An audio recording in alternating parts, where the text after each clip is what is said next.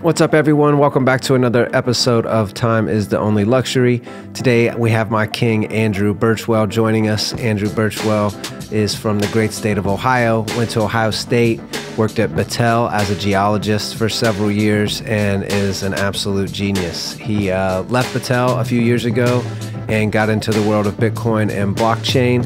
He is uh, leading the charge for Bitcoin and blockchain uh, all over the United States and particularly uh, Ohio and Texas. Uh, he is the head of the Ohio Blockchain Council. His Twitter handle is Salinator, S A A L I N A T O R. And uh, Andrew's a genius. We've known each other for several years. We met through Bitcoin and Twitter. And when I moved back to uh, Ohio from California, we connected and we've been building a great relationship for five or six years now, starting online and transitioned in IRL. And um, it was great to sit down and talk with him today. We talk about everything under the sun. We started drinking whiskey halfway through. Uh, I hope you all enjoy the conversation. I had a great time. Enjoy the show. We got Andrew Burchwell, one of my kings, joining us today. He's absolutely brilliant. Uh, my man uh, worked at Battelle for many years and recently ventured into the Bitcoin world and is deep in oil and gas industry, is deep in um, basically lobbying right now for Bitcoin in the state of Ohio. And every time we speak, are you having trouble with that? Yeah, it's coming in and out. Is it here? Let me Yeah. let me just do this. Here, take it out of there. Mhm. Forget that. Let's go. One.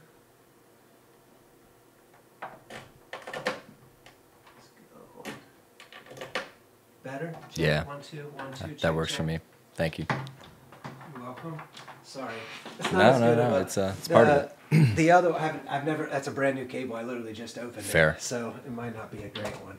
Um, Um, what's the what's the line? I, I'm I'm not a lobbyist, but I did stay at a Holiday Inn last night. Hey, Like, yeah. So I, yeah, I know you're yeah. not a lot, but that's like the easy. I think the easiest way to say like you are. Uh, I am an advocate for advocating yeah, for. I am educating towards. Amen. I am teaching the people. Well, it's it's. I think that's what we're all doing here. Uh-huh. You know what I mean? So I appreciate the the intro, the foresight. I, you know, I can I can uh, acclaim myself in many different ways, but at the end of the day, what are we doing? We're showing up and we're talking about what matters, right? showing That's- up, baby. That's Yeah, it. yeah, yeah, yeah, yeah, yeah. yeah. So tell me, what have you been up to lately? I'd love to. Why don't you give me uh, and everybody else? You know, I, I was hyping you up, saying how brilliant you are, and he really is incredible. His, uh, his Twitter handle is Salinator with two A's. I like Salinator. Salinator. I like that. Okay, all this right. was all right. so this was a throwback to Latin class in high school. Uh-huh. We were, you know, you choose your name. You're like, you got to fit in with the ethos of the culture. And uh, Salinator is uh, it's Latin. It's like man of salt. You know what I mean? Which I didn't even intend for that to be useful or interesting to me Uh-huh. back then. It was just like, all right, I'll pick that one out. That sounds good.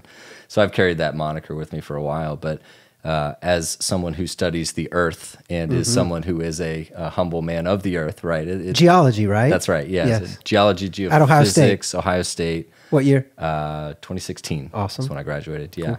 So that was anyway uh, how I how I led to be called that on Twitter, which is kind of secondary. And I, I have this thought all the time: should I just put my real name on there now? It's like kind of the time for that. It is the time for that. You got to stand out in front. but, you know, it is Yeah. what it is. But- Evan just made me change mine. Shoot, ta- really? Well, we had this deep talk about um, the little dot on. So he has the extra logo on Twitter now. It has the uh, company affiliation There's yeah, we'll get into that. Uh, but we yes, will. $1,000 a month. Is that right? and fifty dollars per employee. I had no idea. and Evan said you pay the protection money. Mm-hmm. And and I was like, man, this the whole conversation made me like, so I need to change my profile pic to my brand. And he was like, absolutely. And I'm like, okay. Sure. I literally did it like as soon as we hung up, as, as soon as we were done talking, I picked my phone up and like changed my profile picture to my logo, and ch- didn't change my name. So it's I'm still it is heaven as my regular name. But I think there is something to be said about you're at a time where you are very visible. You are gaining momentum in the space. And yes, you probably should be going by your name, my king. So continue. I appreciate that. Well, the brand is my name. I think you're the It same is. way, right? And Yeah. it's just towards what direction are you using the brand for? And so I just got the blue check mark, right? That was my Amen. step in the right direction, Good right? job. Yeah, yeah. So I was like, all right, I'll participate, you know, Uh-huh. whatever the cost is. That protection money.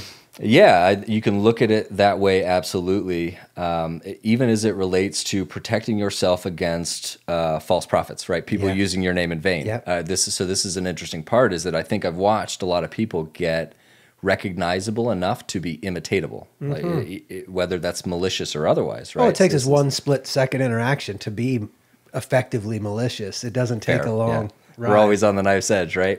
Yeah, it's uh, so in that way, right? There's value in protecting that brand. So, like for you, you've built over a decade's worth of content that just sits there under that moniker, and therefore you should blast that from the mountaintops Yeah, as best you sure, can, right? Even if it's just on a T-shirt. I love the, which I need to get the green T-shirt by the way. I know. I've, I've got it. I wrote it down. I've got a whole Yeah. list of merch updates to make. I'm just like, right, I got right. a lot of content coming. So Good. That's good. Well, I was just listening to Quench on the My way king. over. It's- My king. It just gets better every time. I thanks. appreciate, I appreciate that. Thank you. But uh, yeah, so in that way, right? Um, and I, I said this recently, like, man, I kind of miss being anonymous in some ways, Mm-hmm. Sure. right? Because there is value in There not having is. those stakes associated. Yeah. But the games are real, and I think if they're meaningful enough, you do stand out in front. You do Mm-hmm. like, all right, I'm going to put my whole reputation on Mm-hmm. this behind this because it's important, right? So that's the moment. That's what we're doing, and whether that's for Bitcoin, I think is secondary. I think there's there are so many things that are worth doing right now. Yes, So absolutely.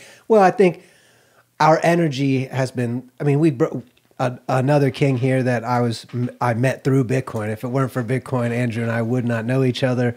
Um, most of my friends in my life right now, if it weren't for Bitcoin, I wouldn't be friends with. Bitcoin is really what resonated internally that brought us the gravity brought us all together, which is very interesting and it brought us together in a time when Bitcoin wasn't the Bitcoin we know today, and now it's really gained the the density and the gravity that we knew it had years Mm-hmm. ago. But now it's picking up in the populace, and that's manifesting in your life. I've seen recent pictures of you at the State Building in D.C. Can what are you what are you doing? Where are you at out there? What's what's the goal? What's the agenda? What are those trips looking like? Well, most recently, right, I was in Miami, so that's a very different Amen. type of state house, right? You were yes. that is that is not the same conversation, um, but they're similar. I mean, I think we had two presidential candidates get up on stage in Miami and, and speak to Bitcoin, right? Awesome. Accept Bitcoin in terms of campaign donations. So pivotal moment. Like these mm-hmm. things are moving. Um, you know, what's happening behind the scenes is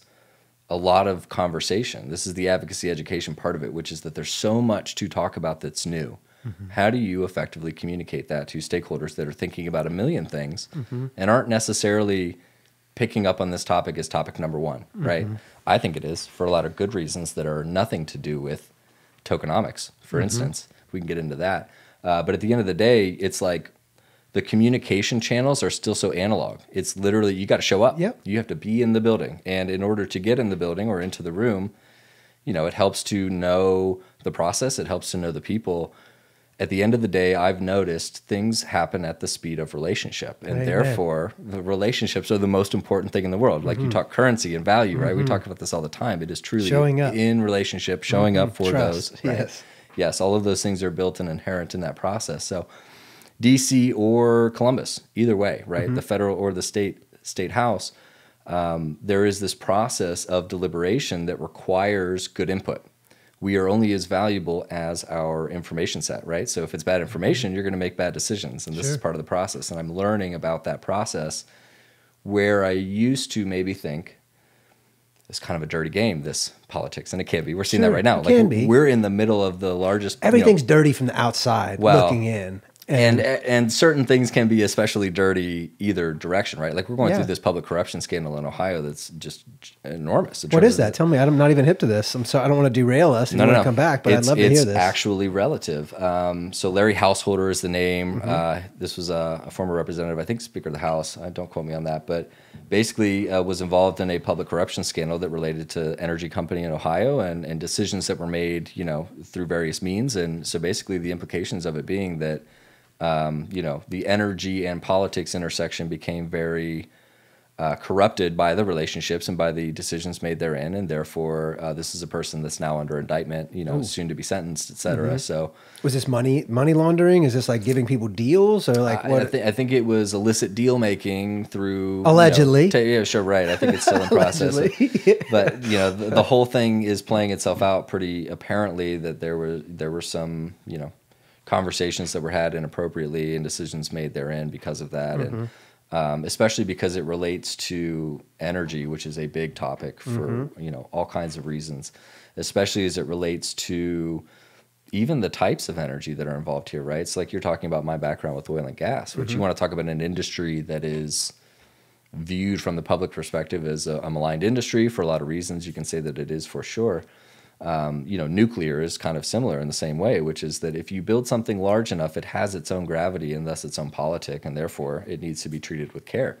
So this is the nature of big systems and big games: is we need to treat them with care, right? Um, and I don't think that there's anything more primary than energy. This is like Amen. right. So yeah.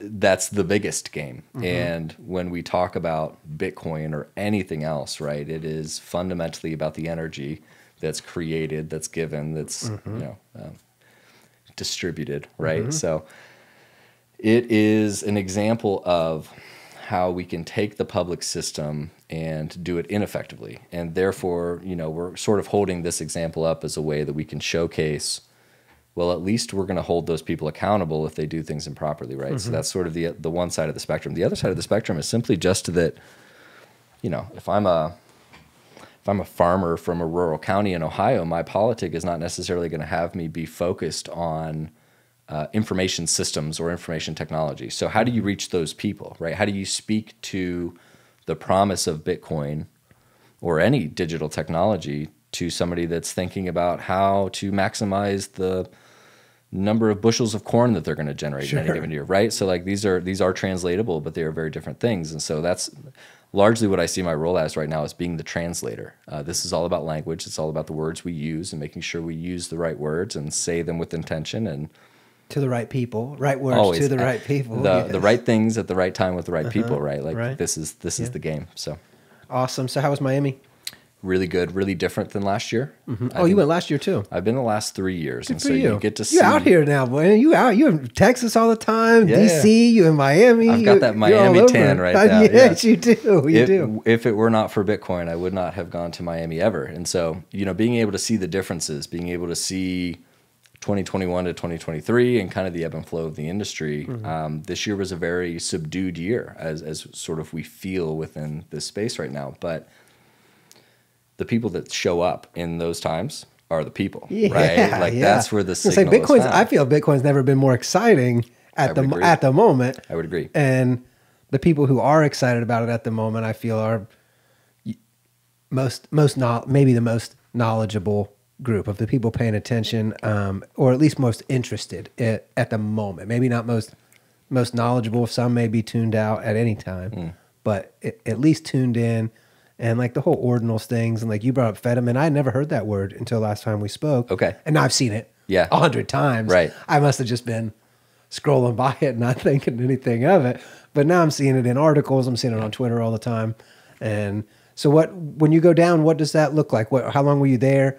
What's the what are the events are you hitting? And like, what's your goal while you're there? Is there real agenda based Hmm. movements, or is it uh, really connecting dots and just networking? I may get myself in trouble here. Um, I am the type of person that does this best when I'm able to flow with it. Amen. Yeah, and absolutely. therefore I Yeah. Try really hard not to over prepare or plan. Uh, there are certain things. You gotta be ready to go to the party. You never know where the party is Yeah. necessarily, and so I was there Thursday to Sunday. I kind of took a light week because we had an event here in Ohio that I had to go to on Thursday.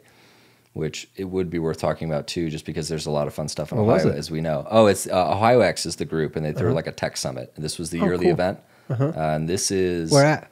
this was at the Ohio Union on campus, Ohio Oh, cool. State campus. Okay. Um, so Chris Berry, OhioX, they do a really tremendous job of doing for tech what I'm trying to do specifically for, let's say, blockchain just generally, right? Mm-hmm. Which is advocate, spearhead, really organize the industry to notice the moment that's happening here in Ohio. Mm-hmm. And it's a lot easier to notice that when you can pull in the intels of the world, right? So that's that's the kind of game that we're playing right now is showcasing you know, the economic development promise of Ohio and through that the relationships and connectivities that are being built to create the silicon heartland have you like are you hip to this moniker silicon heartland No, I've never heard that. That really piqued my interest right when you said it, and I was like, Silicon Heartland. That's a pretty cool term. What's So we're- this? This is popping up now. This we're is what branding it is. yeah so i'm wearing uh, built in ohio Yes. which is uh, the t-shirt that's maybe the second iteration of what chris and OhioX has done the first one was the silicon heartland t-shirt which you may have seen around and, and maybe just not mm-hmm. keyed into it. Mm-hmm. It's like the state seal kind of but it's with the silicon heartland moniker which is obviously to capture some branding and attention from silicon valley and mm-hmm. find its home here in ohio. And so obviously with capital flight and you know tech flight moving Mm-hmm. away from the coasts we're looking for where the next place is right? Austin is very hip to the community and the scene kind of eh, but they're kind of past their moment in some It respects feels right My boys that live there say so. I They- would- I would agree. Say so. Yes. and therefore what's next i think we kind of keyed into this very early and it's the same vibe which is this is coming here it's coming here in a big way Absolutely. let's be ready for it and let's lean into it by talking about it in a very positive light and so silicon heartland was you know i think it had a little bit to do with a lot of the data center development that was happening out in new albany for mm-hmm. instance right so like you could see the first entrance and, and we actually see this in bitcoin the same way which is like you need servers to do all of this no matter what. So that's the first step. And where do you put those? And that became a huge economic development potential for Columbus and the general mm-hmm. region. But then built on top of that's all the other stuff that's really interesting. And therefore, let's also talk about it like we're meaningfully trying to be the next place to be. You know, Silicon Valley really captured the hearts and minds. Silicon Heartland is just bringing it sounds it good. back. It sounds really it good. really flows. Was this a decision made of like we're going to start branding this and we need to do this at some level, or is it did just this bubble up organically and has become its own thing, or is this like official? We're trying to push this. somebody definitely curated that and then it became a proliferation technique and so i think chris and others latched onto it and said we obviously want to promote this idea through our platform and then then it was on shirts and then you saw it everywhere and now Mm-hmm. you know it's um it's just it's just what we call it now it's, Sure. you know what i mean It is interesting. I mean, several people I know, including my brother and one of my best friends, Brooklyn, both moved back here, and they're both tech guys from San, not from San, they're from here originally, but had good starts to their career in SF. Were there at the peak, and came back here. And the last two years, conversations have been they can't believe how much capital is here. Mm-hmm. They can't believe how many VCs are here. They can't believe how much funding is being raised all over the place here. And it seems like there is quite a shift in the tech landscape. And I know they pushed this in Ohio. They started pushing this in like 2007, 8 of like tech in Ohio is the next big thing. And it seems like those cats were just super early. yeah They knew what uh, when I was leaving Ohio and like I got to get to LA. I've got to get out of here. Th- those people were like tech is coming to Ohio and we were like no, it's not. We're going to San Francisco in LA. And like my brother's getting his first job at Box. Brooklyn started up an app. And then 10 years later, 12 years, 13, COVID hits. And bam, tons of people we know are back here in Columbus working at those same jobs or similar companies, global monsters, working from home in Columbus, Ohio, little small towns all over the place. And now you mentioned Intel. Johnstown houses are going for six, seven, eight hundred bands mm-hmm. for small, fifteen hundred square foot, two bedroom, three bedroom ranch houses. And whoo, yeah I mean, it hasn't even started yet. It literally has. I mean, it started, but it hasn't started officially. Like, I still feel very early. Yes. And it's like, where's this really going to go? Is this really Ready Player One that Mm. we're ramping to right now with this server farms and everything? i need to read that book first Have you not read it?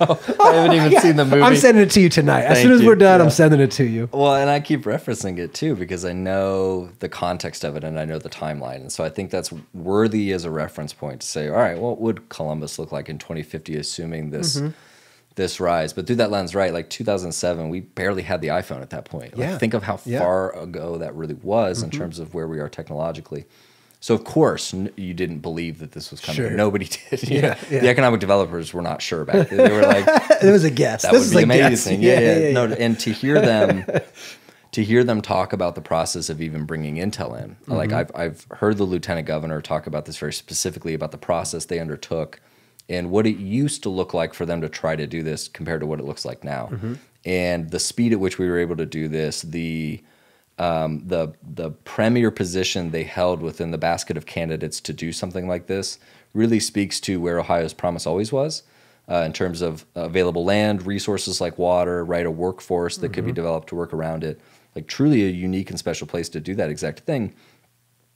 It just felt like for the longest time people were thinking like you were thinking, which was, yeah, but like I'd rather live by the beach though, Yeah. right? Like Yeah. there's something else there too. And you've been there. I have not really spent much time. I just think it was the internet. So I mean, it was the slow internet that really did it. Of I couldn't transfer Hmm. files, and you need to be at the party. You know, Mm-hmm, for some, you need to be at some parties. Like it just has to happen, and you have to be in person. It's you can't meet all the people I've met in the music world in Columbus, Ohio. It's true. That you couldn't in two thousand seven, eight when I left in two thousand five. You definitely couldn't.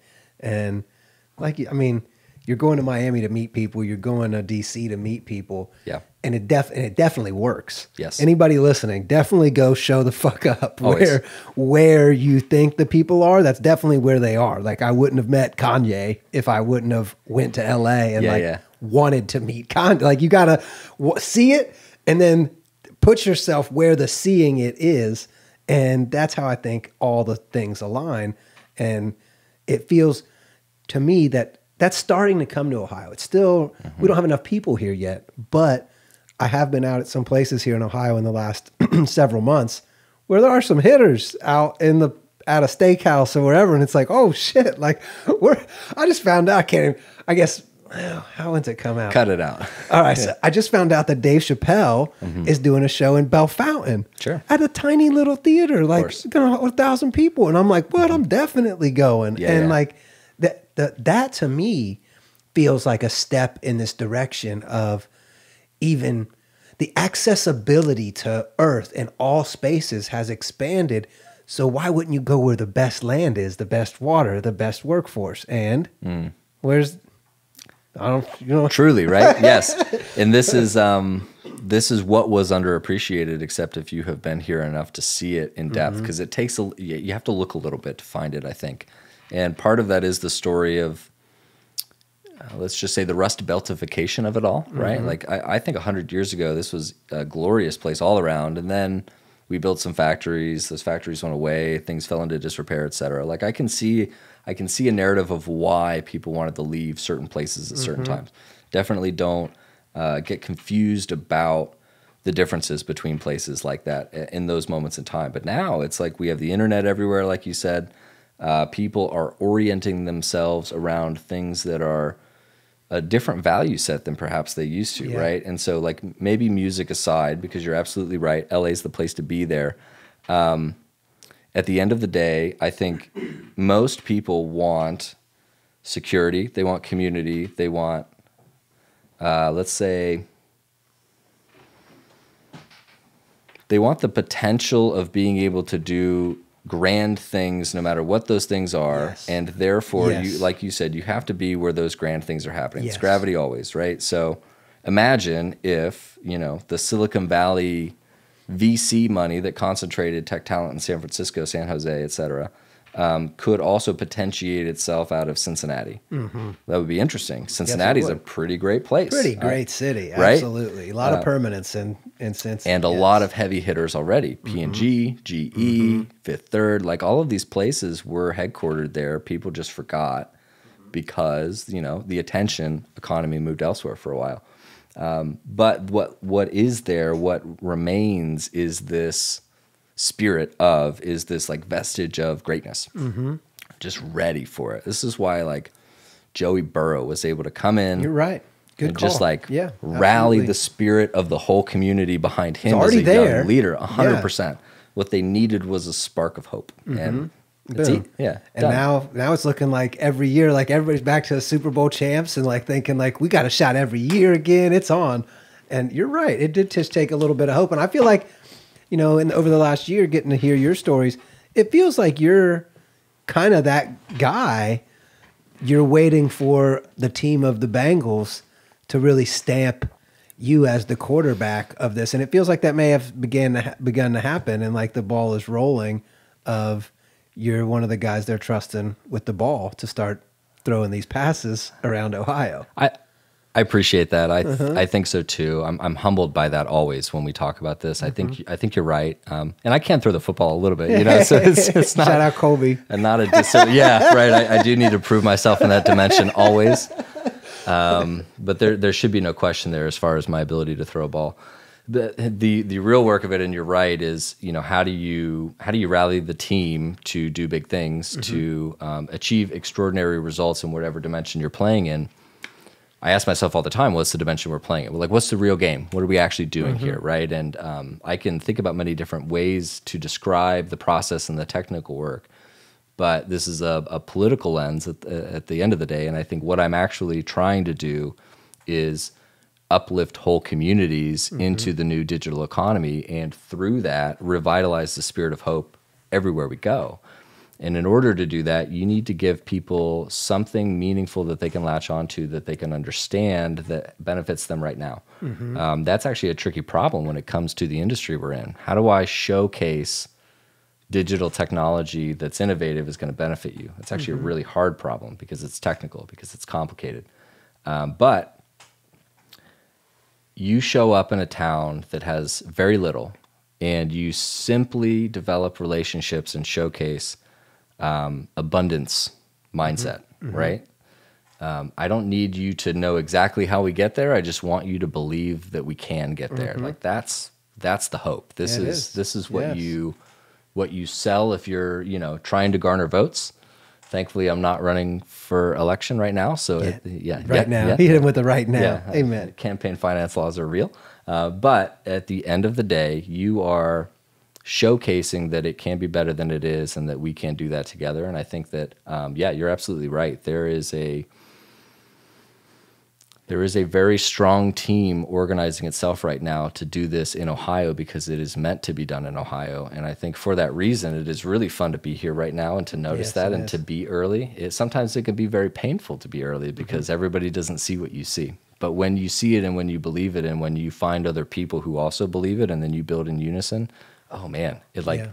better than you could imagine is is the word, right? Yeah, and that yeah, it feels like that's Ohio's moment the next 10 years is it's going to be better than we could imagine. I think so too. It feels, you know, I just moved back. I was gone for 15 years total, um, two chunks, but to come back to Ohio, Columbus in 2021, really been ama- amazing.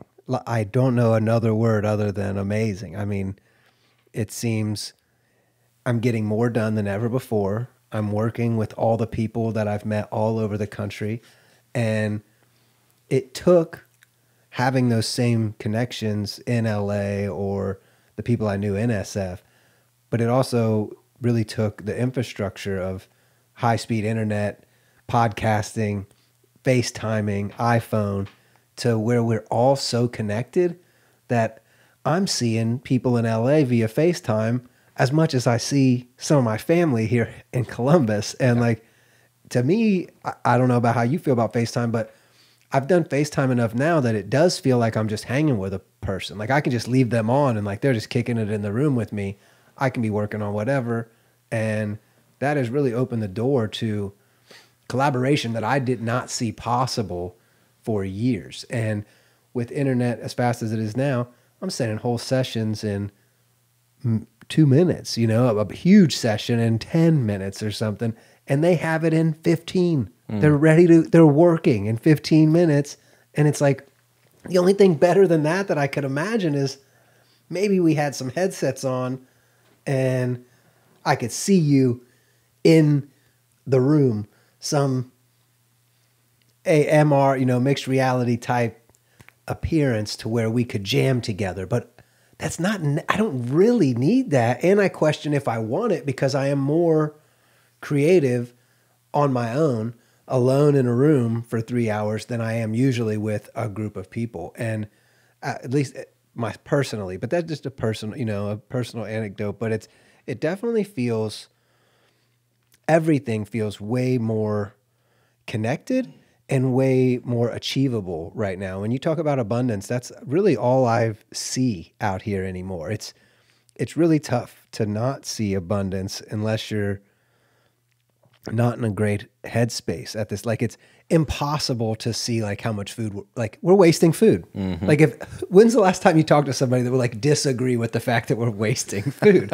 and like the problem becomes like how do we not waste food? How do we get this waste distributed to where people aren't starving? It's like, well, it's either not profitable or they don't want that. They want people to starve. and like that is the energy I think that we're trying to get over now is what world do we want and really trying to have a collective vision and it's about how are we presenting it and like you're sharing the abundance energy i feel like that's where we are is we need visionaries at the moment that see what the world looks like in 10 years or at least have a good idea of what a better place could be.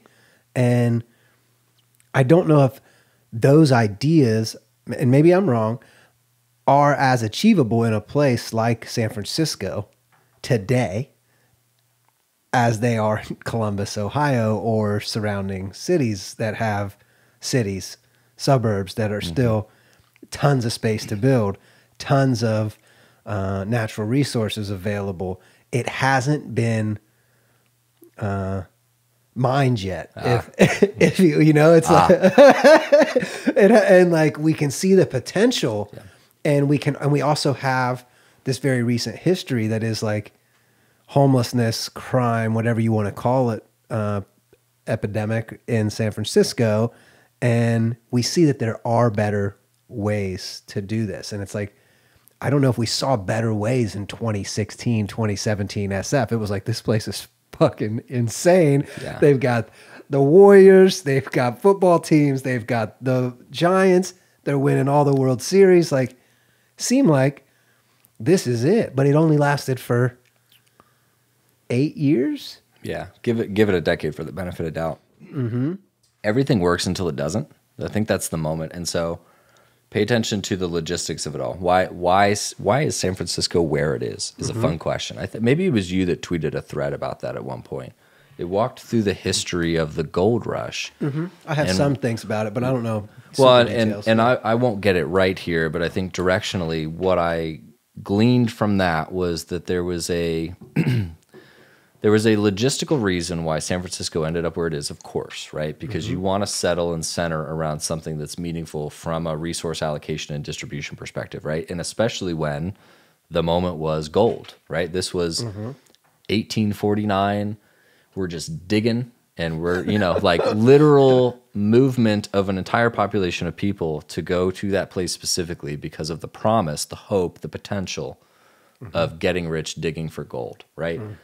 Somebody said to me at the OhioX event last week that it feels like the moment here in Ohio right now is our 1849 moment. Ooh, truly. interesting. And I, I, I had to triangulate that a little bit to kind of get after, you know, it's pretty obvious, right? 1849, like the 49ers. Right. It, that's that's a gold rush term, right? There was mm-hmm. a moment in time where it was just like starting. The seed had been planted, the spark of hope was building around it, and then the gravitational center that was San Francisco was born out of that. Um, and so, like you said, all of that attention, all of that capital, all of that talent, all of that ambition and spirit of possibility, the thought of what could be is moving here now. And and there are a few different reasons I think we could tangibly talk about why that is. There are some abstract ones that are fun to talk about too, but uh, Mark Kvamme of Drive Capital, formerly, or I think he's still on the, the board, um, was a San Francisco VC guy, and I think from Ohio, and he you know was trying to convince people, trying to pull them back, trying to say, you know, hey, the moment's going to be there, right? So let's get ahead of it. And that was kind of a hard conversation for a little he while. He was an SF guy, huh? Yeah, yeah. I think I think spent several decades uh, doing that that And game out there, now. Mm-hmm. and I think he's back here now, full time. Um, I don't want to speak to where he lives, but Right, the right, point is he's right, building right. in Ohio Yeah, and sure, yeah. focused on Ohio now from yeah, the from the perspective of what we're saying, which is that um, you know people are looking for something else now. The gravitational center of ideas is moving, and it could move to many different places, but one of those places is definitely here, and it's worth figuring out why, and it's worth leaning into that. And just like that 1849 moment, it's I don't think anybody could have ever envisioned what San Francisco would have become out of that initial gold Sure. rush. That that would have been insane, mm-hmm. right? Like, try to imagine skyscrapers and mm-hmm. iPhones, et cetera. But that's kind of where we are right now. Is that we actually have no idea what's coming. We just kind of know it's being built out of this, and so therefore, you know, th- the responsibility part of this comes in very quickly to me, which is like, all right, we've been given an opportunity. It's a mm. really big one. Um, we have to we have to treat this with care. We have to be really really thoughtful about what we're doing here because it will matter a hundred years from now, and that's an that's an old idea because the spirit of industrialization was built here in the first place, right? And I think that they understood that what we were building was a new type of machine. We're just doing the same thing, but this machine is orders of magnitude more impactful in ways we could not predict. Uh, so the Ready Player One of it is kind of that pseudo dystopic perspective of man, we can really build this in ways that are complicated, right? And I think that's always the possibility. Um, so what are we building? What are we building for? Dave Chappelle's a good example of thinking thoughtfully about community. Absolutely. I don't know if you know much about his entrance into that uh, housing battle down there in Yellow Springs. Um, I know some small things, but if you have some details, I'd love to hear them. I think just um, uh, generally speaking, I think he is on the side of trying to maintain the spirit and vitality of Yellow Springs as a small community, right? Because he mm-hmm. is his own gravity. Sure. You can imagine how just that one seed right there will will attract this Yeah. force mm-hmm. of new development of you know Comedy club, whatever it is. whatever it is, right? And I, I, I think that you know he may be painted as somebody who's trying to argue against low income housing or something like that. Like I don't think that's the spirit of what he's trying to do. I just think he sort of sees that like, hey, I've seen what LA can become, right? Like that kind of downside risk of a community getting too big for itself in some respect. Uh, and anyway, I think that that's part of the reason why he probably settled here was to get away from that. And I think at the end of the day, you know, we as community members ought to be very thoughtful about um, the way in which we grow and what we grow towards. And, you know, I, I do think that's the moment. Like we've talked about this, Johnstown, et cetera. Um, we have an opportunity to build whole communities now. We're revitalizing whole communities, turning 10,000 population centers into 50,000 population centers. Maybe, maybe way more. What does that look like? Yeah. How do you build that? How do you build that well? How do you build that such that you don't remove the soul and character from the place, right? Like those are the questions we should be asking. The means to are, are sort of secondary details. I think the, the real important question, which is unsolvable here, but worth talking about is what actually is worth building. What, mm-hmm. what, what would we like to spend the rest of our lives doing? Uh, there's some simple answers to that. You know, if I mm-hmm. could chill by the water, just Yeah. hang out with friends, you know, mm-hmm. live a good life with the family. Like that's a pretty Get Amazon straightforward deliveries. whatever Sure. it takes. Yeah, maybe it's not a drone dropping them over my house. Yeah, you know I what I mean? that's Like, it. Yeah, yeah, yeah. But in the name of efficiency and logistics, we make choices, right? And this is, I, I think that's the story of San Francisco. I think uh, Geoffrey West writes about this really elegantly in the book Scale. We've talked about that a little bit, and I reference that often when I think about the positives and negatives that come from centralization and concentration. And that's when you do things from a logistics and efficiencies perspective, you will get the downside uh, externalities of, you know, for instance, crime, homelessness, drug addiction, et Heaven cetera. means you right? get to feel hell too. Energy. Amen. Amen. Um, and, and perhaps that push pull is always there. This is so. This is the tough part about abundance. Yeah. You mean it's going to go up forever? Yeah. Mm-hmm. Yeah. Right. It's a hard thing to think about. There will always be challenges. It's interesting to talk to think about that, and that's was one of mine and Kay's early complaints uh, coming back to Columbus. Uh, early, we were getting Ubers, going out a few places and grabbing Lyfts someplace, Ubers someplace, trying to see what we liked here, as opposed to Southern California. You can get either one, you're fine, good to go. They're there in three minutes, whatever. Here, we got some Lyfts early on that were not lit. and I mean, like one night we left uh, Marcella's in the short north and got like the cheap Lyft, and that's what we got in L.A. Is in L.A. a cheap Lyft is a nice, usually a nice, a pretty nice newer car. Uh, here we had uh, maybe a 1998 Blazer on like 24 inch spinners. Hell yeah. with the driver smoking a black and mild with the windows down and like smoke coming out of the car as we're approaching the car. I'm like, this is definitely our vehicle. Not And It's like, hey, you for Cameron? Yep. Yeah. okay. and like we just giggle and get in and like, Yeah. all right, we'll make a different decision next time. And like, Right. it is what it is. My brother, who lived in San Francisco for eight, nine years, he says you can't get the level of service and excellence of San Francisco unless you also have people shitting in the street. Hmm. It just doesn't. He's like, it's not happening. You're not getting, uh, like here in Columbus today, you can't get Uber Blacks.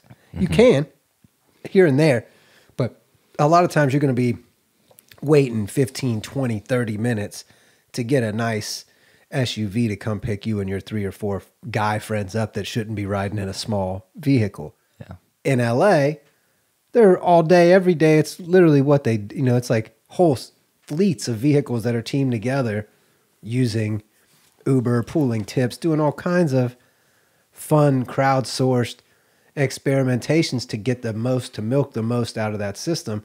Here, there's not that level of competition yet to drive that level of service. And that goes for restaurants, that goes for pretty much everything. And that's what I'm interested in seeing uh, advance is I would really like to see and I don't that's where I it worries me of to get the handful of a, a Michelin star, a couple Michelin star restaurants around in the area.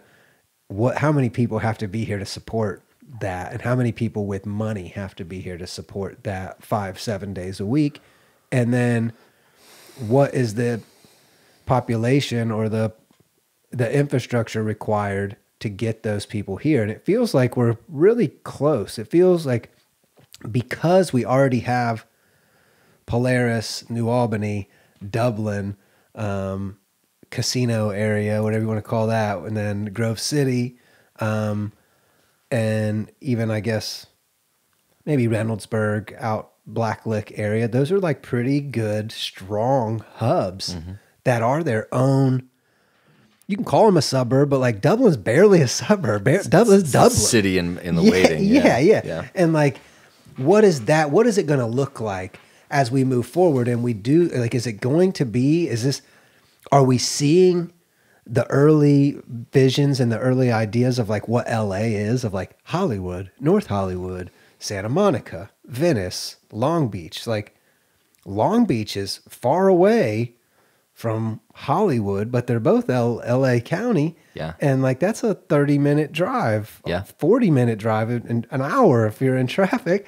And like, is that what we're talking about in Columbus in the next 10 years of Yes. a yes? Very um very explicitly. That's the plan. It's it's not a what if, it's how. Mm-hmm. I mean, you can look at the map right now, and you can already see the second outer belt. It's, it's yeah, it's yeah, built, you can right? see it. Like yes, it's absolutely. it's already yes, you're there. right. It is. It is pretty shocking. Like when you zoom out a little bit of like, oh, there's already highway Yeah. there. It just needs expanded. So right. Make it a little wider, and then Yeah, we're talking, right? yeah. Uh, so yeah, it's it's inevitable in that way. I think the question you asked originally was, can you have? Does one necessitate the other? Right. Yeah. That's a harder question for sure. But if you just look at the direction we're heading in general, it is on that um, wave of a magnitude change in terms of quality of life, in terms of Mm-hmm. infrastructure, in terms of even just how many tall buildings there are. Right. Right, This is right. what's any good metric for how large or you know, say wealthy a downtown area is. Is just how many tall buildings can you count? What's the within that? skyline look like? Yeah. so that's that's the centralizing force. Okay, so we did it that way. Why did we do it that? Why did we build big tall buildings in the first place, right? We did it so that we could get the most amount of people in the same place at the same time most effectively, all right? okay. It's the way we had to do it. We didn't have the internet when we started the skyscraper trend, sure, right? Like sure. it was That was- the- the building was was the internet. internet. Good the call. the CIA. Yeah. literally Yes. invented vacuum tube systems of communication within a single building because they needed speed of logistics of communication. They needed that OODA loop shortened. This is all where it comes from, right? So, but that was the way we had to do it then. Is that the way we have to do it now? I think is the question I ask. And I don't think we do with the internet. And therefore, I do think if we're creative, we can have the Michelin experience and not necessitate the homeless crisis at the same time. Um, I don't think I have the exact answer, but I do believe that like having enough open space to think creatively about where to put everybody is like a good opportunity. At the mm-hmm. end of it, it's like food. It's like we, we absolutely have enough land to hold all the Sure. people, right? It was what did we need to do in order to get all of it in one place? And what that led to is, you know, these waves of gentrification, of course. Like, you know, as soon as you want to build a new nice area, you got to put the not so nice area somewhere else. and then how do you move those people? And can those people move? And sometimes they get stuck. And there's all these problems. Um, like the the Chappelle Yellow Springs circumstance, and we were talking about this this weekend. It's like an open question. When you do a new housing development, do you build the full spectrum of housing? Do you say, well, in this lot, we're going to build homes that are 100,000, homes that are 500,000, and homes that are a million dollars, right? We'll have everywhere, like everybody there all at once. Won't it be great? Like community, right? And I like, yeah, that's kind of equitable, but I don't actually think that that's robust. I, mm-hmm. I think you're gonna,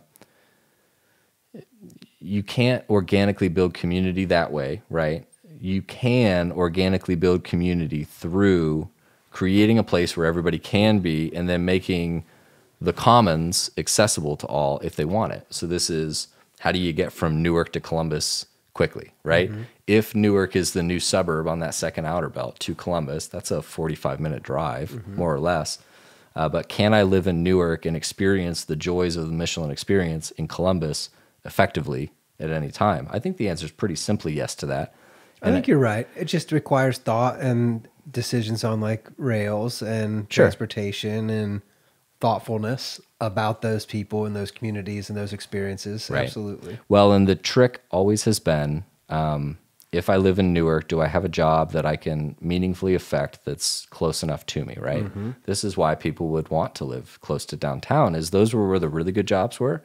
And I want to live close to that because I don't want to waste time on commute. So it's all that body and space problem over time. And I think through the internet now, we've alleviated some of that pressure of needing to be in the same place at the same time, right? It was all about putting minds in the same room. We could do that now through FaceTime, like you're saying. So, like that physical space limitation is gone now, and it's pretty much accessible to everybody, um, you know, soon to be anyway.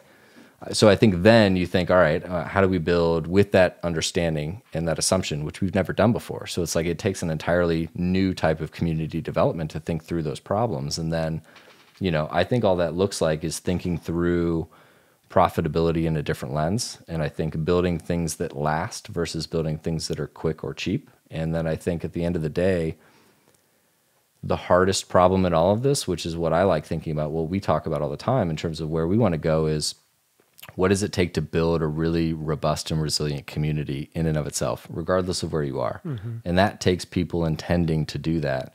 This is why churches were really powerful. This is why, uh, like, getting all of those people on the same page about some idea, even if that idea was just let's survive this winter, right? Like, we forget how hard it used to be. Um, I think that that interconnectivity at the local scale is most important. And then, yeah, if I want to live an hour from the city and sometimes go see a crew game, cool. Like, I think that's great. But I, I do think that's secondary to this. And It is, and, for sure. Like, but I do think the Michelin experience is coming here, and I think we get to be the example of can we do that without the homeless problem that San Francisco Mm-hmm. has, and I, I I do think we can solve that. I do think there's going to be some hard steps in the middle because that that takes real work. Like showing up is work. You know what I mean? It is actually hard to do. It takes you getting out of the comfort zone. It takes you getting out of the air conditioner once in a while. Um, but I do think that's our moment. I do think that's like Ohio's potential is it's literally proof of work derived. It is Oh, I was just going to bring this up in a different manner, but go yeah, ahead. no, it is like the the showing up of it is the proof of mm-hmm. work, and that interconnectivity is derived from that work. Therefore, the the the proof is in the work. Like there's, I, I spend a lot of time talking to people about the technical aspects of proof of work. I really love the social aspects of it. I think that's actually what's happening right now. Is we're all just showing up, we're figuring it out, and what's going to come from it is going to be better than we could imagine. Man, I think so too. And that's so. Um, I have some family lives in Akron, lived there forever. Uh, lately, when I go up there for the last several years, my energy is like, what the fuck is going on here? Like, the roads are atrocious. They make tires. It's known for making tires, and Yeah. the roads are the most fucked up roads. You hear this acronym, most fucked up roads in the United States of America. Ain't nobody got more fucked up roads than y'all. Whoever's responsible should be fired immediately for this circumstance that you all are facing. But that being said, the proof of work is so interesting to me because of what you're talking about of like the abundance energy. What you're really talking about is inspiring thought and inspiring a mindset that is the seed that grows into abundance. And that's something I think about and have talked about with people really close to me for years of you know, there are bad areas of towns. Why are they dirty? Mm. Is it because the people that live there just don't have any pride or they're not inspired to take care of them? They don't feel like anybody cares about them or their space? Like, it's nobody's fault that nobody comes to your Burger King because your Burger King's a piece of shit or whatever. Not sorry, Burger King. I fucking love Burger King. like, literally, I tweeted Yeah. just the other day best cheeseburgers in America. I love Bur- It Burger was, King it was a toss up between Burger King and McDonald's. we just, yeah. and like so like what is like there's a reason that that uh, center of activity is not booming to, for whatever whatever it is today but at one time if all those places were built and all those places then have economic activity of employees they have customers they're making tax money how does that go away? Hmm. Like how what is it the inspir is it the idea is it the seed of inspiration and abundance and love that is lost that causes a community to diminish? Like where how can a community diminish if you show up and do your fucking job? Like if you just show up and you're cooking the best burgers and like like i'll tell you right now like if anything happened i know i could go i could just go work at any fast food place and in a week people would be like well you definitely need promoted or somebody would be like you need a raise you need promoted we got to do something Yeah. else. Like you can't just be cleaning the bathrooms. I'll be like i'll keep these bathrooms the cleanest they've ever been. Ah take a shit let me see. I will keep and like that's just who i am Yes. of like i will keep i care so much about where i am at any mm. moment that where i am is going to be the place. Mm-hmm. It's going to be clean. It's going to be respectful. It's going to when you come in i want you to have the energy i have and i don't care what it takes. If i have to show up every day for months to get this place to where it needs to be to where when you walk in you're like dang this is where i want to spend some time. That is just in me. Mm. And I don't know if that's inspiration. I don't know if that's a, abundance energy, but how does an economic center lose that? Like, how do you get to a place where you're only hiring people that aren't inspired and don't think about abundance? And then your entire city is now run down. And we're, I guess my question is like, what is, is that really just the, the spark of, hey, we can do this, and they need a local leader that really takes charge and is vocal about like what the what's going on here. Let's fix it. I think that's definitely part of it. I, you know, shout out to LeBron too. It's not his fault that Akron did that, right? And I think Agree- you yeah, can do what you can yeah. do, and there's obviously much more to be done. You know, it's like, like you said, maybe it makes, maybe it takes two months for you to be recognized as the bathroom cleaning champ that Yeah, you are, right? Like day one, it may be actually hard to affect the culture meaningfully Sure. Because of how downtrodden it was when you showed up. Mm-hmm. So you are this bright light. the most joyful toilet cleaner that has ever Yeah. existed, and you show up and they go, "Wow, we've never had toilets this clean." Yeah, Shout out Luxe Bidet. I need a sponsor, baby. long time coming. um, and, and so you can see how these things take time to be affected in the positive. You can imagine that it was a long time coming in terms of it being affected to the negative. And so you ask, like, is it the love? Is it this or that? I think love's probably one of the last things to go. That may be all you have left at You're some right. point Yeah. when you are in one of those communities. Mm-hmm. What went first was the factory. All right. So I show up and I do my job the best I can do it, wherever it is. It's some factory in the middle of nowhere. Mm, okay. Some I like this. international conglomerate comes in and says we can affect some efficiency on our bottom line by moving this whole factory to Guatemala, Mexico, wherever wherever. it Yeah, is. yeah, Yeah, yeah. And therefore, you don't even get to show up to your job anymore. Sorry, fam, it's gone. Right. So I can see how the rug has been pulled out from underneath all of these people and over time. And when that happens, the forces that necessitated that that happen, so to speak, um, also create the condition whereby nothing else is coming in, right? Because the Sure. efficiencies are elsewhere. Gone. Yeah, Yeah, yeah. you're right. Okay. All right. So the spirit of the people is secondary to these Mm. global forces of price signal that have determined that in a global just-in-time economy, we should make those widgets somewhere else. And that's Mm. been the way of it for a long time. And so therefore, well, all right, we have land, we have some resource, we have some capability. Um, do we rebuild here, or is it better if I send my daughter to the city to get educated so that she can go work somewhere else? Because, you know, not a lot's happening in Podunk, wherever, right? So I can see how short term necessity creates a sort of gravitational force of output of just leaving. It's it's easier, it's faster. Um, we love where we're from, but you know, not working in that factory the rest of my life. Like this mentality plays itself over generations. Absolutely. So, This like- is a story I've heard many times before. it's yes. everywhere, and and therefore, how do you how do you think about revitalizing that spirit when there is nothing? So this is the thing about abundance is it's trust me, it's coming, right? This is um, and they've heard that story before. This is also the other thing about coming from the oil and gas industry. Um, especially promises. especially as it relates to like Eastern Ohio, Western Pennsylvania, like the shale boom, you know, late 2010s. Uh, But none of those promises fulfilled. ab- like abundance was coming and get ready for it and there was a small boom and then there was a big bust once again and so yeah all of those promises were not necessarily realized in ways and so distrust starts to occur and then all of a sudden you're not going to listen to the next promise right so Sure. it is what it is he's and the then- same founder as before. that's right. Yeah, there are, all these sharks are extractivist, et cetera, et cetera.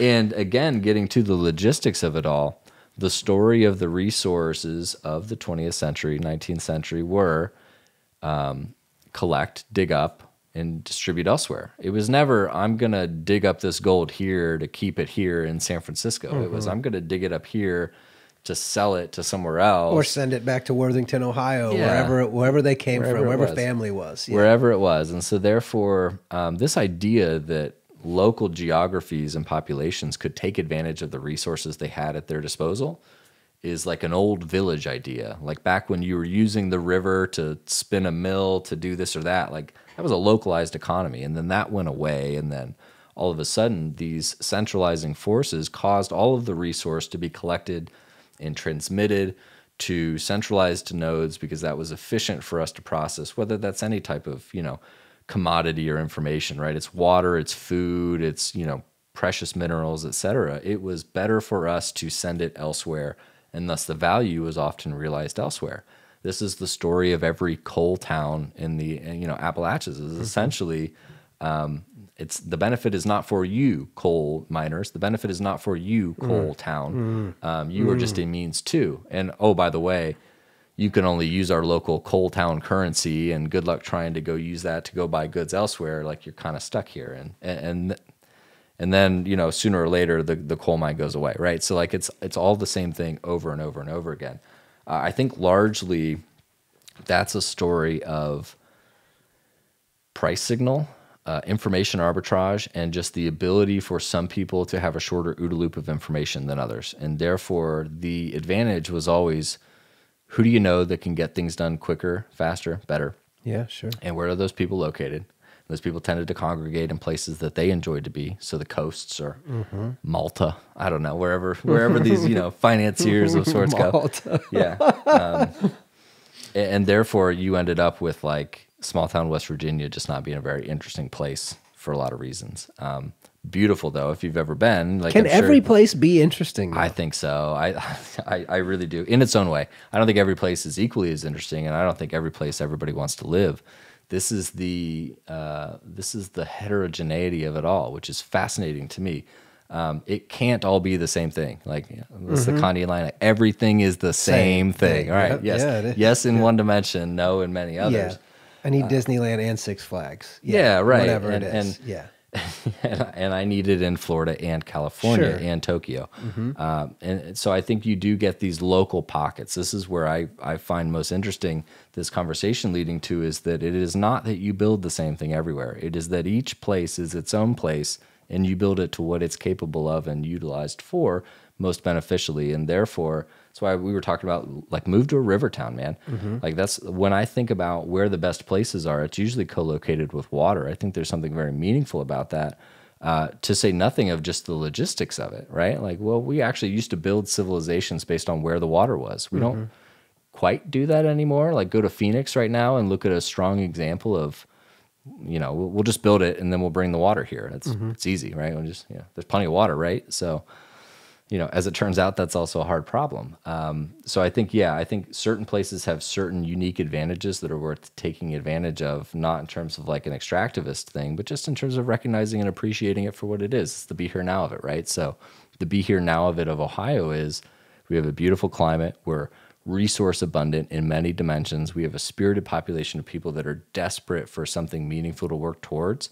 And we have this opportunity to be uh, resilient in our humility. So this is what's interesting is I think arrogance always leads to downfall. This is why whenever somebody tries to gas me up, I, I dislike it. Right? We talk about this a lot. Like you do have to stand out in front. And you have to say what you're good at and what you're here for.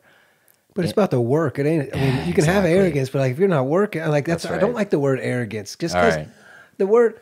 I just feel like it has such a negative connotation, and it's usually a person that doesn't understand greatness Mm. using the word arrogance. Okay. And, uh, and from my perspective, like people in my life have told me forever, like when I was a huge Kanye fan growing up, people were like, he's so arrogant, so cocky. I'm like, I don't think you understand. like, like he's not arrogant. He's on. He's literally just being honest Yeah. about like I've made the best music for an entire generation, and like I was the biggest music connoisseur. So was my brother. Neither one of us were arguing. You're not even a listener to this music. Yeah. we completely agree. How is that arrogance? I agree. It's- right. it's- Apparently arrogant. No, yeah, that, yeah, and, yeah, and yeah. that, I understand what you're saying. It's it's a false. It's um it's arrogance without the work of like. Mm. it's like a it's like assumption. It's like uh it's like entitlement. Yes, it is not. It is word. not. Um, it is not arrogance. Usually, usually. I feel like the word arrogance is often misapplied, and like agree. I don't run into many arrogant people. Of, of all the people, I'd say I'm the most arrogant human being I know. But I say it in that in I say the same thing. I feel like I'm great when I show up and apply myself, and like I'm never, um, I'm never saying I'm great at something I'm not. I'm I'll be the first one to tell you like show me how to do that. Yeah. Or you're better at that than me. And like I I- like all my friends know that. I say I'm wrong all the time. I admit when I make mistakes, but I feel like there is some energy of like how do we get over that of even right now just with the Ohio talk, we're starting to be able to enjoy areas outside of major cities because the way life has the cards have kind of shaken out of like Kendra, Kendra and I are looking at places f- well outside of Columbus right now to live and Yeah. buy a house because of the potential that we know is right there for the taking. Mm-hmm. It is just it's a better familial life, smaller, more local connectivity to uh, a hub of people, a smaller group of people that you can really know and uh, have be on a first name basis with in your small community of your kids going to school together, whatever it is. And Amazon delivers packages, and you can talk to anyone on the internet or FaceTime. And uh, something that, I, and I don't want to derail, I don't want to change this here because I think it's still Kendra. Uh, we we went to DeGraff, a beautiful area in Ohio, um, to a friend's house to pick some stuff up the other day for our baby. Um, that's not here. Comes in October. Uh, King Kane. And on the way home, I thought to myself, why are there so many fucking huge trucks on the highway? And it started to make me think about the rail system. And we all know, like the they were trying to show us train wrecks for three months. we really we didn't get on board with the Sure. with the episodes. We didn't want the season of train. Wrecks. Some wrecks. of those were very real, but yeah, yes, they were. I'm with you. They were. Yeah. We just that we could have. I think uh, people could have been more uh, into the episode of train wrecks, and we could have fixed the trains. But I just wonder why is a tr- a truck loaded up a shipping container and driving from let's say Bellefontaine, Ohio, to the other side of Columbus. Let's say Grove City or wherever it is, or Grove City to Bellefontaine. Why is that on a shipping container on these concrete rivers, if you will, as we're talking about living on a river? Um, it is a a, a movement, uh, uh, a good way to get your your goods moved somewhere. but I feel it's super inefficient. And why would you not just have the trains whipping all the time and quick on and off and those trucks be local? Like those truck drivers shouldn't be driving thousands of miles or hundreds of miles. They should be making many short trips to and from a loading place to their destination. That is keeping them off of roads, keeping roads open. That would allow for much higher speed transportation for vehicles, especially when you start talking about autonomous vehicles and things moving forward. But you can't do that when there's literally on the way home from California, it was almost a train, bumper to bumper from LA to St. Louis. I'm talking like a fucking train of individual semis, bumper to bumper for thousands of miles. And it's literally all you saw. Like you very rarely saw a couple other cars or a moving truck or just somebody in their pickup truck driving down the road. No, these highways were straight, were moving goods to another place. And I just wonder how is the highway with all this fuel burning, taking up space, bad for lo- local communities, bad for the truck driver, not with his family, driving all over the place. How is that where we've landed? How is that more efficient than something here local where, like, if we did have a high speed rail or even a good rail system, we could be experiencing the joys of Columbus 40 minutes out. And like, why, how has that happened? That's how New York became New York. The reason New York became New York is because of the train system in and out allowing that to happen. And of course, the now, I don't know if you saw this article, 1 million buildings. New York has 1 million buildings, That's not like 980 some thousand. Sure. Is, is, and like, that is a lot of fucking big buildings. It's, it's so its like, own gravity. Yeah. yeah. So how, like, I just wonder how we've got away.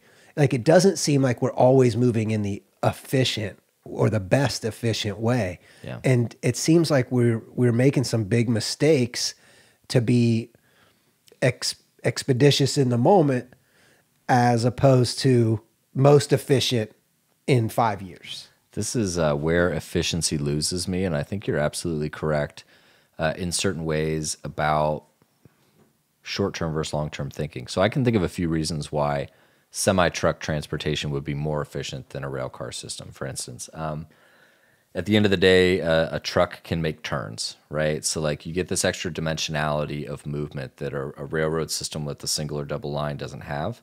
Uh, you also get the flexibility of being able to have consumer goods and people moving at higher volumes, right? Like, uh, the one thing I can think of right now that's concrete road uh, beneficial versus sort of rail car deficient is the throughput, like the volume of transfer.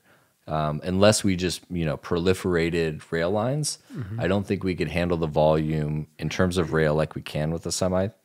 Um, I, I, do think to some degree what we built was born out of uh, wartime decision making. Mm. Okay, so the inter uh, the intercontinental great, great, highway system was built as a military logistics. Eisenhower, yes. Yes. Uh, and as a result, we benefit from it, but didn't necessarily plan to build it for consumer Us. goods necessarily, yeah, yeah. right? Okay. Or just yeah. people.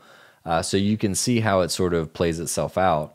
But that moment in time that that was built and the way in which we've built things since then is exactly like the rest of the conversation we're having about cities, civilization, society, right? Um, the the price signal of it all, right? So we're we're in this moment now where um, you know it works until it doesn't. Like we're at this point where we have to really decide, all right, where do we go from here? Does it make sense to build out based off of what we have or to reimagine it entirely. This was like the Hyperloop thing was going to come in and say, well, no, we're going to add a whole third dimension to this. Right. Let's go underground, right? Mm-hmm. Amazon drone delivery is, we're adding a third dimension to this baby. We're going to go up in the air, and then Amazon it's going to change everything. Yeah, hovering, right. dropping down anything out the blimp, sitting over your warehouse it's over the not city. the first moment for blimps. Until you talk about Akron, you know what I right, mean? Right, like they're still sending out the yeah. blimp. Um, that if you think of anything in terms of Akron, it's that Goodyear blimp yeah, now. Amen. So yeah. So it's an interesting question, right? Like how did we how did Akron end up with the worst roads? How did we end up with this logistic superhighway that is semi well, this is um, Ohio has one of the most interesting and beneficial road systems, even if maybe the yes. surface condition is in disrepair. Uh, and that's kind of the moment we're in as as a state is to notice the logistics potential of it because everything is logistics, but also asking better questions about what does it mean to have efficient logistics, like you're saying, like what's the long term net positive of continuing to do things the way that we're doing it? And I would fully agree, it's probably not the best we could do, but it is where we ended up with the best we could do 50 years ago or whatever Mm-hmm. it was. And so there's just a lot of that sort of learning and process. And I think getting to the point where you can even ask creative questions like, what if we just re envisioned this entirely? Mm-hmm. Right. I actually think that's the fun part about where we're at. And you guys are talking about, we want to look for a new place to live. Where is that? The benefit of being long term thinkers is that you can see a place that is maybe not where you want to live today, but could be 10 years from now. Mm-hmm. And then what is the work it would take to get there, right? This is sort of circling back to the proof of work of it all. Mm-hmm. The proof of work of the last, let's say, 80 years was concrete superhighways. You can't argue with that. Evan said the other day, he said it's you can't argue today Yeah. that it's uh, more efficient to transport if you want to move a petabyte of data or 100 petabytes of data, you would not uh, send it over the internet. You would throw those hard drives into a back of a truck and drive them to New York City from LA. You would not say, "Hey, I'm going to upload this file." and he was like, "That's," he was like, "That's what we're talking about with transportation and trucks and like being able to throw something in the back that just takes like a direct route right there, and you know it's there and X, you know exactly how much time it's going to well, you know, if all all goes well, you know exactly when it's going to arrive, how much is coming, no loss. As uh, internet file transfer, you could spend a week sending it, and then there's an error, and we got to start over. Evan's so smart. He is Shout- so smart. Shout out to Evan. He by the is incredible. He also brought up uh, we, they just figured out how the Romans built concrete. Are you Okay. hip to this? Tell me more.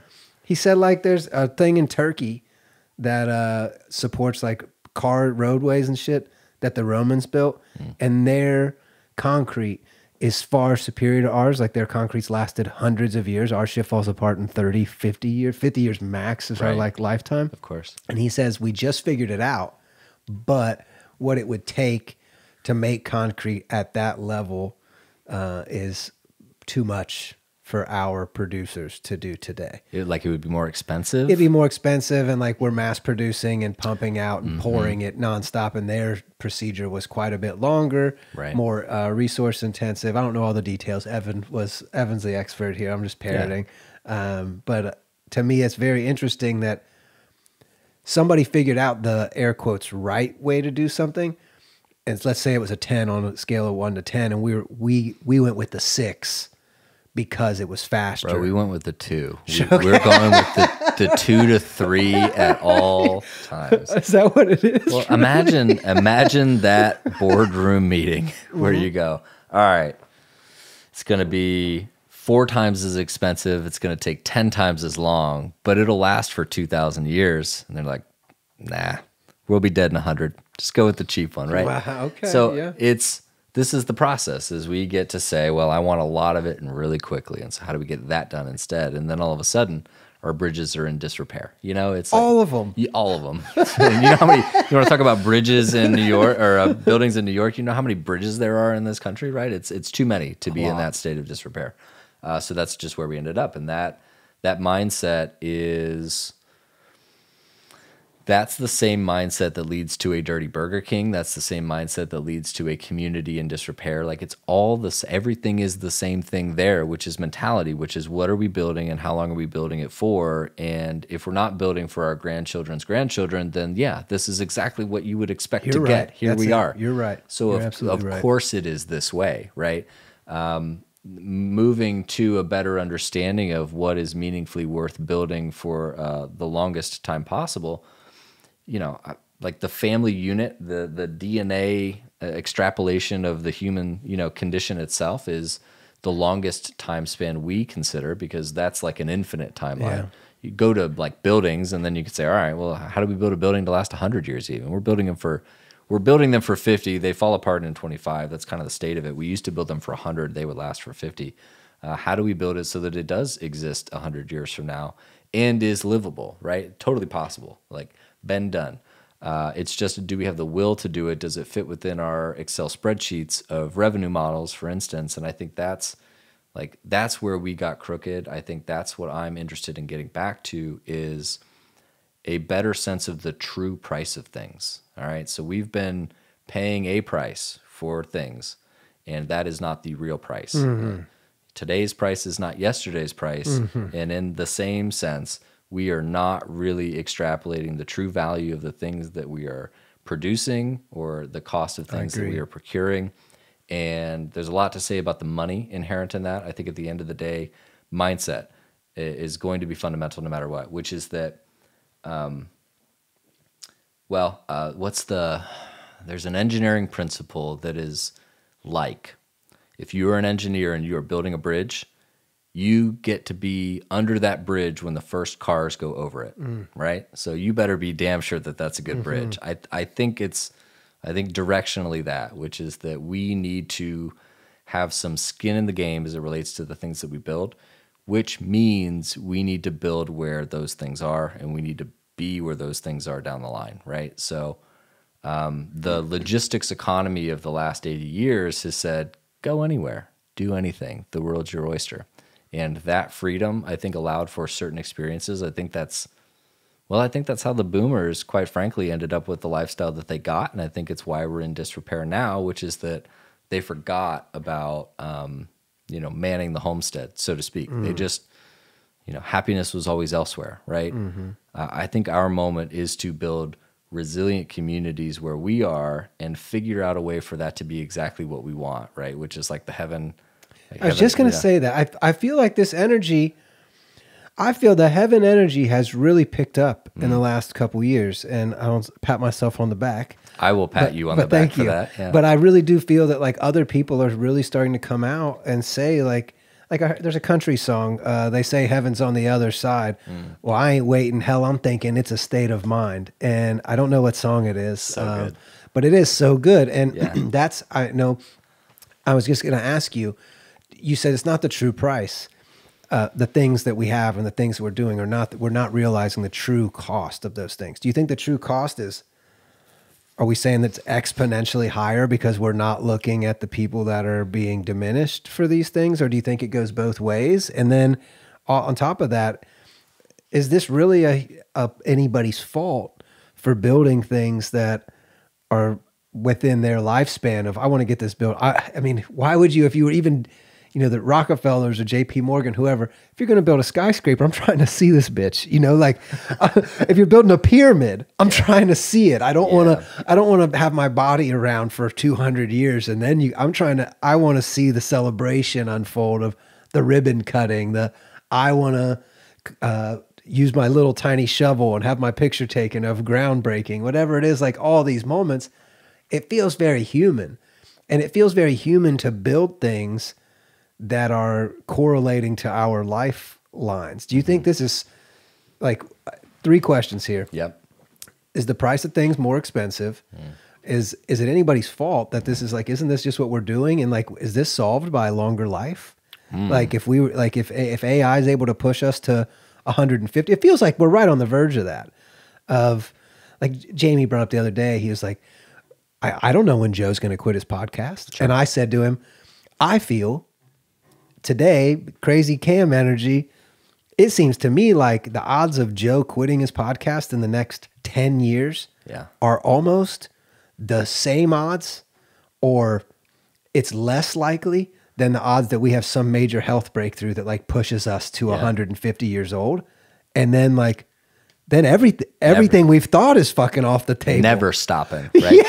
Uh, this is the Lindy in effect, right? Yes, it's the longer yes. something lasts, the longer it is uh, expected to last, and and I tend to agree with you. So okay, uh, yes, we are often not paying the true price for things because we only think in certain dimensions and not all dimensions, and that like that's just an inherent perspective of the human brain, which is that um, we'll think in terms of like when I say price or cost, et cetera, like we're talking in dollars, but what is True. the Good cost to Yeah, the yeah. environment right. when you you know leak some stuff into the river, right? Like Money's so interesting. it is. It- It's it's the most interesting, and so like in that respect, of course, we're never paying the true price for things. Um, is that somebody's fault? No. Like eh, you know, unless you get really deep into the philosophical argument about good versus evil and you know what I mean like then you start to get to the root of that question but I think putting that aside from the human perspective no of course it's necessarily human that we think in those terms this is why I don't think well it's not that I don't think the humans built the pyramid I just think it was a different type of human that built that kind of structure because it took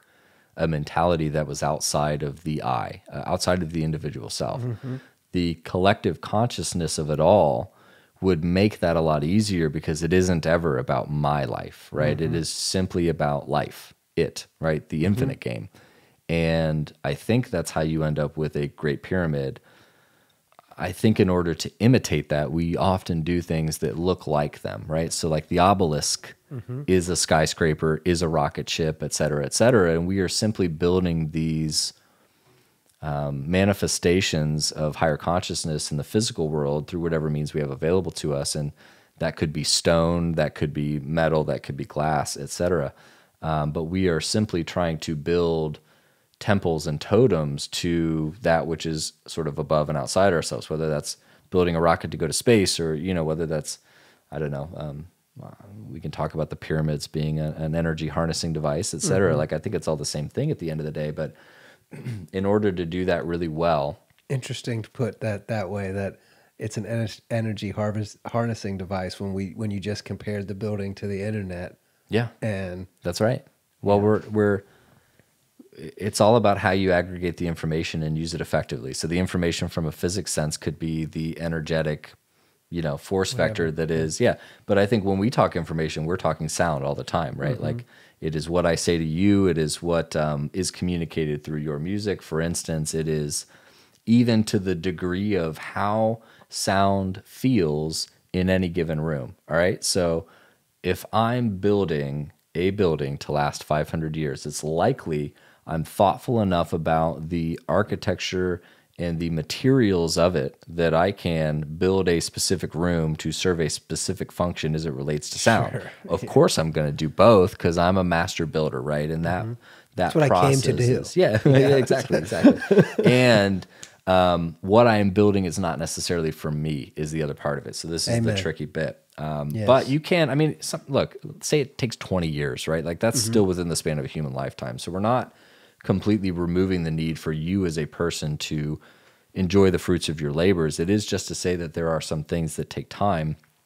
So I think buildings are a really good analogy for um, the spirit that is manifested in the human, the spirit that can be manifested through a community of humans.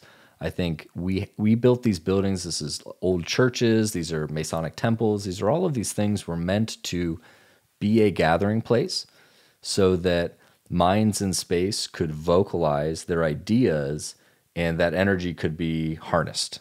Right? It's just all different dimensions of the same thing, and I would I would argue to a certain degree we stopped doing that and we started uh, building for a different type of efficiency, like we're saying. And what was lost was soul. Like we lost the spirit of doing those things in these types of places, and instead we ended up with, you know, a schizophrenic hive mind of activity that works until it doesn't. And so, you know, for me, it's like building better communities looks like starting with just, you know, being more intentional about the buildings we build, being more intentional about the spaces we curate. I can tell you in my life now and in the, the world that we're sort of delving into in the relationships world, uh, I'm learning so much about what it means to affect a positive outcome by creating the right space with intention. And I think even you and Kendra do a tremendous job of that. You're extremely hospitable people. And when I show up to your place, I feel very welcome. You make me feel very comfortable. You have refreshments for me. You have a dog that I can pet, and I love it. Right? So, like those little things and all in combination create, uh, well, hey, Cam and Kendra's place is the place to go hang out and just enjoy yourself. And I think that simple act can be magnified to many different degrees, all the way up to and including like the most important meetings that we have on this planet to talk about the most interesting things. And in order to do that, you need a space where people can feel comfortable. In order to do that, you need to build a building that's intentionally for that purpose. We just forgot about that step. We just thought, ah, it'll be the same thing. You know, we'll build it out of wood. It'll be fine. Is fine. that what Google's doing and Apple with like entire campuses that are, hey, bring your kids, bring your laundry, live here, eat here? Is that the energy there? And uh, on top of that, and you're so brilliant, by the way. I just love hearing you talk. I could do this all day. Like, Gas just- me up all day. I I'm love fine it, dog. it. I love Yeah. it. And on top of, so like, A, and then B, did you hear Trump talking about the new super cities or whatever? Did you see his clip? Okay, first, yes, that is what Google and Apple are doing. Two, let's go into that. I've not heard this. Well, he just said like uh, he wants to. He's talking about I, his presidential campaign. I saw like a little little clip, like Okay. like two, maybe a minute and a half, two minutes of super Trump energy, talking about we need to build new cities in America, completely new cities from scratch, The best cities. the best. You've cities. never seen cities You've like this. This is exactly what he Yeah, says. of course. And he's like, we need to rethink. Yes. Mm. The way all structures have been built, and the way, and like he's not fucking wrong. Like He knows how to build buildings. yeah. so it's like, okay, is this the guy we trust to build the super cities? Yes. And and is that what we need? Mm. Do we need do we need super cities or we just need better energy in the cities we already have? That's like just like I really think like a conversation like this, like if you were just going into a building Mm-hmm. and like say a whole building has every floor is a different company. Okay. And they the whole building hires Andrew. Hey Mm-hmm. Andrew, we need you to reinvigorate the building. Every floor. The building, not even fuck the people. Ah. we need the energy of this building blessed Mm-hmm. in a new way. We need the energy here to change. We need we need people to feel inspired. We need people here to think about life differently. Does that start by standing at the front door and saying good morning? Today's gonna be fucking fire To the building. D- to the building, maybe. Yes, but like yes. the- as the people come in, does that resonance of people change? yes. Does that change the city shape? Like it's very interesting to talk about this with you. And something I keep thinking about over this conversation is when they reintroduced wolves to Yellowstone. Okay. And are you familiar with that? Yes. And everything changed. Of course. That is just you can literally just introduce GM on Twitter in the mornings and like Twitter changed when the GM thing Mm-hmm. happened. Uh, at least in my world, it it definitely changed uh, the way you're interacting with people. Yeah. It became a real town square Yes. where you start your day by saying good morning. What's the and being cordial, and that is the key now to found to building a foundation that is a relationship Mm. and like i don't i don't know if that is is it that easy is it literally just showing up with like good uh, positive light and then the, the whole thing changes or do we need new fucking cities That is part of it. Um, yeah. The, so the meme is like the girl begging the guy doing the thing, and he's like, "Not now, babe. I'm saying good morning to all the kings." yes it is part of it. So yeah, you you have to do that as a step. The question is, can any place be reinvigorated with that, right? And I would argue what we were just talking about prior to Trump is exactly that idea of not every place can be invigorated in the same way. And let's just stick to the concept of buildings. Not every building can be attuned to the same frequency.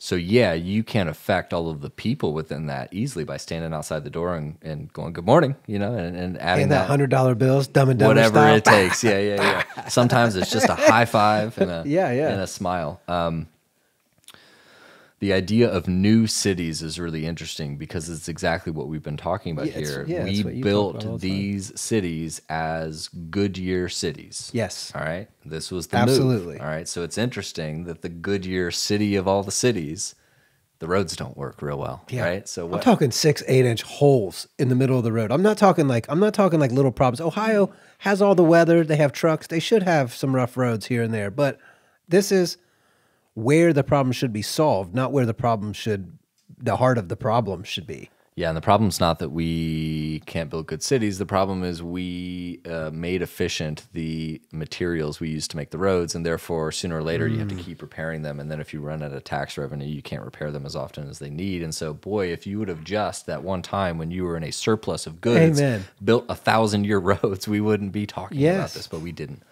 So I, I do think that that period of time of logistics and efficiencies it was born out of sort of the World War One, World War Two, and post uh, World War era.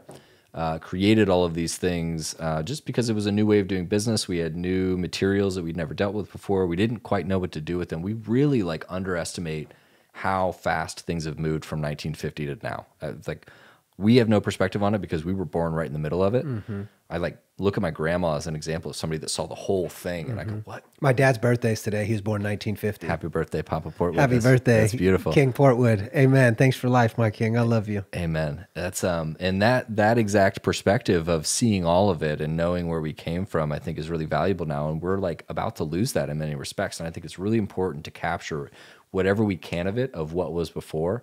Uh, because I think we did some things directionally correct in ways we don't do now. But to Trump's point, probably uh, this is the trick, and I ask this all the time can we revitalize every place to the maximum effect of what is possible in that mode of abundance? I don't think so necessarily. I do think.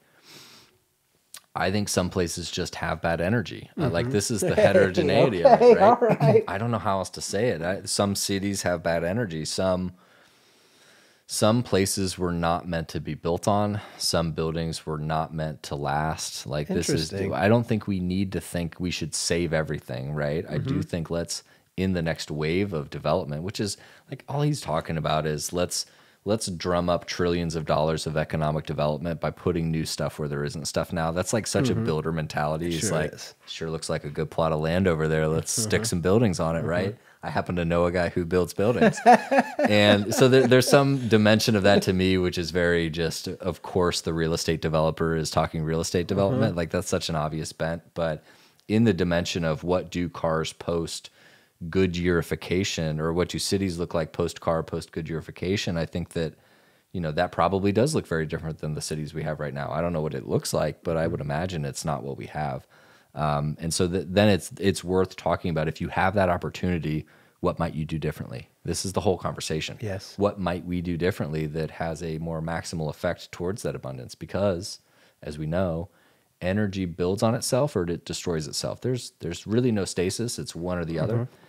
And I would argue that gravitational force of New York, of San Francisco, et cetera, worked until it didn't. It, and therefore, it's collapsing on itself now because it, it, had no sustainability based on the way it was built. Mm-hmm. Um, not every place is like that. There are much older cities, for instance, right? So how did much they? Much older, yes, like crazy older. Right? Great. That's I was talking to Evan like thousands of years old yeah, cities. We actually have no idea. Here, yeah, like, you know what I mean? Uh-huh. And so, you know, look at what they did right. You know, obviously it was a very different time, but there are ways in which you can affect a culture a community through just building uh, more more soulfully frankly. I, like this is the conversation i get to when i'm really interested in talking to any person.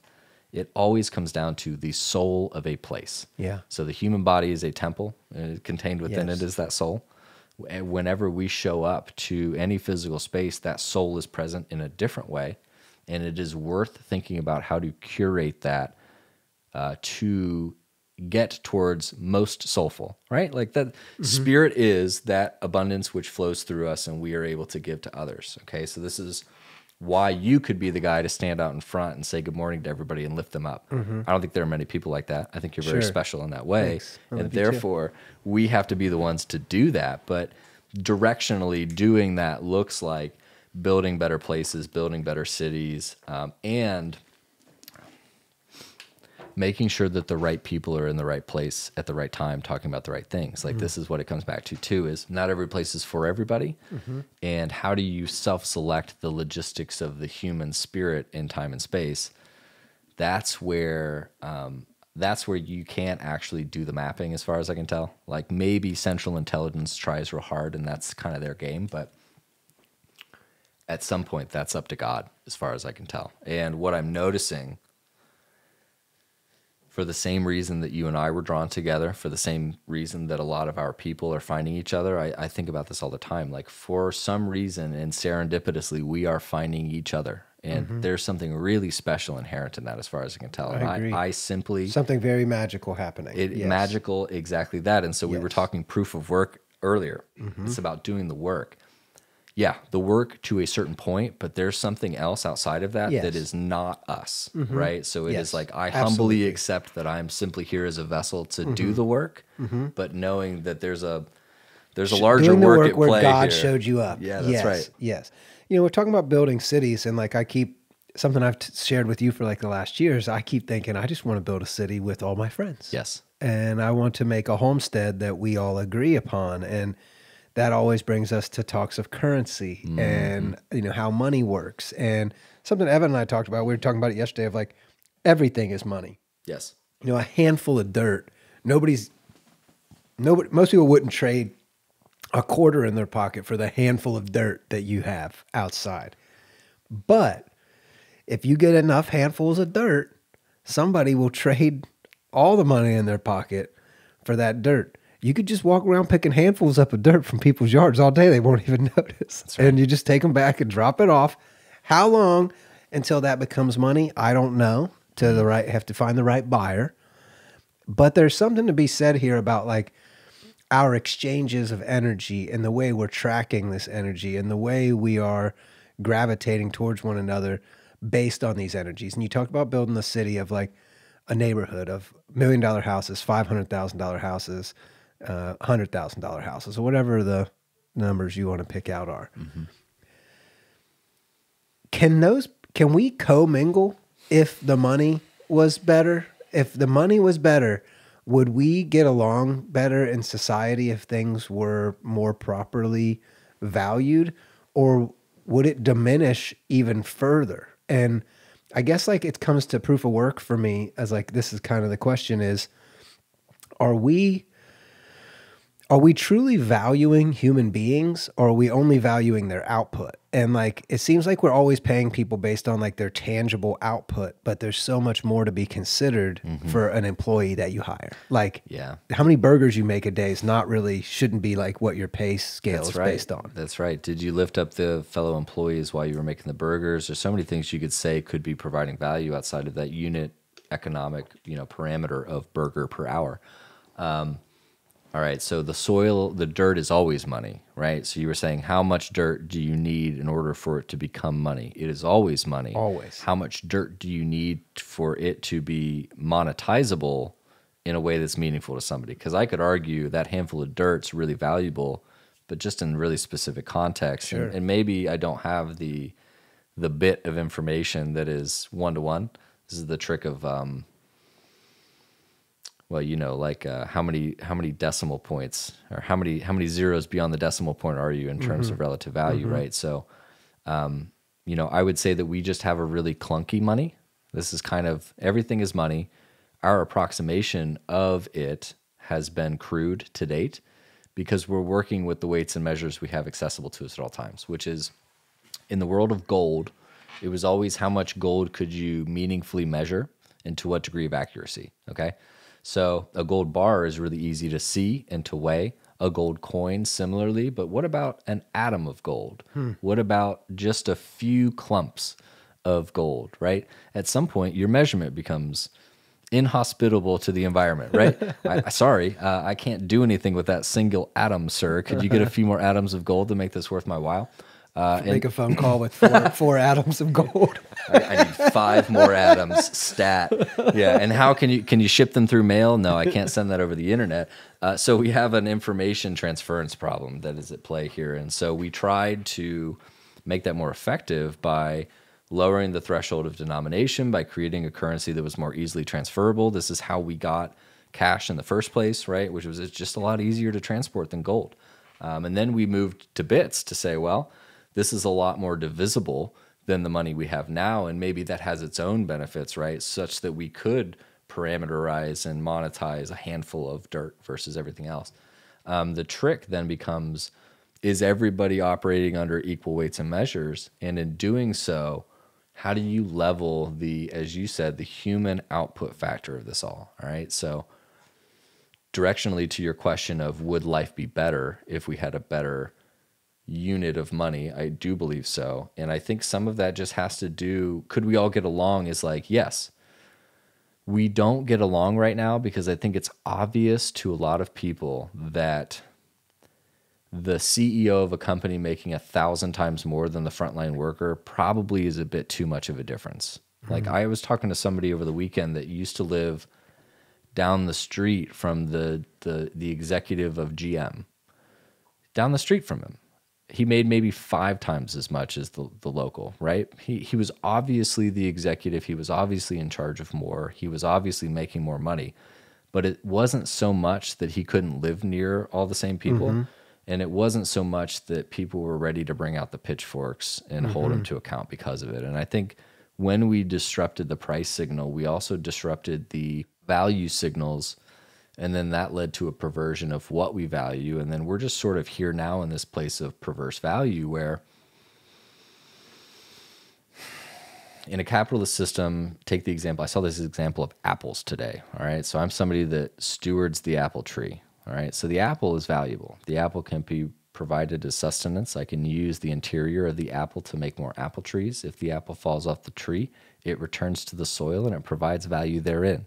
I didn't sell that apple, but that apple was providing value to the ecosystem. And how do we value that? Well, right now we don't at all. That is not a value at all. That's actually a negative on the balance sheet.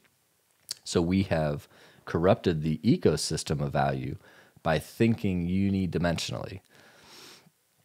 This is why I left my my primary mission as an early career geologist because we were focusing on the carbon dimension.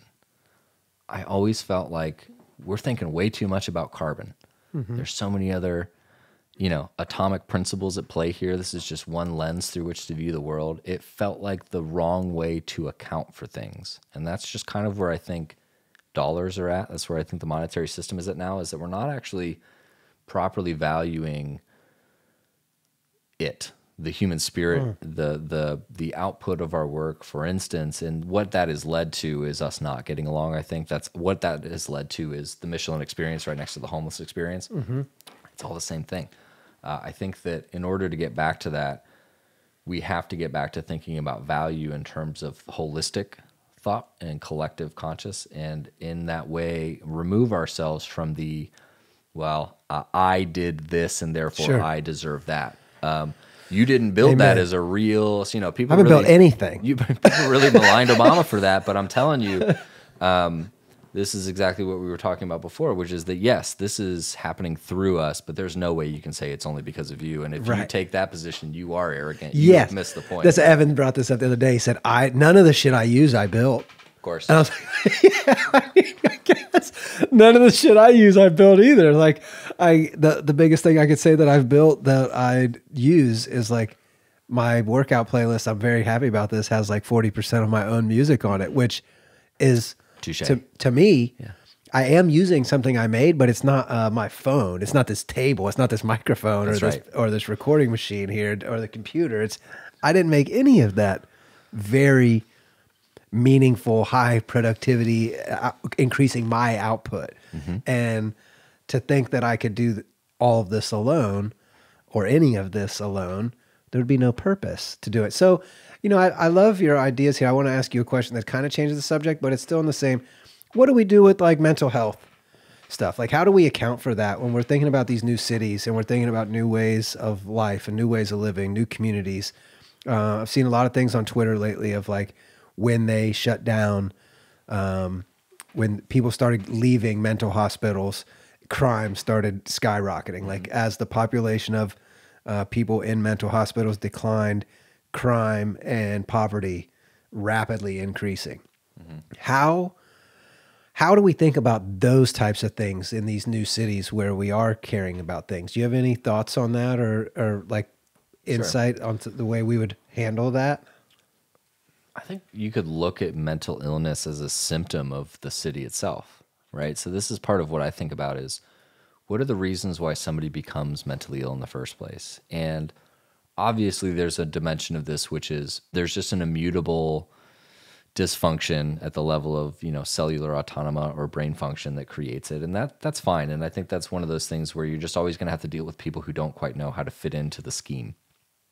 I also think there is a strong dimension of mental illness today that we have created ourselves and we could alleviate simply by building better communities like period i just genuinely think that when you put people in a concrete jungle and you isolate them from people and you give them no hope for any meaningful purpose in their life naturally they're going to trend towards mental illness because i'm kind of stuck in a prison of my own body and there's nothing really for me in this society, et mm-hmm. cetera. Like there, and, and then you get to some of the downstream effects of like, well, maybe I'm just unhappy because I'm I was born in the wrong body. And like all these extrapolations start to occur really quickly where you just don't feel like you're settled in the right place to be doing what you were you were meant to do. And I think that's just uh you know frankly from a personal perspective I think that's that's an isolation from oneness from from God whatever you want to call it right? When we isolate people they naturally tend towards mental illness just period. It's uh, you know, the experiment of putting somebody in, in solitary confinement proves that very clearly. Um, so in order to, you like have two problems at the same time, which is how do we deal with what exists and how do we remove or reduce that from occurring in the future, right? And so it's always the two things at the same time when you have an inefficiency or a, a, a wasteful aspect, which I would say, you know, uh, somebody who's dealing with mental illness uh, has their potential wasted because they're simply suffering, right? So how do we reduce we that? all have their potential wasted, which is That's like what- that needs to be yeah. the thought. So Yeah, it's a it's a communal thing. We all uh, could be benefited from that um, symptom of distress being alleviated, right? And in order to do it to the population that exists, right? Like uh, there are all kinds of ways you can get through to that, but providing a circumstance that allows for uh, a little bit of flexibility and hope is supremely important, right? So not trapping somebody in the despair of poverty and creating a condition where they can maybe just pull themselves up a little bit through help, through an ability to access the hope and potential of a world that you know maybe they didn't realize was out there for them. Uh, there's always going to be a certain subset of people I think that you're just going to have to care for yeah, what I was gonna ask. manage, right? Yeah, like yeah. that's inevitable. And so I think, you know, we're kind of going through this with the uh, with the subway in New York, the incident there, right? I'm not familiar. Tell me. Uh, this was where um, I think a young black man was choked by Mm-hmm. a guy uh, on the subway. this just recent. I think this was a couple of weeks ago. Okay. I'm not sure. Um, th- the point being that somebody died. Somebody died on a subway because he was being subdued by a chokehold, and so there's sort of this divide between, well, what's the right way to deal with that situation? Because it seems apparent that the person who died was mentally ill, was dealing with mental illness, and was outwardly expressing that on the subway in New York in a crowded subway full of people in ways that you know maybe weren't very comfortable for them right? Let's just say that as a minimum. And so you know I think in one circumstance it got so aggressive that somebody tried to de-escalate the situation and in doing so actually ended up killing the person because it was a chokehold right? So um, terrible all around. Like nobody wins here uh, but you have some people on one side saying this is murder this is terrible et cetera et cetera you have other people saying, hey, this guy was kind of arrested many times for threatening, harassing, kidnapping, literally, like all of these things, very clearly in mental distress.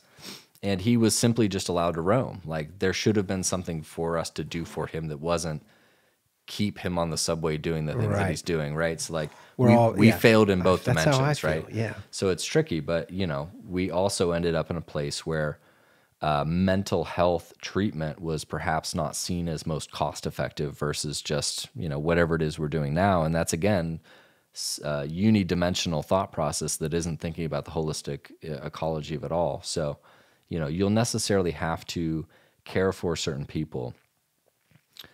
But again, I do think if we are thoughtful about this, I don't think we end up with the same magnitude of condition that we're in now. I do really think uh, so like the mantra on Twitter is often just like go outside and touch grass. Like there's something so meaningful to that that we've forgotten. Yes. That if we just even root back to those types of first principles, we're going to go a long way. Just literally uh, send people to horse camp, you know, whatever it might be. Um, just do something that reorients them to the real world, the natural world, versus being stuck in a hellish concrete prison of your own thoughts and expectations. And you know, it's that's bad energy. That's like we built those cities to be that energetically negative. and I think unfortunately. Um, that's not going to stop until we do something different. So to Trump's point, like he's probably not thinking about that dimension necessarily, but um, the idea in general that we can do better is pretty obviously true. Like we're Yeah. we're not doing so great right now, as far as I can tell. So That's a good point. It, it does to me seem like there are a lot of hard questions to be answered, and I'm not sure they can all be answered. So I, I would ask you: Do you think like this is like? I don't want to call it utopia because that's not what we're talking. We're not talking about utopia. We're talking about better. Do you think it's possible that we can have these better things without a change in the government level. And Hmm. do you think do you think that that's possible? And it, it seems to me we keep getting the same people. You know, it, it's like even with DeSantis's energy, he's very recently, let's say last six months, definitely cranked up. Be more like Trump mm-hmm. because that is what gets you on the news. That is what gets you energy. That is what gets you, at the end of the day, free marketing for your presidential campaign. And the bottom line is you need to be in the conversation mm-hmm. about being president. You can't be running for president and me hearing about it from one other person. I need to hear about it literally nonstop, or you're not fucking running for president. You're li- you're not a candidate. You can call yourself a. Ca- I could call myself a fucking candidate. I could announce my candidacy right now. Is that what you're doing? No, no, it's not. No, it's not. And that's I just have this energy of I don't know if it's possible without like a massive regime change because it feels top down to me. Mm. It feels like and maybe I'm wrong. I wasn't alive then, but it feels like the MLK and uh, JFK really had energy that could have led to monumental changes in our internal energy and our outward energy towards all people, and they were sniped. So, if that's the case, then like, how dangerous is it to be that good person that is lighting the souls of people on fire in a good way for life and love and I don't like the word equality. I don't believe it exists. I don't like equity. I don't think that it like there's just no there's nothing equitable about life. Like there's just not. And to think that like everybody's going to live in the same size house and eat the same foods is like it's not what's Silly. happening. Shouldn't be the It's- goal. That's- it yeah. should yeah, I agree it shouldn't be the goal, but it feels like that's what uh, when people talk about uh, progressiveness Mm-hmm. or whatever, that seems to be the energy kind of of like Yeah.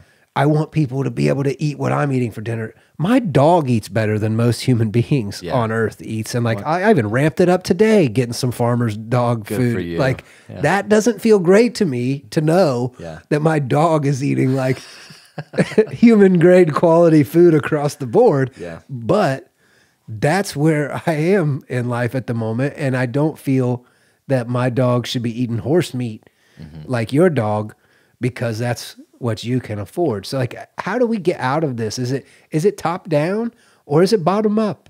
Or is it both? Well, you can notice that MLK and JFK still affected people even in death. Still today. So this is the thing is that you can't even necessarily kill your way out of that. Like the Okay. progress continues nonetheless. I. I would say that Yes. that was a different time, and that was the game, and that is the game largely right now. Um, but it is changing as far as I can see. I think the internet has a lot to do with that. I think that's simply a step in the process. There's more to be built there.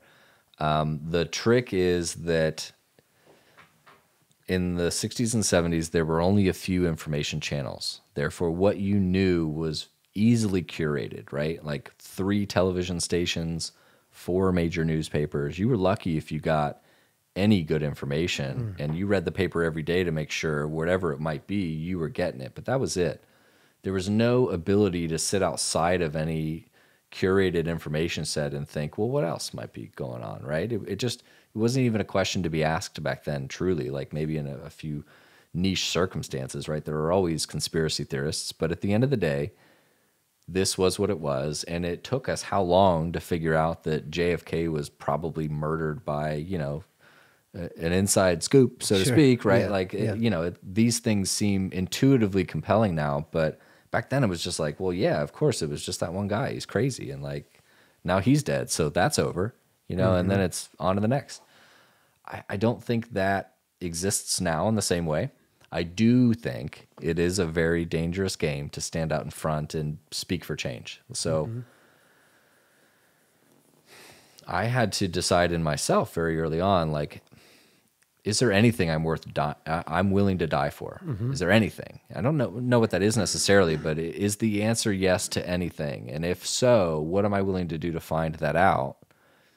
And how far are you willing to go to put yourself out there to affect change meaningfully uh, before you start to get to lines that seem very scary and dangerous, et cetera? It's like mm-hmm. when I decided, of course, yeah, there must be something I'm willing to die for. This is like why your dad's generation went to Vietnam. And it's not necessarily why, but like that was the ethos of freedom and, you know, right orientation around, you know, property rights and capitalistic principles necessitate that we defeat the communists, right? Or whatever it is. Now, in this uh, decentralized component of, let's say, warfare, it's just informational now in ways it used to be very kinetic.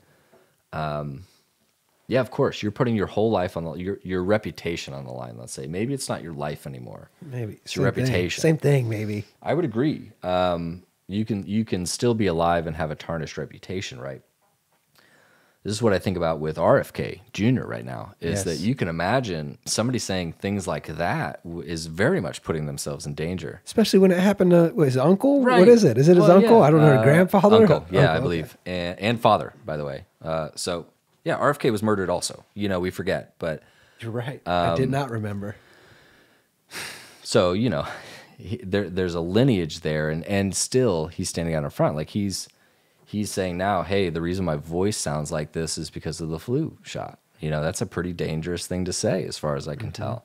Um, but is it is it a fight worth fighting? Right. This is the thing I think about often: is what is worth doing, even to the degree of extreme consequence. And I do think that there are things that exist that are worth doing to that degree. I don't think everybody's meant to do it. My hope is that eventually enough people say the right thing that I don't know. This sounds kind of dark, but they can't kill us all. Yeah, You know, like I, I, that's how it feels right now. Is is we're finding a way to collectively organize in a decentralized fashion just to say what's true and right, such that Amen. Yes, um, we are. so, you know, loop this back to Bitcoin for a second. Yeah, keep going. Peter Always. Thiel. Yeah. Peter Thiel talked about, you know, PayPal Mafia. They were trying to do the currency thing from an internet mm-hmm. perspective long ago. And he, he has this point that he made along the way that you, to do this well, you have to create it such that in order to corrupt it or usurp it, you would have to shut down the entire global telecommunications network to accomplish that. It's a big task that's where we're at is they you, you the only thing that could stop it now is like a global catastrophe solar Mm-hmm. flare whatever it is maybe it's human induced but at the end of the day you can't squash it just by Right. killing a politician anymore like we're past that game that game exists in third world countries where they're still behind us to some degree and they still operate on that analog information distribution um, that we used to operate on back when MLK and JFK did their thing. Um, in the digital age, right? So, digital, think about that word for a second. Digital is simply um, bits in distributed fashion uh, all over the place, right? So, like the digitization of ideas in humans is creating this component on Earth where um, this ideal of freedom is now decentralized. It's no longer that you have to go to America to believe Right. in the ideal of freedom. Uh, we were the gravitational force vector for that idea set. That was corrupted along the way, of course, and th- there are arguments about how free we are here. But I would say we've done the best of, of anybody thus far. We have Twitter. Yeah, we do. It's amazing. we have presidential candidates announcing their candidacy on Twitter. So that, Twitter's it. that's like the kind of thing. Literally That's, says it right in the middle. that's right, and that's where you can see. So DeSantis, to to your point about DeSantis, it's like, is he kind of playing the same game? Yeah, I would say so. Like you probably have to. This is the Sure. kayfabe of it. Yes. Um, how much of him is genuine versus you know just playing the part, playing the character? I don't, I don't know, but playing the character and opening up the information distribution to things like Twitter in a meaningful sense is that's flipping the bit. Like we've done that now. Now Yeah. we're now we're through that line, and now uh, it's more open than it ever was, and therefore we should be more open to the serendipity of things we couldn't expect. Like DeSantis announcing on Twitter is you trying to go to Capitol Records to get that job. Mm-hmm. You just opened a door by showing up there in that avenue. The real magic comes in back behind you and around you in Yeah. ways you can't see yet. Yes. And so we, we just haven't seen it yet, what that means. Elon said biggest story in, on earth today was Elon's. Sure. And that was he was like, oh, it- all the outlets. It was a tweet that said like, CNN called it this. MSNBC called DeSantis saying he's going to announce on Yeah. Twitter this. Another outlet called it this, and Elon responded to it and said, "I call it the biggest news story on earth today." Yeah. and that is really that's what you need to win as president you need to be, it's a popularity contest and it has been But is it a popularity contest of ideas, or is it truly just a fucking popularity contest of of not, not even it's not about ideas. It's more about just the name. And like I guess that could be some ideas, but I don't have any. I don't know any of I- of DeSantis's ideas. I mean, I could parrot some things I think. ban Disney, like no transgenders, and there are some ideas. Yeah, The- Some ideas. all these people, all of us, we're vectors. We we are uh, information channels through which ideas will participate. They're not their ideas. They're just the Okay. people the ideas I- have captured in the moment. Yes. Yes. Um, it's not about what they think necessarily. So, like to the popularity contest, yes, uh, it is about what do people see as possible through them, and can they? Uh, I, I think the idea space is more about funding than it is anything else. I need to say the right things to make sure that the people with money give me their money, and in order to do that, I need to have their ideas come through. This is this is where I see politics in a lot of respects. Is um, I'm curating the narrative to a small group, but I'm blasting it out far and, far and wide to hopefully capture the spirit and attention of the broad group. But those are very different aims and for very different purposes. And so the people voting for DeSantis are not the people giving DeSantis money, if that like, Right. makes sense, right? So it's it- they're actually very different things. How do you curate the message to speak to both at the same time? I think Trump did that really effectively. Really well. Spoke really simply about ideas that his donors were really behind, like the wall or whatever it is.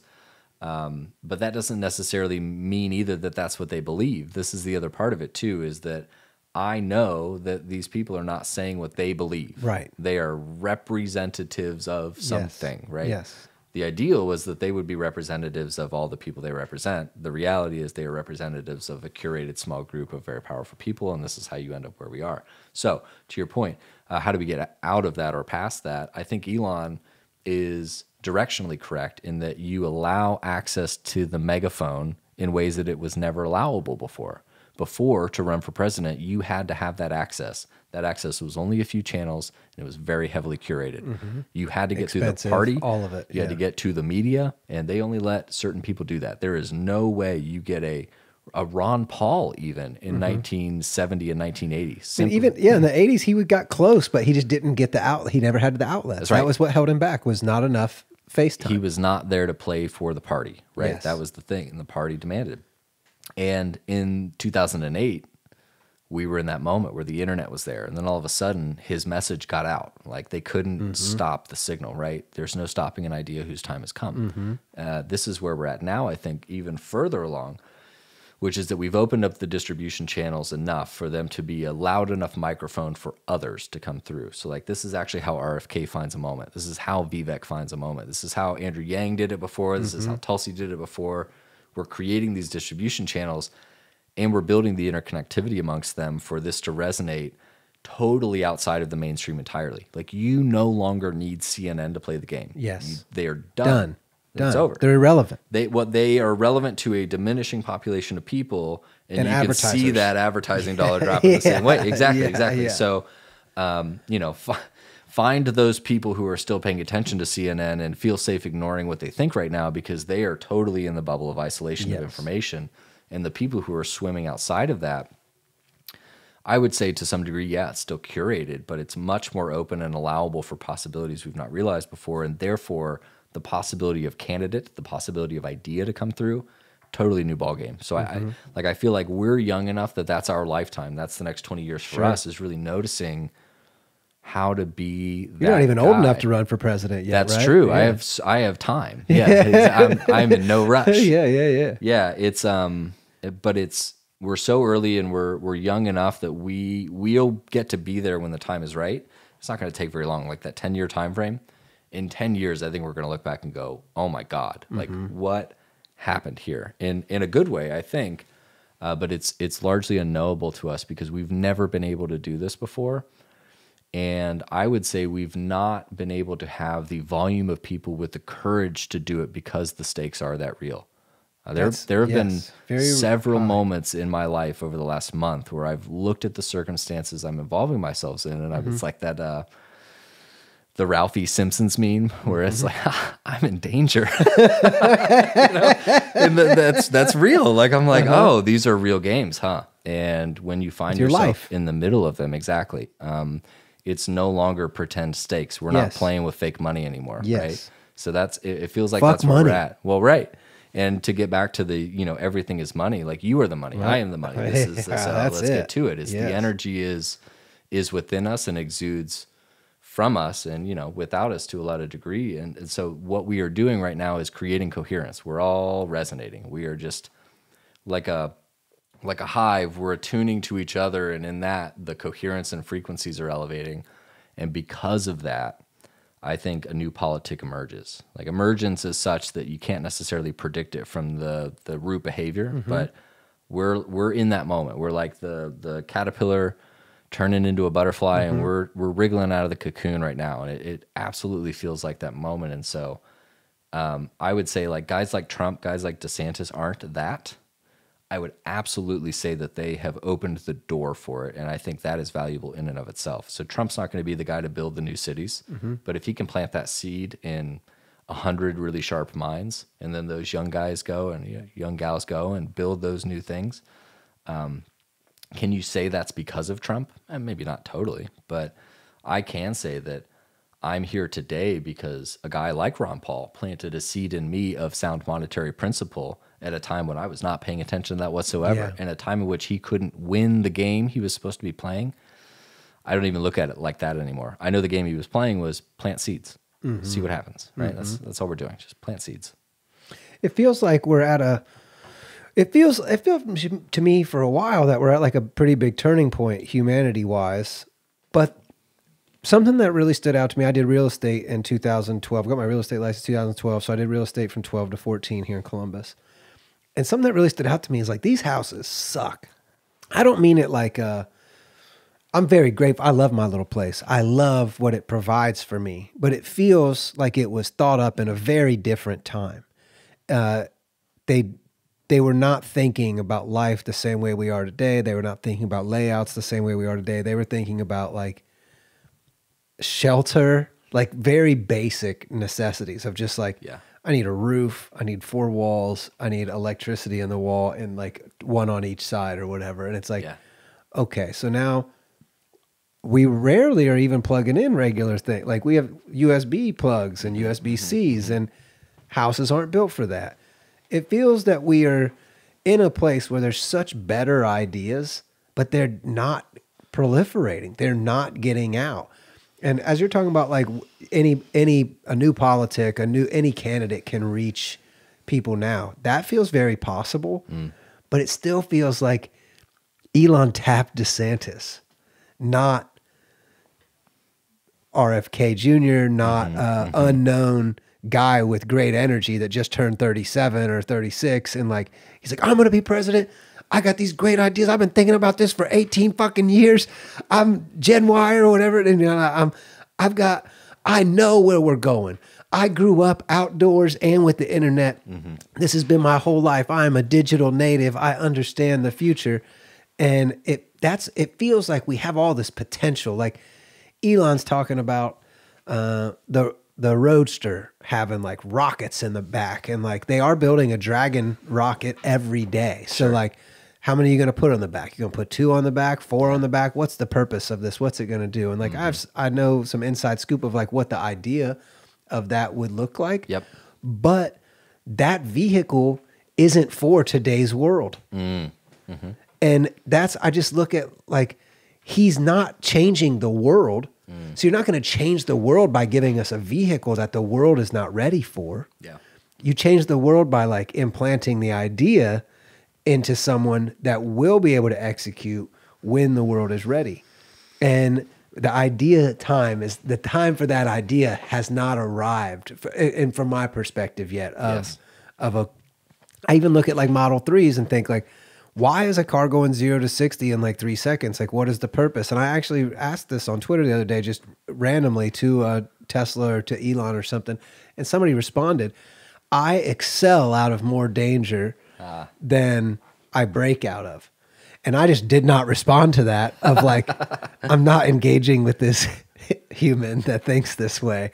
But like, no, you've definitely not accelerated out of more danger in your life than you've slowed down for. Hmm. Like, you're not when traffic stops. You don't just fucking gun it and go around or like if Is that you danger? slow though? down. Yeah, that's a different kind of danger. But Yeah. you, you're that's the that I'm saying danger. Period. Just Yeah, because you yeah. changed the danger aspect doesn't you didn't escape. Danger Well, yeah. and so like, are we?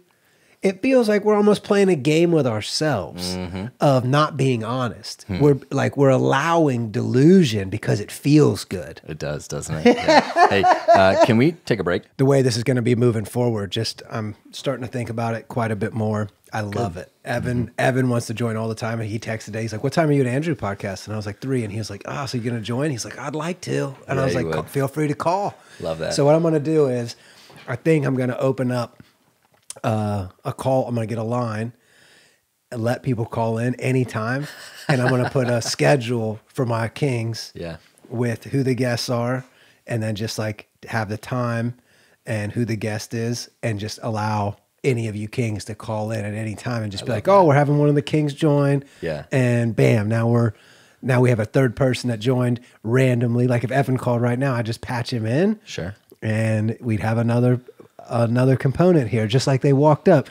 And that's what I, what I really like to do. I don't want it to always be uh, just the one off, and I want other people to be able to be like, "Oh, Andrew's on." Like if Chris wanted to pop in, and Yeah. I want to I want to talk to Andrew and ask Andrew some questions. Like I know it's not going to be like that for a couple months, but at some point we'll get there. It's good to have the vision. I Yeah. think this is um, you get to make it what you want to be, and what's possible is not what was possible before. So this Yes. is back to what we were talking to, right? Um, and but did you do it with Evan over the phone? Like was that how, yeah? Two of them. Good, good, good, good. Um, and that is so seamless now that you know you don't lose much in translation there, whereas before maybe that was tricky. Lose a little bit of audio quality, but I Yeah. think people are willing to put. I think most people don't even know about audio quality. Like most people think hearing things on a radio or something is good audio quality, and Mm-hmm.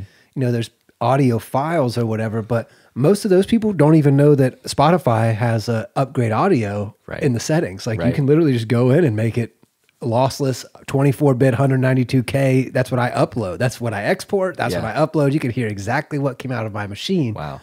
but it's data heavy, you know. Uh-huh, So, uh-huh. well, I got that unlimited plan. amen. so let's get baby. it going. Amen. you got and in Spotify they also have an EQ. If you're not Yeah. hip to that, EQ and audio quality, two big features of Spotify that I Hmm. really love. Um, but I was asking if you wanted to go golfing. Yeah. Um, my idea here is since it's time is the only luxury, the only thing I can give people back is time. Hmm. So I don't want to give a gift unless that gift is like my time Hmm. outside of here or giving them time back. So like food, gift cards, and I'm, that's what I'm thinking. Like yesterday, I gave Evan a DoorDash gift card, and I was like, "Well, you gave me hours from your family. Yeah. have some hours back, so no cooking. You guys enjoy." And he was like, "That's a fucking great." And Kendra was like, "I love that." So like, um, eventually, it's going to be a title. I got a TITOL podcast logo that I made and stuff. I'm gonna make a sweatshirt and a t-shirt and then ask people like of course just give us a t-shirt to every guest Good. and i'm excited I about need it more. I I, Cam, we were here a year ago talking about this, and I'm Yeah. so I like I'm so excited always to see dreams manifest and come to fruition. Like Mm-hmm. they always is- do come to fruition you I, just di- I didn't believe that before I met you, if I'm frank. So this is when Mm. Amen. You, when you talk about what is the goal of inspiration, it is that exact thing that you have been doing for all of us. And you talk about giving Thank you. time back. Like, no, no, no. I'll give you all the time you need because I know how love much you. you've saved me. And I, I love you, too. I, I was just talking that. about this with Jamie the other day. Um, Jamie in 2008 uh, was watching, maybe 2009, watching Redban and Joe uh, on Justin TV. This is before all streaming stuff. This is no Twitch. This is no like, YouTube was just beginning. No streaming. No nothing. Um, and he said he wanted to work for Joe. And I didn't even know who Joe was. I didn't know. He's like the UFC guy. I was like, I don't fucking know who that is. He's like, okay, well, he's pretty popular. Like, all right. What are you And doing? Yeah. I asked him very specifically the other day this question Okay. How long did it take for him to realize that, like, his idea of the dream actually came true? Of like, hey, you said this is what I want.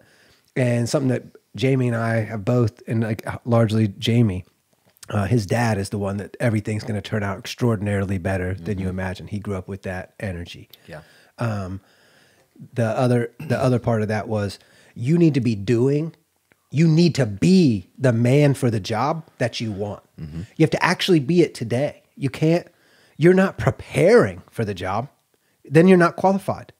There's no preparation. You're either ready for the job today or you're fucking not the guy. Yeah. So Jamie started dedicating a lot of his time to me, taking photos, uh, making videos, editing things, uh, get helping with websites and stuff, and and then he went into other people, started doing weddings, started working with other artists, started doing photo shoots and stuff for big people out in L.A. Got a photo shoot with Gambino and crew here in Columbus. That opened up a lot of doors for him it took him actually doing all the things. He had to be really good at all the things. And then it just happened one day. Mm-hmm. And it went from like, I wanted to do this thing to now I literally do the exact dream job I wanted. And, you know, it took me a while. That was 2012 when he really got kicking on it. And that took us a while. We were really starting to see our dreams manifest. We were starting to see things happen, but mine weren't happening all in the magnificent way that his had. And I was like, why? What's holding me back? And it was that I wasn't exuding the energy or I didn't have the energy in my soul of I am the rapper I thought I was or I am the producer I thought I was. I wasn't. Mm. I had to work really hard. Like I didn't make the best beats then. And I was like, I just decided like I'm gonna make the fucking best beats. Next time I talk to a motherfucker, I'm gonna have a hundred beats to show him, and I'm a nonstop banger, banger, banger, banger, banger, and like it took a ye- literal years. It took me from 2012. Um, Jamie brought me out 2014. He's like, come stay with me. And that really opened up a lot of doors of being present where everybody I wanted to be around was. And once you're starting to get around those people, the veil of separation between who you are and who you want to be uh, thins, and you also thin the veil of who you are versus who you think these other people are that you've been looking up to and that you uh, admire. And once you can kind of defeat that perce- that false perception, your own delusion, you you can see how to do it everywhere. So I'm asking, I was asking Jamie like, how long did it really take from thought of I want to do this to I'm doing it, and he like three and a half years, and I don't think that time is the, something anyone should consider. I think it's more about faith. And that's what I keep experimenting with right now. And that's where our energies are going. Like, we've had a lot of big, I won't, I'm not going to give other people's good news out, but a lot of good things are happening. Like, I, I literally just got hit up. I don't, I didn't share this with the Kings chat, but I just got hit up by a record label again two days ago. Another one. And yeah, and they want to talk to me about my music, and I'm just flat out not interested. Hmm. And why would I be interested? I wanted to talk to them from 2008 until a year ago. Yeah. They could have called me anytime between 2008 to a year ago. The songs they're calling about, I wrote many of them over 10 years ago. Like the songs that are popping are 10 fucking years old. Yeah. And they slept. And now it's to a place where I know I am who I am. And other people are recognizing that I am that. And now I'm not the guy who wants hmm. from them. And I'm hmm. trying to put this into play for the next phase of my life. Now that I'm no longer a very young man that is inexperienced, I do have experience of me and my friends' dreams actually coming true. Mm-hmm. So if things do, if our biggest, wildest dreams all came true, which they have, mm-hmm. like literally the dumbest shit we wanted to happen has happened. And like, if, if that's the case, then what's next? Mm-hmm. And the thing that really, uh, the thing that still gets in my way on a day to day basis, um, hour to hour, even minute to minute, sometimes is faith. And it's really about like my conviction of, and and I can always come back to it. There's just moments of weakness where I'm like, oh, this thing's not going to go through, or that thing's not going to go through. But then it comes back to the, it's going to be fucking better Yeah. than I thought it was Right. going to be, and it always is. It's really hold how do holding on to that and like how do you manifest what's next? Um, I don't know if it's about manifesting. It's about believing it's true. That that just makes it true. Manifesting has nothing to do with No, we don't make it happen. Yes, it we ha- allow it. To. allow, We are yeah, open to get out of the way. That's right. Yes. Hold on Mm-hmm. loosely. Um, I'm the same way. I had this real epiphany, I think, this past weekend in Miami. And I think some of it has to do with simply being in a state of relaxation enough Amen. to Yes. sort through that because often we're we're intense, we're in tension, Mm-hmm. right?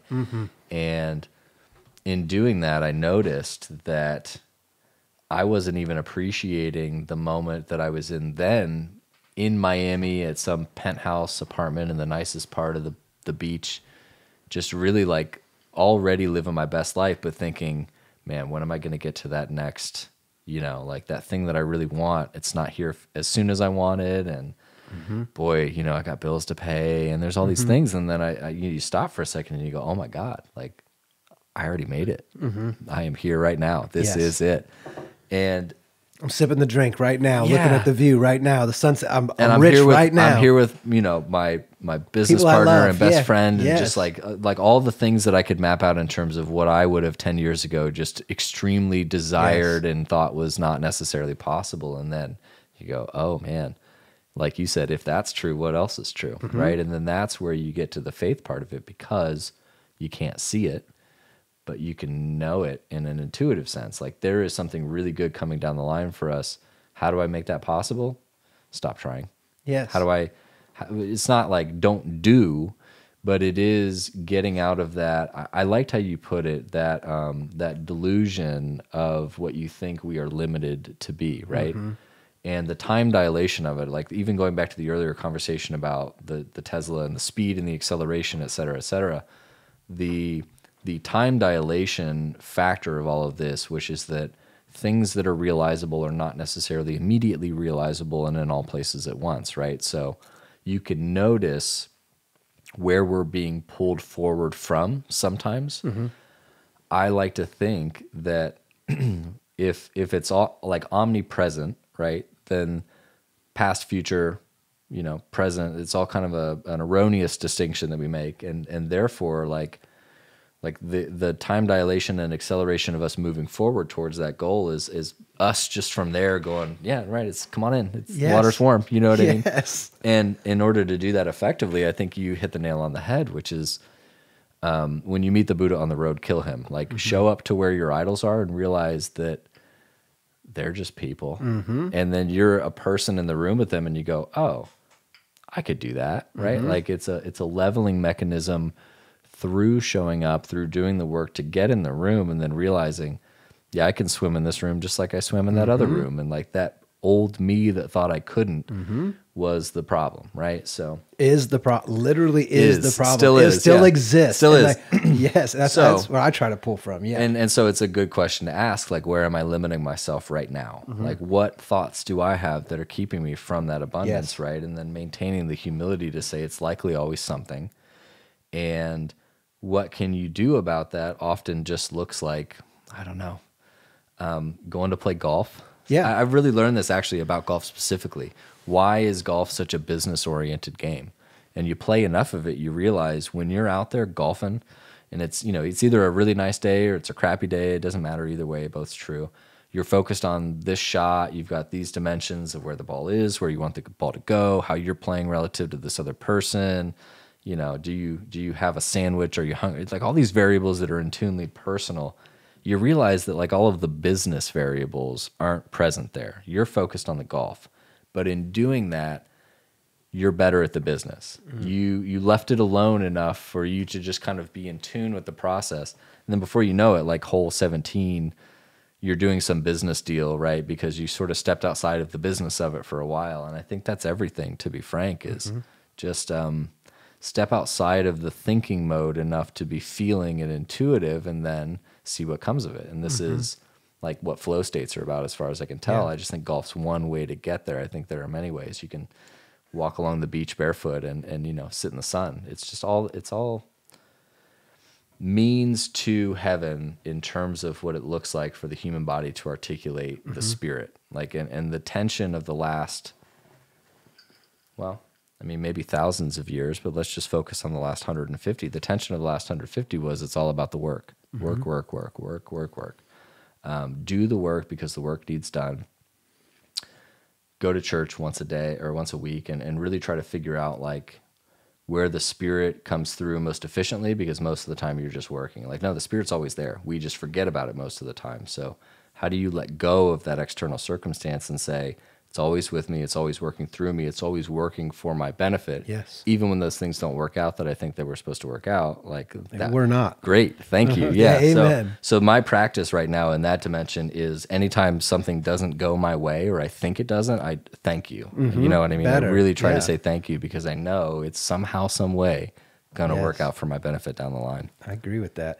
Um, an appeal to heaven. Hmm. Um, something that you know, I, I like. I haven't told this. That's only my second podcast. So I haven't told this story, and I haven't t- really told it to many people outside of my life. But if you really think about what heaven is, and that's you know, that's really my my energy. I try to give to everybody is this is heaven, and you're in the way of it not being heaven. And not anyone else. You can you could just die like Jesus did. You could just run out on the street and be like, "If you're gonna kill me, then I guess then do it." Then that's what Jesus was literally like. Then do it, bitch. do it then. And like it's the most gangster shit ever when you really Truly. get. So heaven means no wants. If you're talking, if you ask a human what heaven would be, they they could say all the words they want. It literally boils down to no wants. When COVID hit, Kendra lost her job, uh, several jobs, and she was our breadwinner, our consistent breadwinner. I was hitting licks. I had good jobs. I'd get money here and there, good chunks of money. But Kendra always made every day. You know, she bartending, bringing home cash, two, four hundred dollars, five hundred on a weekend, clockwork. Never, never sick. Bang, bang, bang. Could count on it. COVID came, that went away and I had a real decision to make. My music wasn't popping, the studios were closed down. I wasn't getting a lot of audio work, podcasting work. So what did I I'm sitting on the couch thinking to myself, am I to I can't tell Kendra to like go go figure it out, you know? Like that's not the man I I want to be. So I had to decide who do I want to be and then I have to be it. And that to me I was like, "Oh, I'm going to sign up for Uber." Well, I tried to sign up for Uber. I couldn't do that because I have an assault charge. So they're like, no, and that's probably great. And they were like, no. And then after like a week of thinking about it, everybody in my life was like, that's really, you should not be an Uber right. driver. I was like, yeah, you're right. I would, I would definitely like day two, I'd beat the shit out of somebody for sure. And, um, or get hurt, you know, do something dumb. You never know. I decided to do Instacart. I wanted a gig that I could do, and I was like, I can deliver groceries. Like that'd be easy. I could go, and it's like it's COVID. I was like, tips will be real high because people are scared to go out. So like I could just j- dive in there, and I could just go deliver groceries.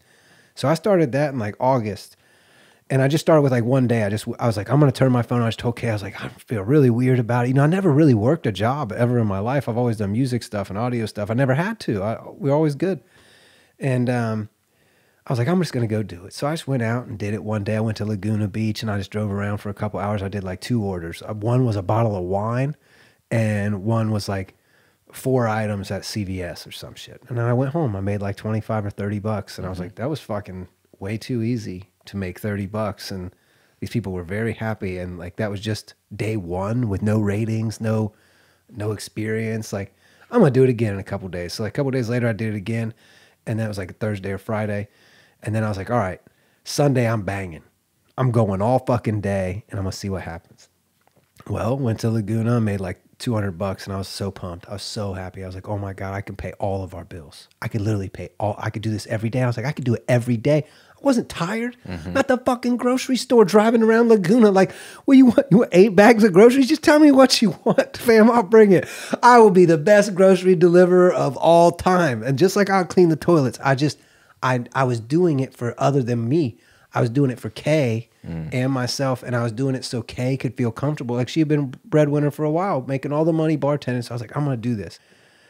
Up until that point, my music had not popped at all. This is 2020. I've been putting out music since 2008.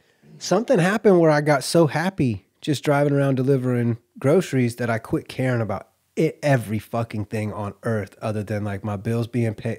Great. I was just super grateful. I wake up and I just drive to Laguna. Yeah. And I'm driving down PCH in my Camry. And I'm like, this is incredible. Like, all I have to do is deliver groceries. I was like, I'll do, I was just thinking, I'll, I'll do this till I'm 70. I'll, I don't give a fuck. I'll deliver groceries forever. This is incredible that I can just go out and deliver groceries. And that went on for about a month, month and a half, maybe two months. And I drive home at, and then the drive home every day was beautiful. Up up PCH back to Huntington Beach, hmm. right up the coast. The sun's coming down. I'm driving, so the sun's like just northwest of you as it's coming down. Insanely beautiful the whole fucking drive. Yeah. And every day I was just so grateful. And I'll be looking at my phone, check my Spotify, and it'd be like two people listening. Didn't think nothing of it. Like, cool, get home. And then one day it was seven people listening. And I told Kendra, I was like, I cannot believe that seven people are listening to my music. Like, I literally ran around the whole, like, I ran around. I was like, I cannot believe it. Like, who are these mother, who is listening to Cam Grey right now? Where are they? Yeah. Who are they with? What songs are they listening to? What is going on? Who's playing my music? And I just then the next day I got up and go to work feeling even better of like I'm delivering groceries and people are listening to my music. Like this is incredible. Like I couldn't ask for it anymore. I was making beats at night, playing Fortnite with my friends. All my bills were paid. It didn't feel like I worked. Hmm. It felt like I wanted nothing. It felt like I had everything. And I started telling everybody that it was in my life, I was like, I'm the richest man alive. You cannot tell me Elon's richer than me. There's no fucking way, dog. No way. Me and Elon in the same room. I'm the richest. I'm serious. I really, I'm the richest man. Like, no way, dog. Kendra's bad as fuck. I got everything. I'm beautiful. My body is so great. I work out. Like, I'm so blessed. I cannot ask for anything more. I would not ask for anything more. Get up the next day and there's 80 people listening to my music. Not the next day, you know, like a couple days later, but like check Spotify and it's fucking popping. And I'm like, mm-hmm. what the fuck is happening? Mm-hmm. All of a sudden, I'm getting emails. I'm getting messages on my YouTube of like, this is incredible. How have I not heard about you? What is going on here? I'm like, this is fire music. I didn't know, I didn't never, never heard of you in my life. I found you on Shazam. Next thing you know, I'm charting in Shazam in like 40 fucking countries at the same time. And it, I really believe that to enter the gates of heaven, I had to stop thinking I was not in heaven. Mm. I had to stop thinking about everything I did. I didn't. I didn't choose this. I didn't. I didn't choose to have this new mentality. It was like what God placed in my life over and over, just like lesson, lesson, lesson, lesson, lesson, failure, failure, failure, failure, failure, bigger failure, bigger failure. Meanwhile, my boy sold a company for $3 million. My brother's murdering it, working at the biggest tech companies in the world. Jamie runs the biggest show on earth. All of them looking at me like Cam's excellent. Cam's great at everything he does.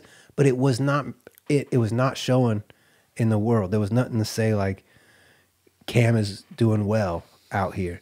And that all went away when I started just paying bills with proof of work, mm. showing up every day and being grateful that I could do that. Of like my body works, my car works, I got a phone, I got this app. These people out here that want my service, they really appreciate it. That energy and instilling that every day, I really truly believe that not wanting led to gratefulness, led to heaven, led to dreams coming true. And that is it. That was literally it of I didn't want anymore. And then there was nothing else to want. Then everything was there. And it's like, okay, so now it's just I make music and I do what I want to do. I have a great job. And it was not, I swear, it was not wanting that Yeah. led to that change. And it's, I don't have anybody else. You know, we were talking about earlier. I think, I think the heaven idea is really starting to kick. I actually just talked about this on Monday. Um, on a, we had a two-hour drive, and I brought up to her. I said, "It just feels like other people are starting to realize that this is actually heaven." And she was like, "They definitely are." Mm. And it's like, what?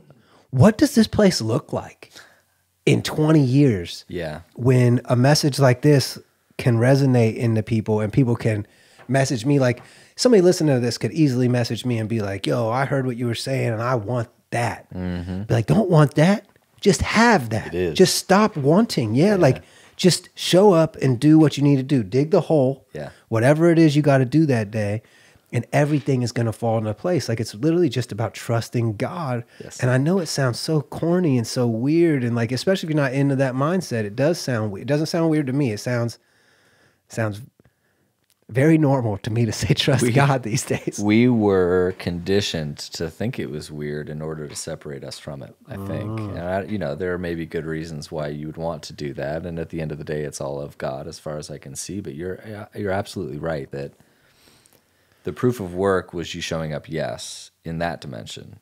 The proof of work in this sort of heavenly dimension is the gratitude part of it. Like that's the spirited intention of a person to have that faith that it is what you're saying it is um, gets recorded, right? This is the thing of it. Yeah. It- There's weight to that. There is Yes. a gravity to gratitude, and what you were able to do was flip the bit. You went zero to one, right? This is the mindset shift. Mindset shift, and you know, I was talking with others this weekend about this because you know, the frequency harmonizes. Like, I don't think I would be where I am had I not undergone the evolutionary process of just interacting with like the kings on Twitter to find myself in a position to be open to these other ideas because I was in a let's say a very um, uh, like uh, a perspective of lack was what I had most. I Yeah. wanted, wanted, Yes. wanted, right? And then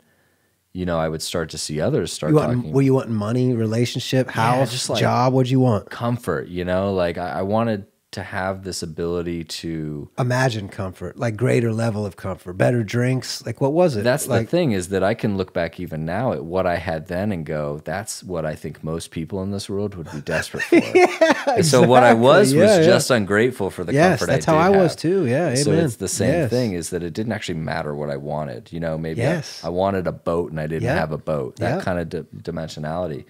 Um, and it, it was exactly when it started to sync with me that I didn't have to go anywhere to get it, right?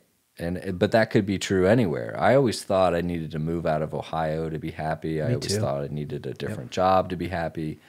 And to be frank, some of those things do provide fleeting happiness, right? This is the dopamine addiction of our of our time is uh, happiness is outside of me, it's elsewhere, and just a quick hit will get me through. Mm-hmm. But it's a never-ending series of hits. There was a moment, probably I would say around the same time, and maybe through the following year, that you're kind of going through this Instacart process where I started to reorient myself towards um, purpose instead of monetary reward. And that took leaving a good job to find purpose. That resulted in the loss of relationships that maybe were meaningful, but not deriving that higher order purpose. Um, and that led to exactly what this is that you're saying, which is in being grateful. Yeah, maybe you don't have a boat right away, right? Like gratitude, uh, you can't just go, I'm really grateful. Where's that boat? He's looking You know, around. I know. I know you can see him. He's looking around like, "Where's my boat?" Where's that, where's that boat at? I- I'm pretty grateful right now. I'm feeling super grateful. but it's it's it's that time dilation. It's directionally correct. Mm-hmm. It is that is the path. That once you flip the bit, you're on the path to abundance, and it just gets more abundant as you go, maintaining that gratefulness. And you know exactly like you said with the sort of ever evolving process of even just the monetary unit of views or clicks or downloads, et cetera, Mm-hmm. right? You can see the exponential curve in that, right? Two, seven, 80, Mm-hmm. a thousand. I don't know what you're up to now, but I bet it's millions overall over the last. I mean, it went from it went from I probably had two hundred thousand total views in 2018 to I'm at 45 million just on the big three now. Probably closer to like 60 That's overall. incredible. Incredible. right? And, yeah, I mean, and never saw it coming. two years from now, right? Never saw it coming, but always saw it coming. Mm. And that's that's you know, I, I somebody tweeted the other day, um, Zamuel. Do you follow Samuel? I think so. Yeah. Great. Um, I don't know his real name, but he's Sure. great. He tweeted, "How did Kanye know he's going to be a superstar?" Hmm. And I, I typed a response and I deleted it because I sometimes on Twitter I feel like I come across the wrong way. But Kanye knew he was a superstar because he was a superstar. Mm-hmm. And like I resonated with that comment of like I've known I was Cam Grey since I was 10 years old. I knew I knew who I was and that in a, in if you put me in a room, I'm going to shine in that room. I don't I didn't know what it meant at the time. Had a lot of ideas about what I thought it meant Yeah. but I really didn't know what it meant to be totally. I knew when I showed up, I was present. That's looking back now. I know that I was always where I was. With I, when I was performing, I was performing like Cam Grey's on the biggest stage ever. Hmm. Every performance I ever did, and that was without a doubt of like I'm not I'm not here to perform for the five people in the crowd, and that was what's you know like literally I performed many nights. People listen to this will definitely know that they were at shows where I fucking rocked out to three, five, ten people, and they know it. And like someday, someday, somebody people will hear this and be like, "I I was there." I watched him at Bizzy Bone, and there was only four of us, Bizzy and he fucking ripped it. And I, I was opening for Bizzy Bone at like a little tiny club in Toledo, and knowing is all it takes. It's like, what do you know about yourself? And like, if you asked me in 2008, 9, 10, I'd be like, I know I am a super famous rapper. And like, I was telling everybody that forever, but nobody, nobody else saw it. And it's because nobody else saw it why I didn't really internalize the belief and I was not living as the dude that was the super famous rapper. I didn't something I know now is uh, that I didn't know then is you think you want things uh, when you don't have them. Like people that smoke cigarettes often don't have a lot of money, and it's because you can get that thing. You can go spend the six dollars. Now you got the things. Now you got twenty things that you can just have. You, they're all yours. You get to have them. That's what I think smoking really is. I think it's really about like having this moment that this thing that is mine. Now I go on vacation, I can smoke a cigarette. I don't even want the whole pack. I know there's infinite fucking cigarettes. Yeah. I don't need. I just I just want to smoke cigarettes, I just smoke cigarettes all the time. I just chain smoke cigarettes. That's not what I want. Hmm. What I what I want is to keep being. That is, I don't even want that. Like I'm just doing it, and I trust that it's God is going to show me up where I'm supposed to be of service next, and I don't have a question of what I'm supposed to do. I know that that moment will present itself. Well, this And- is this is exactly what you asked me about when you were saying Miami. What'd you do? How'd you, mm-hmm. Where'd you go? Who'd you mm-hmm. talk to? What'd you mm-hmm. see? I showed up with no agenda, and I said, "This, this is just going to be what it is." And thankfully, I have people around me. This is the part of it. We don't build these things alone. Um, there are angels among us that Absolutely. we walk with that allow us to fully participate exactly as we were meant to in those contexts when I go up and give a speech or a presentation, I will do worse if I prepare it and practice Yes. it ahead of time. It, it, I noticed something the first time I stood out in front with this blockchain council and spoke to a group of 100 people on a podium. I've never done that before. Um, if you would have asked me my whole life, I've been petrified of public speaking. Wow, really? Truly. Yeah, Most you don't, you don't seem like see that at all. Didn't me, see it right? at all. Yeah, not at all. That's the thing. Is I've watched you speak three or four times. I've been making beats by myself for 20 years. Mm-hmm. It's just that, you know what I mean? Like, I, I had to do the work to get there. Mm-hmm. That wasn't natural state in that, you know, 16 year old self. Mm-hmm. Uh, but the difference, of course, is that me versus that 16 year old self, that 16 year old self was full of doubt that I wasn't that person. So, what's interesting is that I think you, you sort of said maybe 10 year old. And I think there's, there's like this uh, generational component of what it means to be a child in this world and we sort of grow up as a very early kid and it's like you can be anything you want to be and like that's the energy that's given to us a lot of times and then you sort of grow up and the realities of the world lean into you and they say yeah not really though you mm-hmm. know and like you know mm-hmm. you kind of got a temper or you act out in class and mm-hmm. you know maybe you're You not can't be an Uber driver. you're not an astronaut, right? yeah, yeah, whatever Um, it is. Whatever it is. And so I I simply believed that for a very long time. Yeah. I think, you know, what you're saying about you, you know, at that young age or a world famous rapper, I had that in me in spirit very early and then I had a lot of people that themselves were diminished and therefore didn't like any bright light shining period, Mm-hmm. right? And I think I just gave into that for a really long time. And so I didn't believe it. I didn't see it. I was, you know, extremely depressed as a result of it because ultimately that was the reality I was curating. And then, you know, being able to build myself out of that to even get to a point where I'm able to stand out in front of a room of 100 people and speak eloquently and with conviction um, would seem like a long shot to that 16 year old person. But I noticed in that moment that I wasn't even the one speaking. Yeah. Like that was what it came to. It was like I truly felt Yep. the spirit of God flow through Amen. me in that in ways that I've never been able to do Yes. before by letting go, by Mm-hmm. you know just just being in the room and doing the thing. Uh, this weekend, uh, um, I don't know the Russian, so Max, please forgive me, but um, I was told a saying that is sort of a, a, a Russian, you know, and I, it, it's like the work must be done.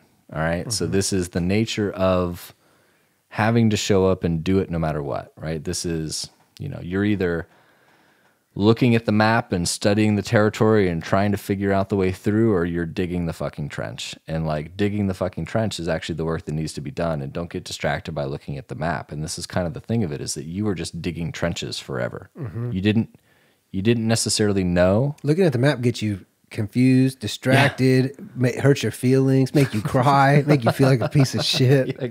the maps are pretty, but Because you look at the treasure. Exactly. That's the problem is when you're looking, you look at the treasure when you're looking at the map instead of enjoying the ride. And that's, I resonate with this so hard. I'd ask you, are you nervous now when you speak? Do when you before you go on, do you get butterflies? Do you feel nerves? Do you feel energy ramp up that that you would call not? I don't mean nervous in a negative sense. I mean nervous in a anticipatory sense. I like how you distinguished that because before I would have described it as anxiety. Now I'm learning Yes. that this is actually energy that I can harness. Yes. So yes, um, and I can I can feel that, and I can I can store it. You know, I hold on to it real tight, and then you get up and you croak, and you get you know you're twitchy, and somehow I've been able to develop the practice of allowing it to flow through me more effectively, and mm-hmm. therefore, like I just did this on Monday. It was a small thing, but didn't know I was going to go to a place and have to stand up and speak in front of a group of people. Didn't know the people. Didn't prepare anything, right? Mm-hmm.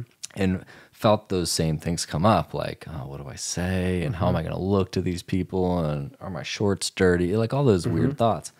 And then I just get up there and I don't think about it. I just say what feels right, and it seems fine. You know, maybe I'm not as great as I think I am, but I got a lot of people Great. telling me you're pretty good at this, Uh-huh. so it's okay. I'll listen to that, and then then it just becomes looking at every one of those circumstances as practice. This is the thing of it too, as far as I see it, is every time. It doesn't matter if you are at the pinnacle, still practice for the thing you don't know is next, right? It's always practice. And th- looking at it through that lens, I'm always practicing. It's I never have to feel bad or worried that it's not perfect because I know it'll help me be better the next time, right? And that that's like the removal of the ego and it truly like it, it and so then you're just in I'm not the, the it. flow I'm just state. here. Yeah. that's right and i'm just participating in the process Mm-hmm. and then it just becomes a process of making sure my vocal cords are ready for the moment right Yeah. this is the thing you know my um, Say the say the words is digging the trench. Just say the words now, sir. What words? Just open your mouth. It'll come. exactly It'll yeah you're, you we're just digging trenches and, and and that that has taught me that there is so much more coming knowing that this is the practice if Yes. this is the practice and Yes. the stakes are this right which is pretty serious Going stuff up, King. it's Yes. it's unbelievable and then i get into these rooms with these people that are up and i go oh i can do Mm-hmm. that right and it just it's a continual process of evolution of expectation Yes. and i'm noticing also that as it elevates my ability to enjoy it elevates because i'm learning it's like the iterative process of enjoying learning evolving enjoying learn right like it never stops at that point there is no You can't fail. there yeah, and there's no mountaintop No, either there's no. The journey is You it. just can't- You're literally at the highest point all the time. Exactly, That's yeah. people talk about like, oh, once you're all the way up, they can tear you down. Not if, not if you're it. Uh, my up is bigger than I am up. the mountain. yeah yeah yeah, yeah. Like, what are you talking? I can see all of the levels of Yeah. the mountain. I'm literally still nine year old Cam. I'm still hungry Cam. your up is not my up yeah. So, uh,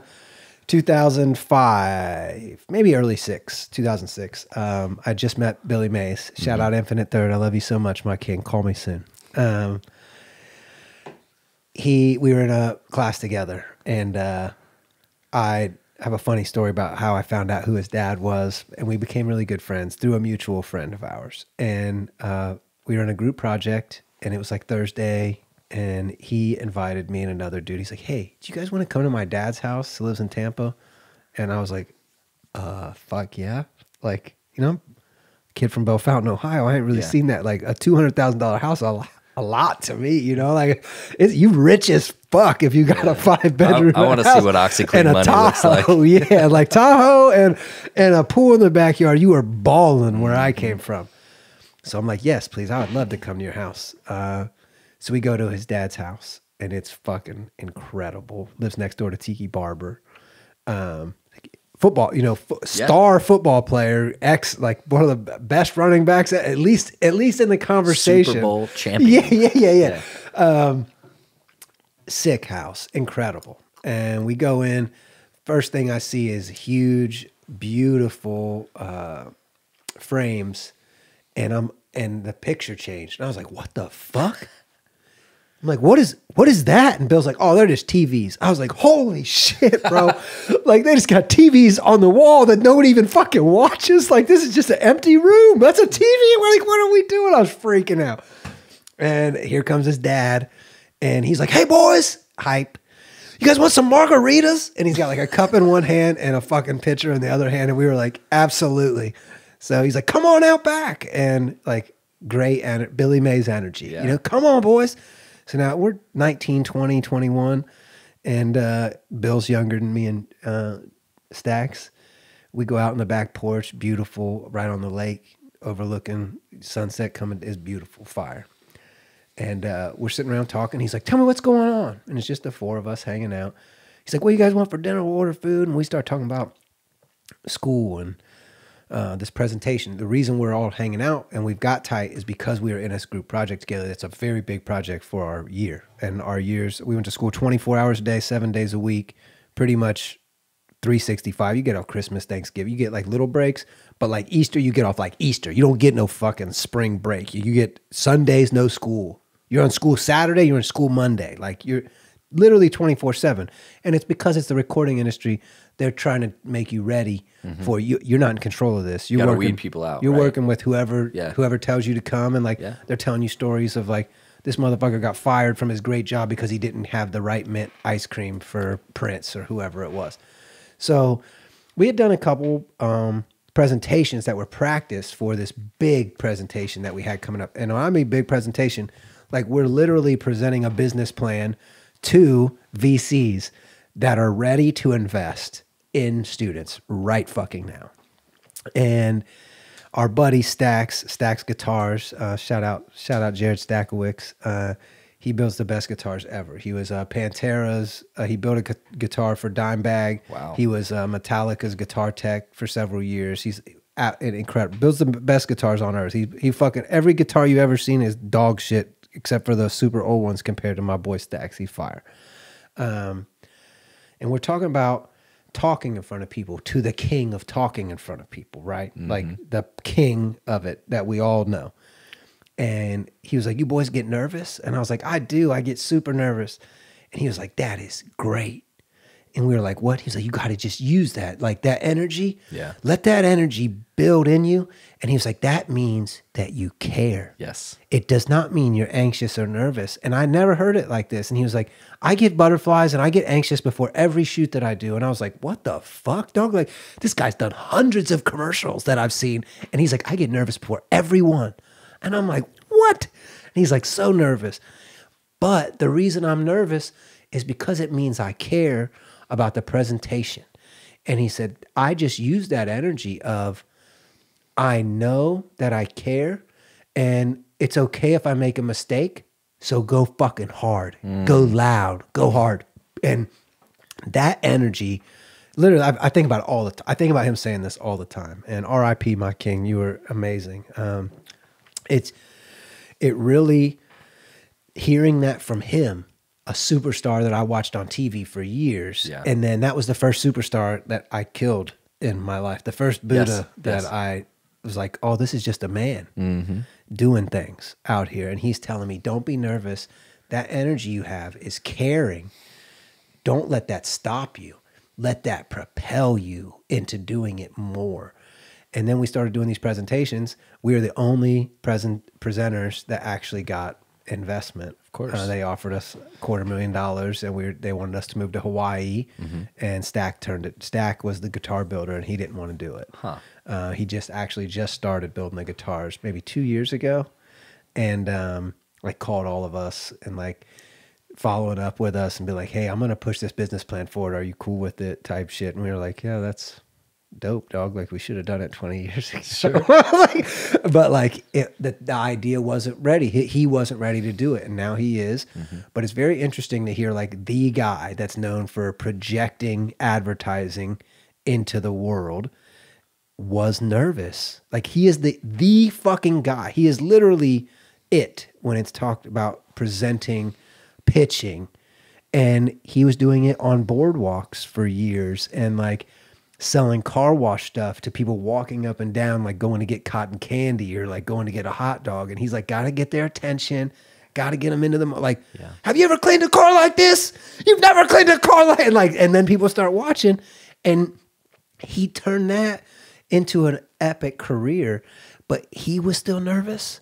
And I was like, well, if this guy's nervous, then how in the fuck could I not be nervous in front of a Right. hundred kids, my peers at fucking 19 years old, 20 years old? Like, I'm supposed to be fucking nervous.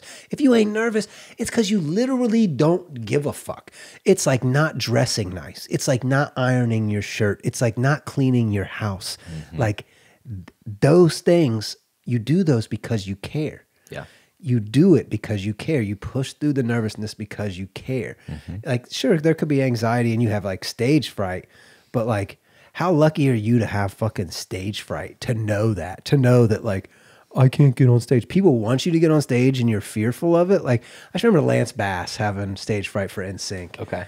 And I just remember being like, what the fuck, dog? Like, you guys are dancing like puppets and you have stage fright? Like, that should alleviate all fucking Yeah. stage fright. Like you're literally like doing the like fake ass robot, like wiggling your arms and shit. Like that that should out. free you up. Like you should just be like, bitch, we're acting like we're on marionettes. Like it's fine. Like what are you worried?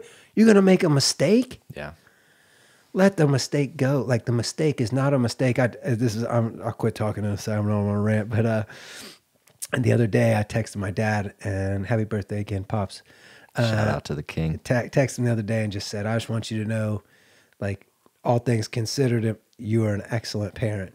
you guys did a great job. and very- he said, We made a ton of mistakes. And I said, I don't know what mistakes you made.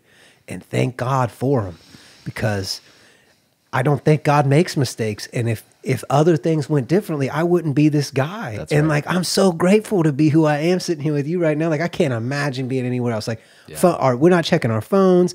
We ain't doing nothing but sitting here looking each other in the eyes, having a conversation. And like, I could be the guy wanting energy and looking at my phone and seeing who's pinging me. What else is out there? Yeah, yeah, and it's like, no, this is it. If this is the end, this is the end, baby. We made it. It's incredible. Ain't my problem. It, like, it all went according to plan. It- And it That's does. very kind of you to, to do for your dad. And I know that's probably not something he is accustomed to hearing necessarily, but your point is the point that will be missed if you are only focused on the mistakes, which is that Mm-hmm. All mistakes lead to the same place at the end of the day. And therefore, are they mistakes, right? This is, again, it's like if it doesn't work out, thank you. I, I How many so Christians believe that. though? How many Christians believe that God is in control and then they'll they blame themselves. Yeah. But when things go good, they give God the credit. That's right. And like what like why wouldn't you just like just always give God the credit and like know that like God did the thing and just let go Yeah. of you Yeah. making mistakes. And like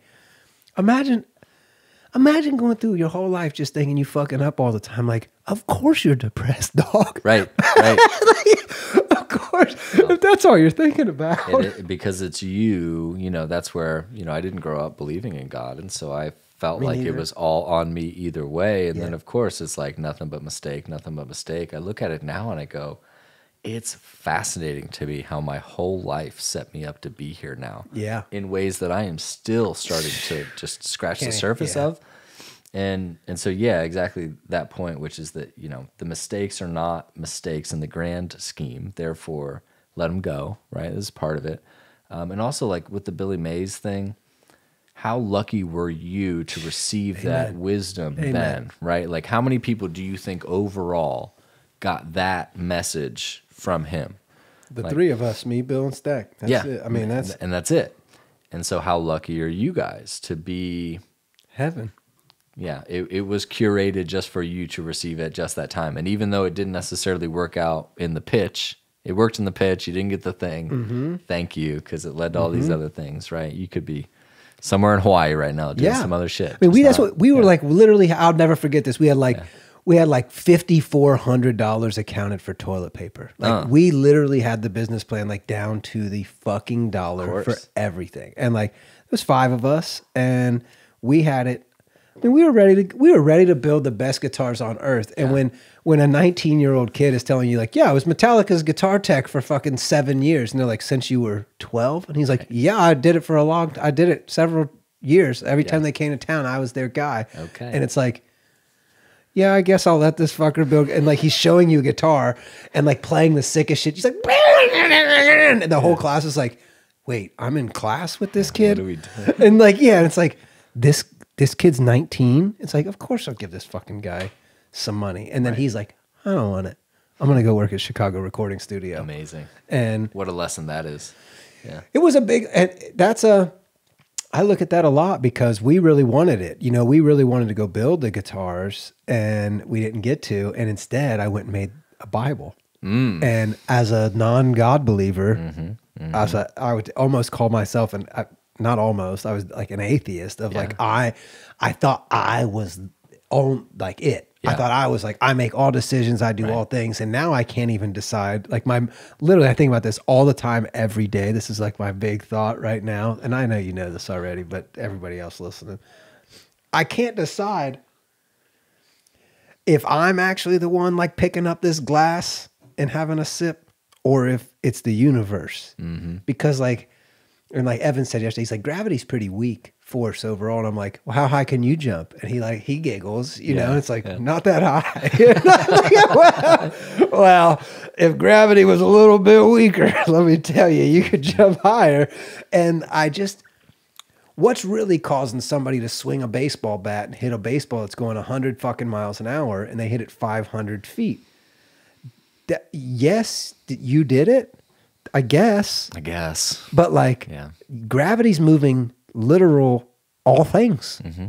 So like if if you believe in one how do you believe in the other? And it's these are the duality questions that you know get really deep philosophically but how can you believe that the sun is turned by gravity and earth is spun around by gravity and all these things like all these things are happening due to gravity but you're I'm fucking, I'm moving this microphone up and down, blah, blah, blah, uh-huh, blah, blah, uh-huh, blah, blah. Uh-huh. Like, oh, I'm the one doing that? Right. Or is this the gravity wave hit exactly right here that made me do this thing that I have no fucking control over? And when you make a Bible and then years later fall in love with God and the idea even of the Bible, like I, I look at the Bible as like the greatest work of all time. And, mm-hmm and it took me a long time to get there. And it, I think what the main turning point for me was 2016. Uh, after meeting Kanye, I started working on some big projects. When I started doing real projects, it was 30, 50 people touching song, music, uh, I made a, a box that was like an album, but like people are taking photos, people are designing the box, people are making sure that literally choosing fonts was a fucking big deal, you know, and um, box design, size, packaging, shipping, like all of these things went into this huge project that was really magical for me and a, a big boost to my career. But it wasn't me. I made a song. I literally made one fucking song. And like, I didn't even write all the song. I didn't perform the music. Kilhoffer made the music. A guy who made, all- he's won five Grammys, made all of Con, worked with Kanye on every album. And like, how could I move forward in life and be like, bitch, I made this? like, My name's Cameron Grey. yeah, yeah, yeah, yeah. But like, and that's and like, it all changed there. It really Yeah. changed there. Of like, I just realized this isn't me. I'm not the guy. And like you were saying, like you're standing at the podium speaking. I I swear this is true. This is really how my soul feels. I don't have song ideas. Song ideas happen Yeah. to me That's right. hi hat patterns occur mm. in my head.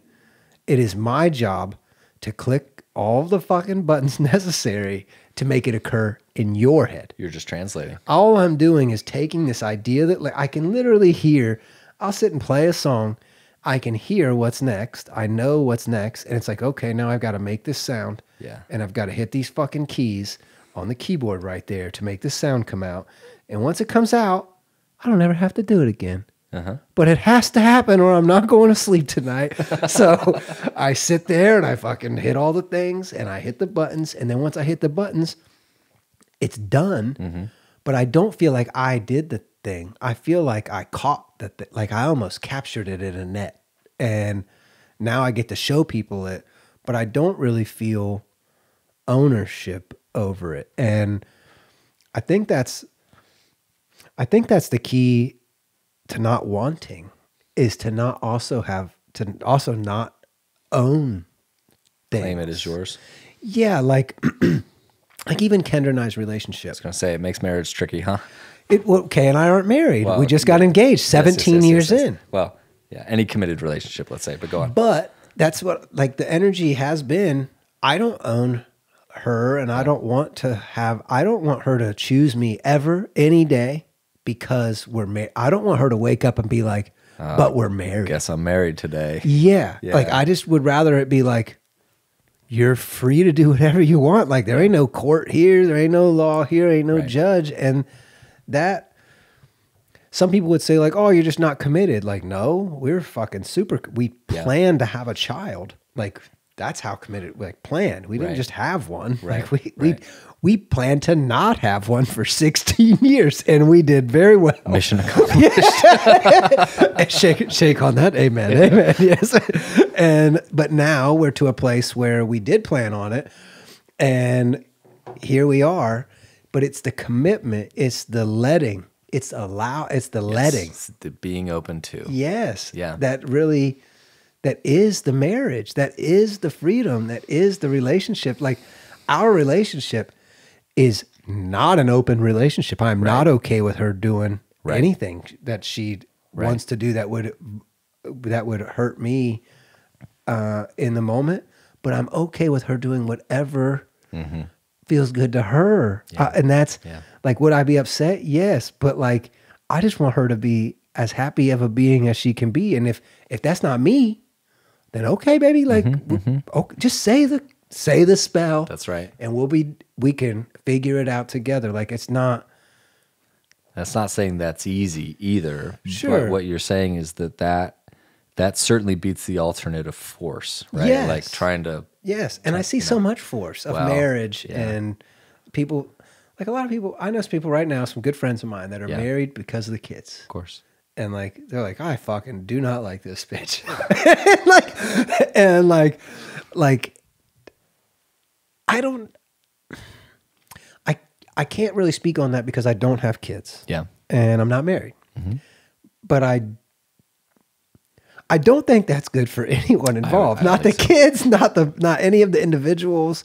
Um, I think it really it hurts everyone involved, and that's where I feel. I saw a tweet the other day that said uh, from Neville Goddard. If you guys don't follow Neville Goddard on Twitter, oh my gosh, Neville Goddard daily. Yeah. click it, follow, daily. follow, baby. You got to follow. Um, they tweeted about about marriage. What they say?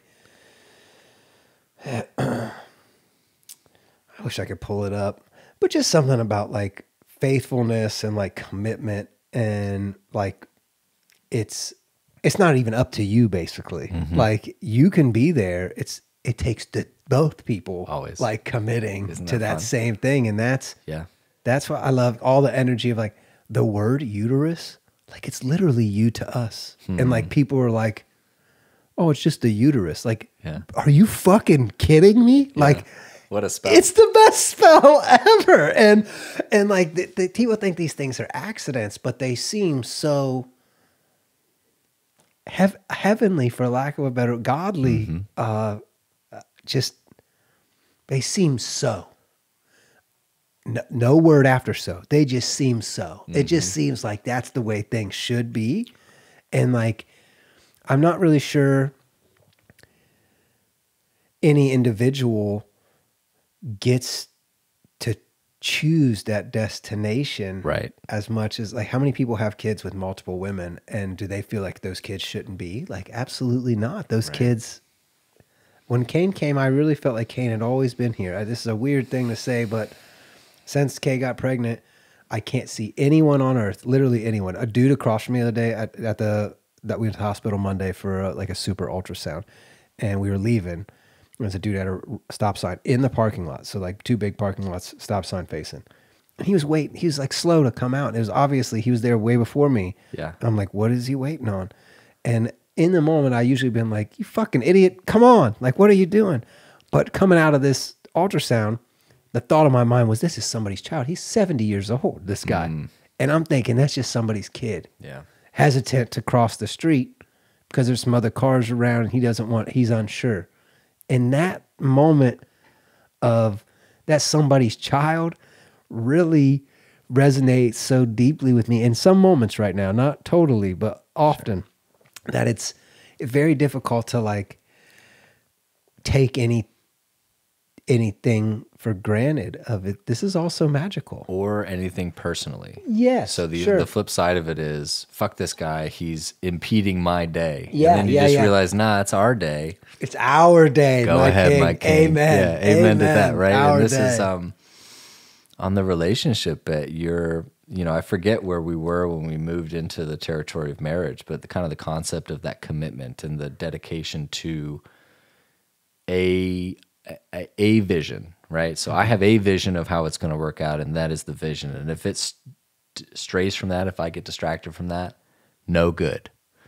As it turns out, I have a vision that's directionally correct. How I get there will meander, and the end may not be exactly what I envisioned, but um, that was all part of the process of getting to that end goal. And therefore, yeah, let the man cross the street. Don't get offended when Yes. somebody leaves you, right? And I've uh, learned this a lot of hard ways and a lot of times in my life. And you have to realize this is true of relationships, friendships, Mm-hmm. parents, right? You know, we don't all get to choose when our parents leave us. Sometimes they leave us when they're still alive, right? I'm learning all kinds of dimensions of interconnection and I've noticed that the people that took it the hardest and hold on to it the longest are the ones that still struggle with finding heaven here and now.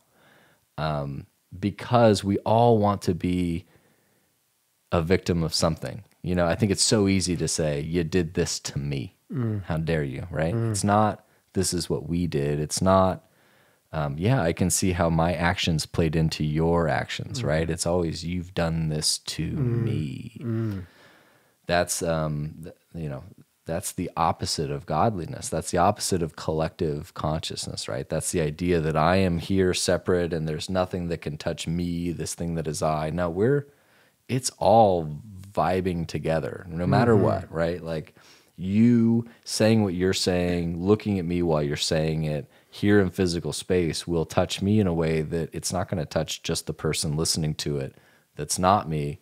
It'll still have an effect there's a very direct connection right here in ways that are meaningful.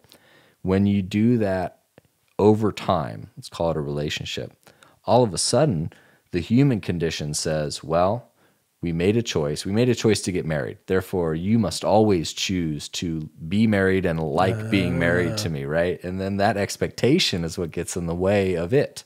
And then all of a sudden, maybe it made perfect sense that you were married for 10 years and then you went and did separate things. Always does. Always, yeah, no matter what. Uh, but if you hold on to it, you're just going to make it worse for everybody. Yes. And as long as you hold on King. to it, it will continue to be worse for everybody. And so, like the allowing of, so like the marriage, even the dimension of marriage is irrespective. You and Kay decided we're committed in this dimension in this way that is irrespective of the ring or the contract, et cetera. It was simply a choice you made every day when you woke up, and that mm-hmm. is its own form of commitment. And that's worth doing in and of itself.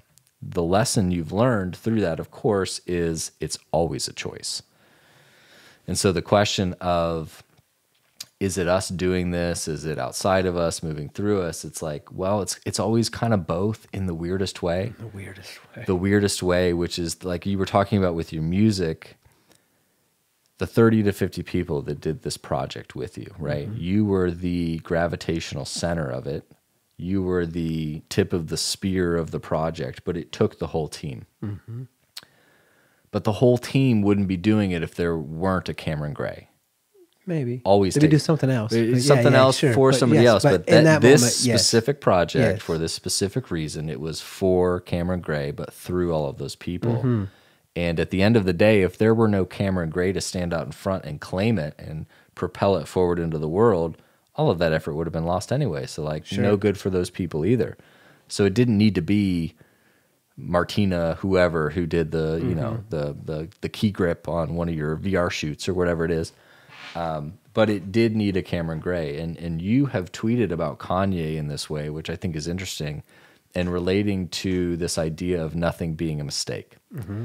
Even when I feel like, let's use you an example because we're here now. When you tweet something that I don't resonate with or I don't mm-hmm. agree with, that's not a mistake. That's not a problem. That's just moving us towards better understanding somewhere Yes. down the line. Yes. And here we are.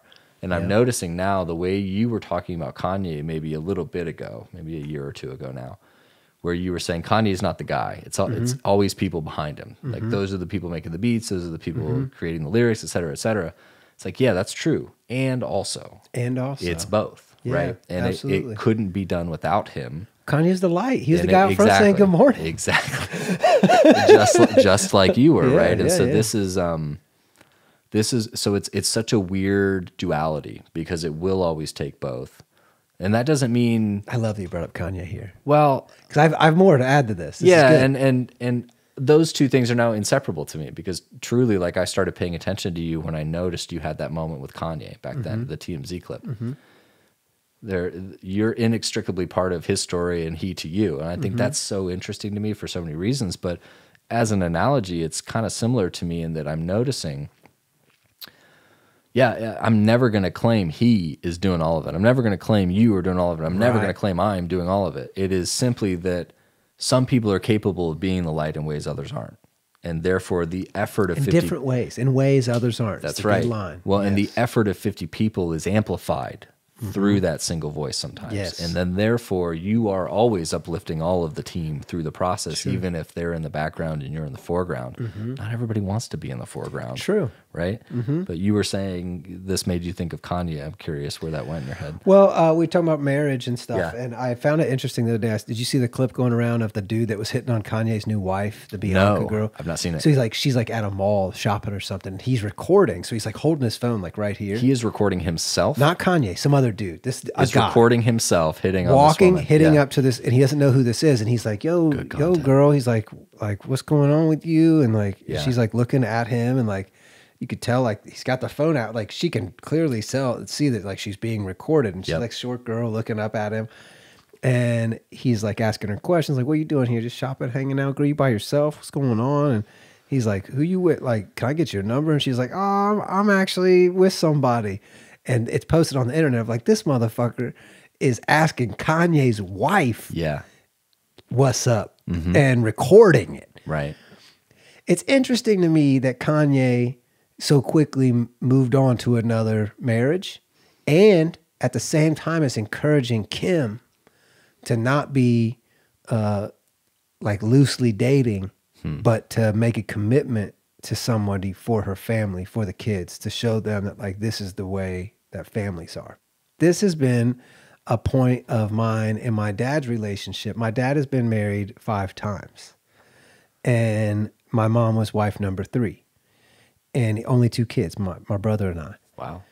and for a long time i used that as a point of contention or a point of uh, belittling of like my dad's been married five times. I've, I've been with kendra for 17 years or whatever you know and like that's the energy that i would project of like don't like he gave me like try to give me relationship advice but like dog come on. Like i literally told him one time i was like i don't need relationship advice from you. Like my one relationship's longer than all like your total relationships marriage wise and like i said it in like a hurtful way. Sure.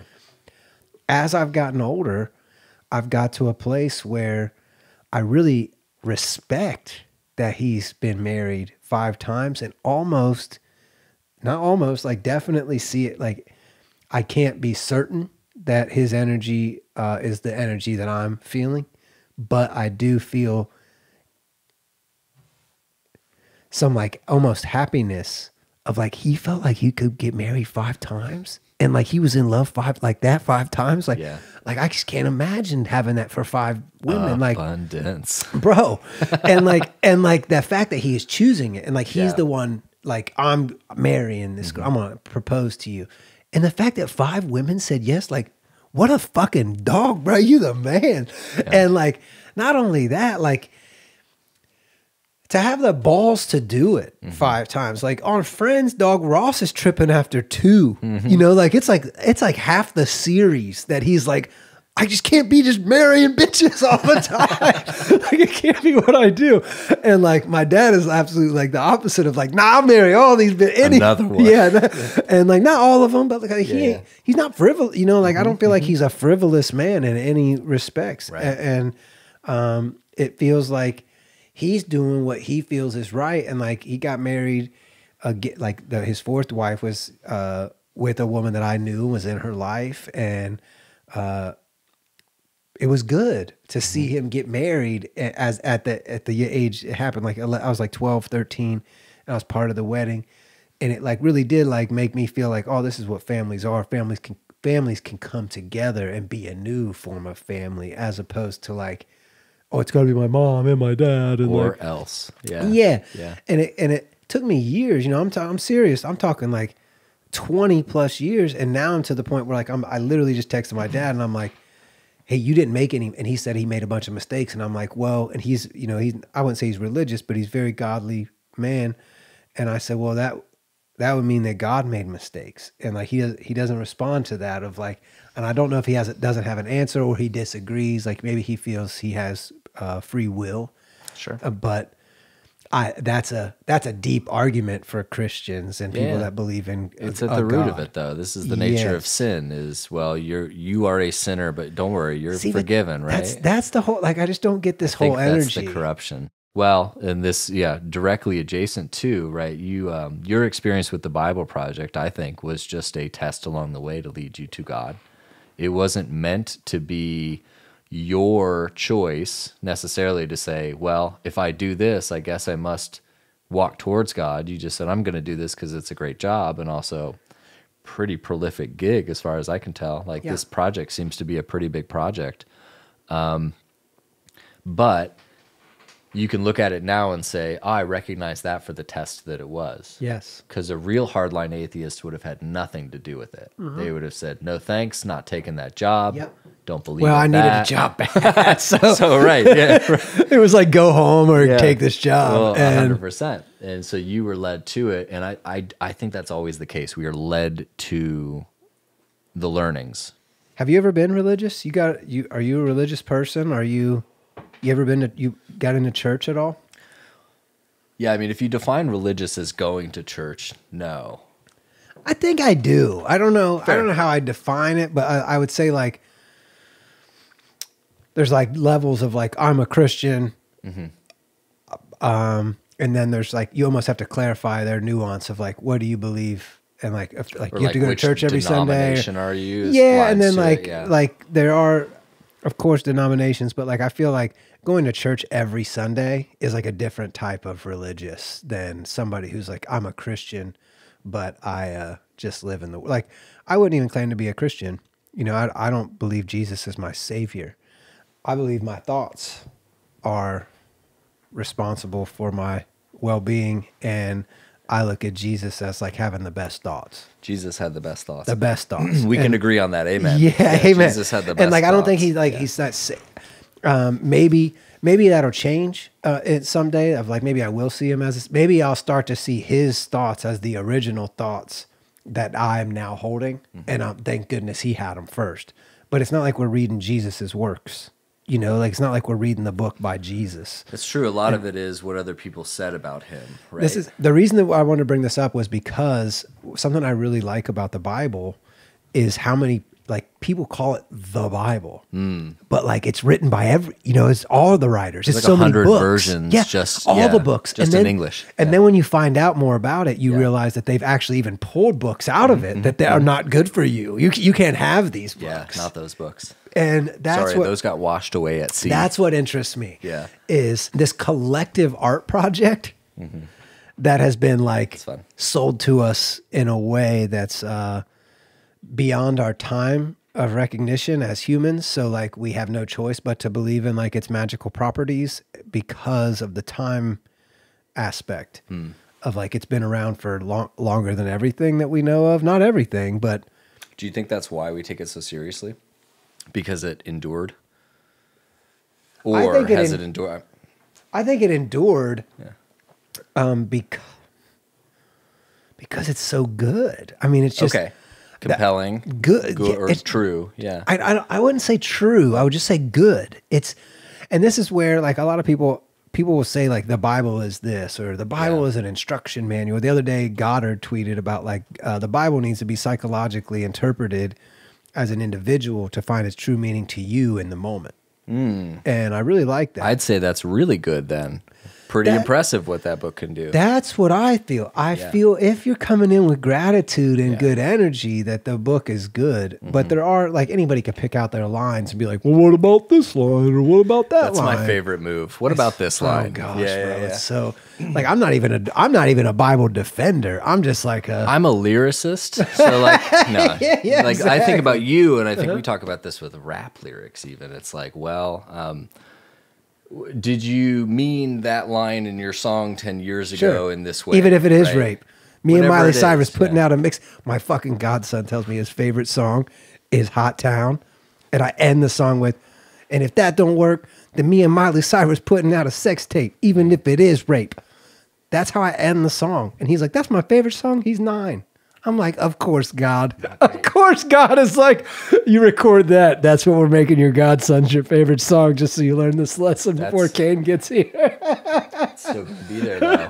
it's it's gonna be both. Yeah. So it's what do you put out there? What are you willing to stand behind? And like the artistic license, I think for you, and we've talked about this even specific to that. It's like what's the artistic license to do something like that as a uh, a learning lesson? What are you doing when you write lyrics? You're trying to communicate where you were at any given time, and then you're trying to say, you can be like me. You can choose not to be like me. It's actually secondary to the point. Um, am I the mirror for you enough to make a directional change that's right for you? Because I'm not Cameron Grey, right? Right. So if I hear that lyric and I think about it myself, I also have a choice. What do I think about that? What, um, ir- irrespective of what I think your motives are, or where, Well, my know motive in the mean? moment was Yeah. writing a song that was artistic and l- maybe make you giggle, maybe yeah, provocative, yeah. and like I'm trans, I'm I'm given the energy of I'm willing to, and I was. It was when I was writing Cocaine Ferrari. I was literally willing to do anything. Yep. Like, and that's I I moved to California. You know, I I we left our five miles from here, just in Hilliard, just west of here. I left a three bedroom house to Kendra and three dogs, Mm. and was like, "You figure it out. I'm out." Not, I, I mean, we still paid bills. Yep. Still was on her team, but like it was filled with our shit, and it was like, "Well, I'm going to California, and I've got to go now." Mm. And wh- whatever you want to do, if you want to come to California, fine. But this is what I have to do for my life. Okay, can I talk about that for a second? Because I'm, I'm really curious yeah. about that. Um, and love being here now, being able to look at that, especially now. Um, Me too. Amen. How did you feel? Like, what what made is that nervousness in a s- in a certain dimension? Where you there was some energy in you that you had to move? Yeah. so Jamie's a year older than me, and uh, we went to Cali together 07. And we moved from, from Full Sail uh, to Columbus. He was in Columbus a year before me. I, I finished the, the bachelor's program. He only got associates. Then we met up here in Columbus, and then we went to LA together. When he turned 30, I could see it in him that it fucked him up. Sorry, Jamie, if that's not true. If I'm putting words in your mouth, I really apologize, but you know what I mean. He he was definitely like, I need to move. I got to go. Things need to happen. And that September, we were in LA and like Joe was there and the things occurred to let him work for Joe. And it took several months for that to fulfill. And that was 2011. To, that was, yeah, September 2011. And watching so like it didn't just pop for him right like he didn't like he didn't get this job and then got rich you know like like he didn't Joe just didn't give him a huge fucking check and it was like, oh, his, all of his problems are solved. Like, no, he's still sleeping on our homie's couch. Like, I ain't gonna tell his whole story. I hope he comes on and tells it. I'm not gonna tell your whole shit. I love you, King. He should. He should. and um, but like it didn't happen overnight for him. So like he still struggled. He still had bills, and like I was watching all that play out while I wasn't struggling. I was doing just fine, and I didn't need no money. I had no real sense of urgency at like 28. Like I was, I was writing music. I was doing everything I wanted to do. I was writing music. Uh, I had my real estate license. I was life was good. Um, had a you know awesome girl that was making a bunch of money. Had a three bedroom house, living in the suburbs, a nice suburb, great school district. All the things were good. Um, but then I was getting ready to turn 30, and it got to be like my birthday, September 21st. It got to be probably beginning of June, and like right now, really like this time. Uh, and Kay started telling me, she was like, yo, you just seem fucking miserable. And I mm. was. And I like, I wasn't living miserable, but there were moments where I was definitely sitting watching TV thinking, like, what the fuck am I doing here? Like, is this, I'm sitting here watching TV in Columbus and Hilliard. Like, this is what I want to do. Am I where I want to be right now, at the moment, right now? And like, I've always thought, like, you know, now being places, showing up, I've always had that energy.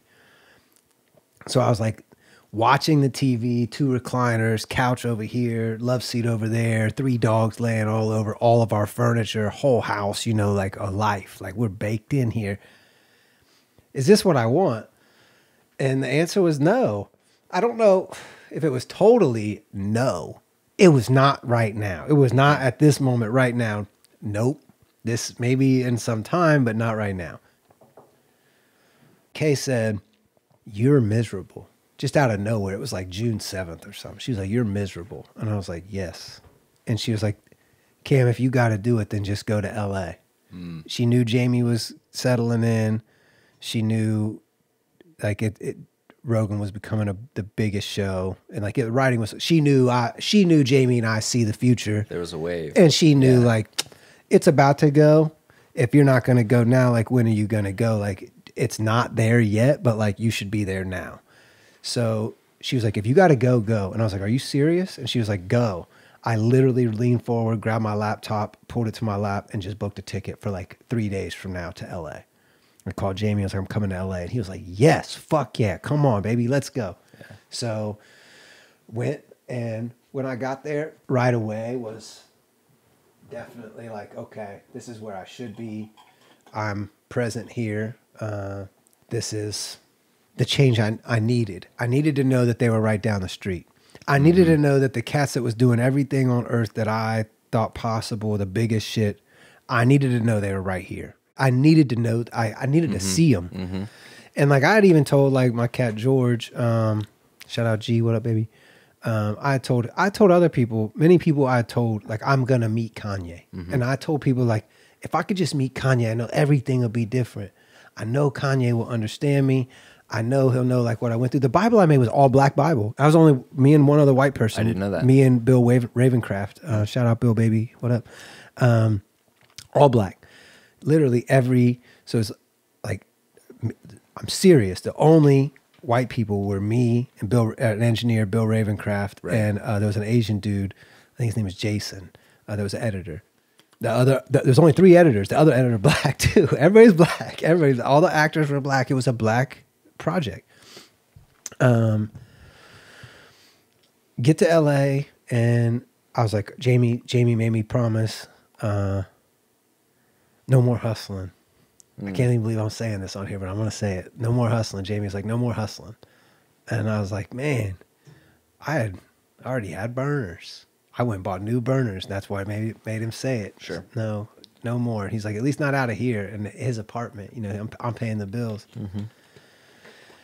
And that was like, okay. He's like, I want you to start going out every night. He was like, $10 ticket, $15 ticket. You need to be going out. You need to be where everybody is every night. He's like, that's what I need you to do. And I was like, all right. So like every night I just started getting a ticket. I just started looking see what events were going on. I'd be pulling up whatever like yeah. show apps and I'd just buy a ticket. Like 2 Chainz show before 2 Chainz is super popping.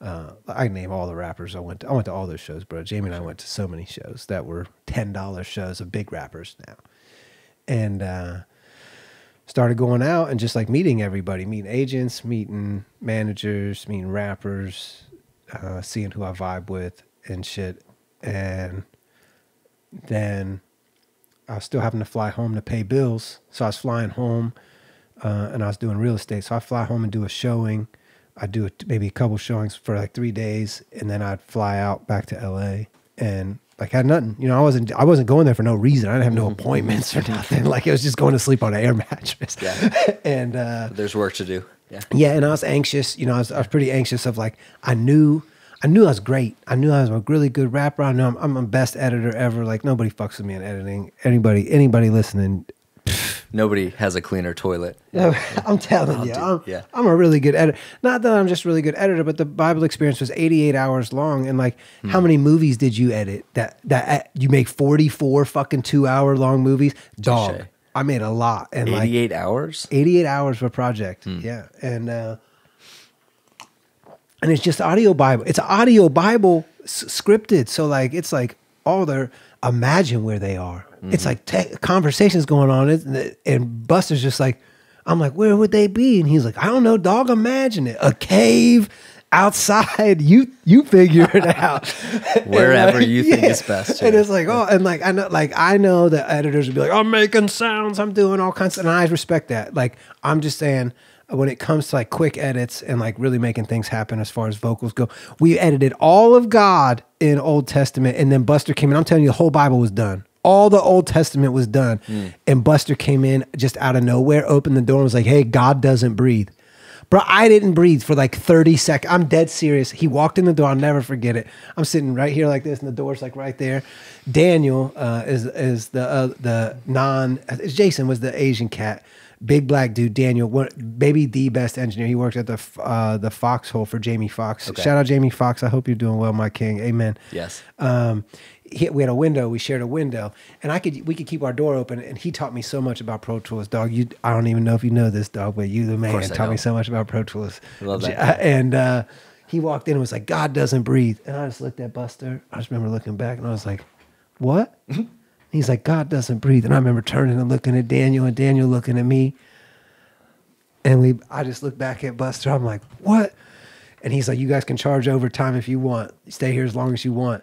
We had to go through the whole Bible now and cut out all of God's breaths to and gone. Can't have no more of that. God just speaks. There's yeah. no breaths in between. Had to make to, to change. Not only does it change, so it's like when you cut out the breaths, the session was done.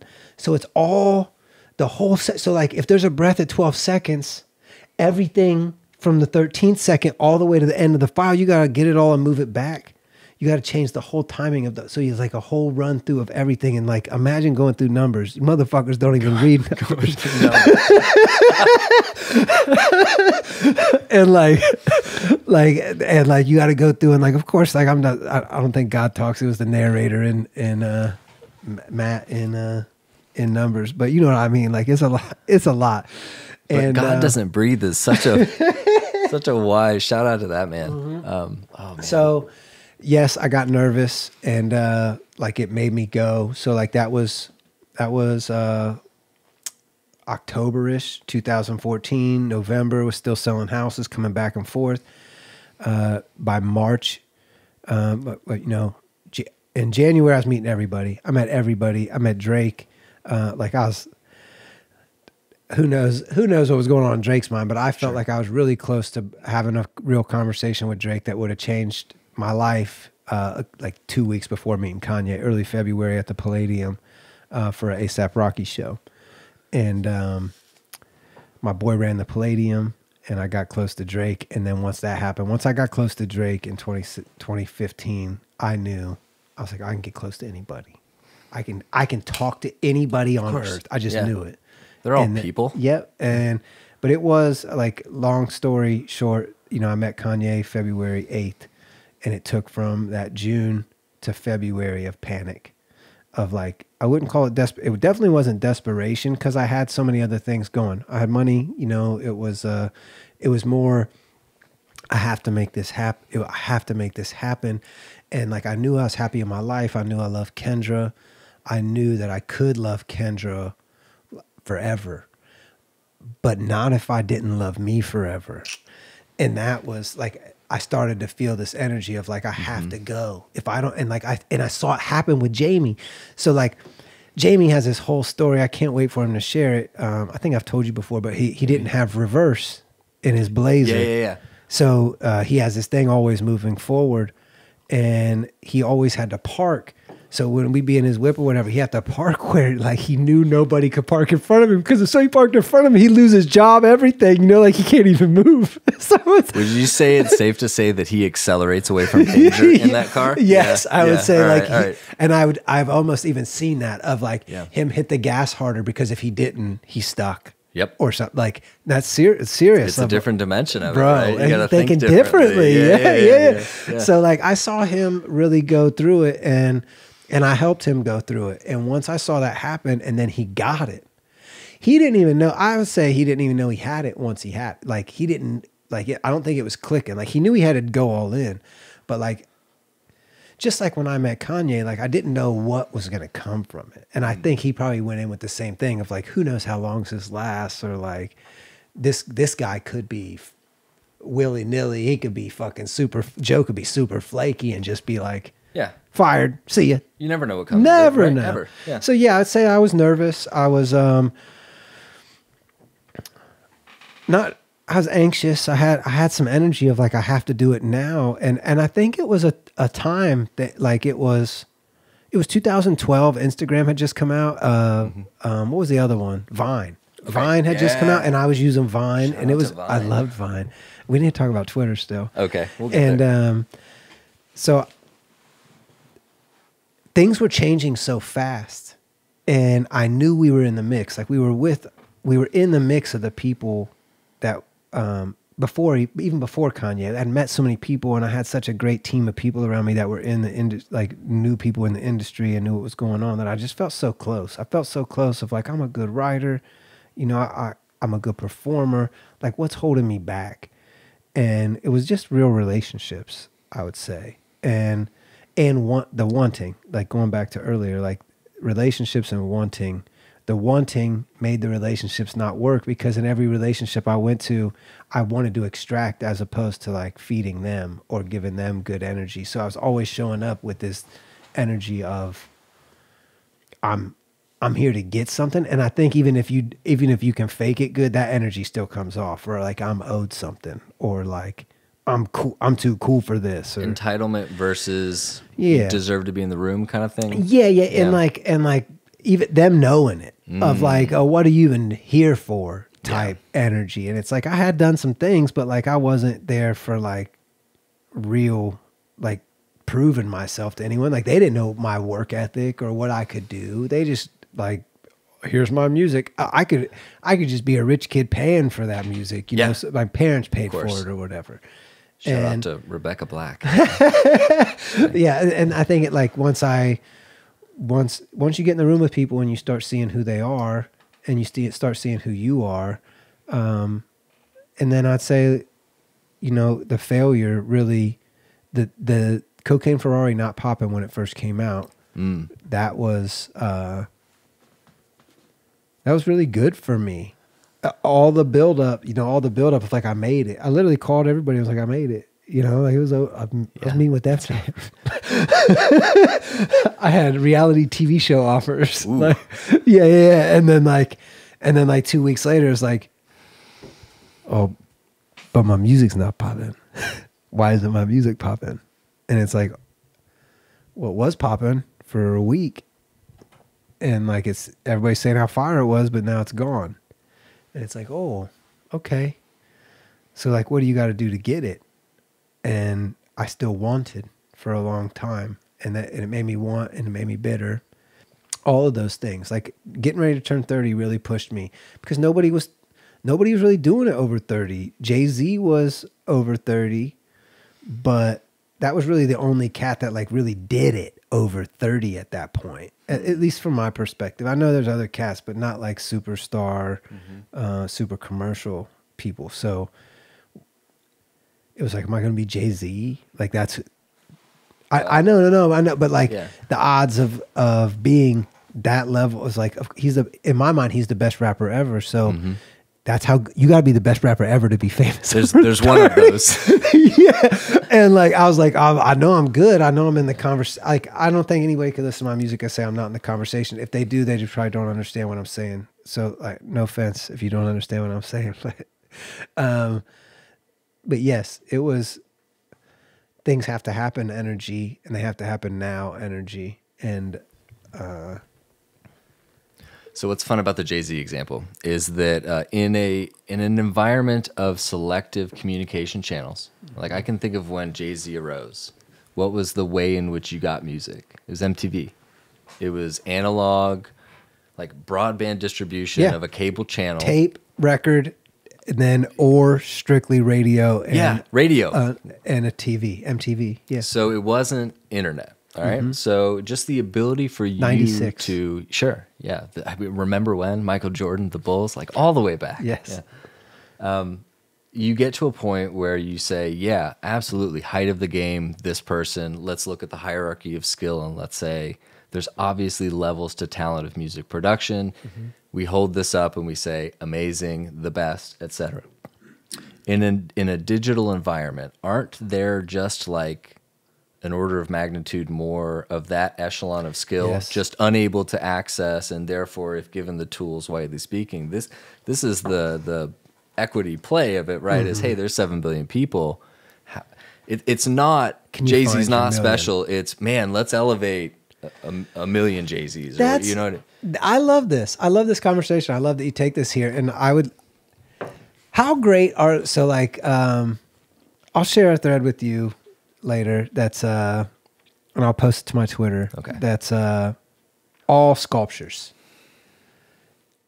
How many great sculptors would there have been from the year 1500 to now if they all had access to the tools available that the churches had to pay for? a big block of clay yeah right how many people would be incredible like literally like one of the images i forget who did it it was they literally made a net dog it's a it, like a net covering a person and it's like got all oh out of stone out of out of Clay, uh, uh, marble like this whatever no it's like they sculpted marble or whatever you know what i don't know That's what it tough is. stuff, No, right? Yeah. I don't know i don't know exactly Sure, what call it it is, marble. but All right. whatever some some hard statue It's rock. Yeah. statuesque material depends, i'm not yeah. the guy yeah uh, i'm not an art historian to call what this is but like what you're saying not you're saying not jay-z's not not the guy It's not- but yeah. like how many more guys are there There's so like imagine there's so much talent on the planet. Imagine if you had five NBAs and the ability to cultivate an environment of NBA players Are there, though? amongst Th- think about this all right globally Uh,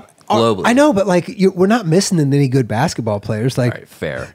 But are we because we're not able to train everybody in enough of a oh, fashion oh everywhere? yeah, yeah, right? okay. So I mean, yeah, I would go. I go there. I fuck So- with that. I fuck with that. In this actually. example, Kobe be Kobe be so mad if I didn't. Our economic that. development plan for the world is more basketball training, right? And so we, we uplift everybody through that. That's a good idea, If you do that, is is there five NBAs worth of talent on the planet, and shouldn't we Uh-huh. Um, appreciate that instead of trying to say no, there should only be one NBA and like Michael Jordan's the best forever? Uh, like if we had NBA gyms, like we have like cheap boxing gyms. kind of get- what we do for soccer. Yeah, boxing gyms. Another great. I don't go to boxing gyms. I don't get that example. Mm-hmm. yeah, me much, neither. But like they're, it's usually people that can't. Like Tyson, uh, Mm. could he said a quote of Tyson is if he had to pay one dollar to go to a boxing gym, he would have never been a boxer because he had zero dollars. Thank you. Such a good analogy of this, right? Yeah, yeah, yeah. There are thresholds. So a dollar. A dollar. We almost missed a Mike Tyson because of a dollar. How many like are there five more dollars? What a line! What a line! Yeah. That's a good line. So amazing. That's there. That tells me certainly there are at least five other guys that are probably like that. They just didn't have that dollar or whatever. You know what I mean? Like they were a dollar negative in some way. Man, um, five other guys. Is that's a crazy to think about five other Isn't Tysons? isn't that know? abundance? Like to me, that's like it could be so much better than you could imagine. Just in that. Well, I don't know. This okay. So this, the other side of this would be. Mike Tyson is Mike Tyson because he is so extraordinarily rare, right? So like maybe it is valuable to have that degree of rarity somehow, right? Like he's special because how many people are going to do what he can do?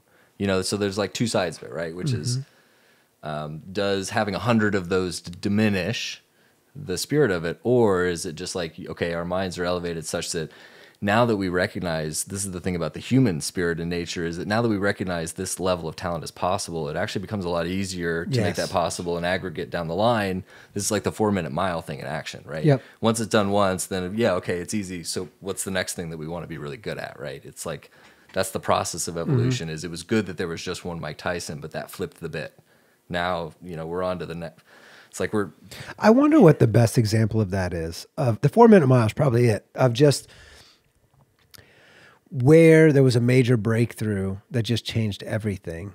And it changed everything in a way of like everybody could then do the thing because they watched it be done one time. is that kind of analogous to Ron DeSantis announcing on Twitter? Yeah. You know? Yeah. Like, And that's like, that's kind of the, it's it not feels- a Jesus moment, right? But Right. it's like, all right, something happened in the information stream here. Yes, and that's what I like. There's kind of something to like. This is where I was telling you about Jamie earlier. Of like, he said what he wanted to do, and then the, then he did the thing. It feels. I just feel like reality has like this really thin layer to it, and like I literally tweeted. The tweet's gone now, but I and like it's in article. Like you can find that on like Complex and other things. But like I tweeted like I'm not kidding you. 72 hours before I met Kanye, let me run into Kanye. Hmm. That's it. Just let me run it. Let me. Let me run into Kanye. And literally, like two and a half days later, it happened. Isn't that fun? Now,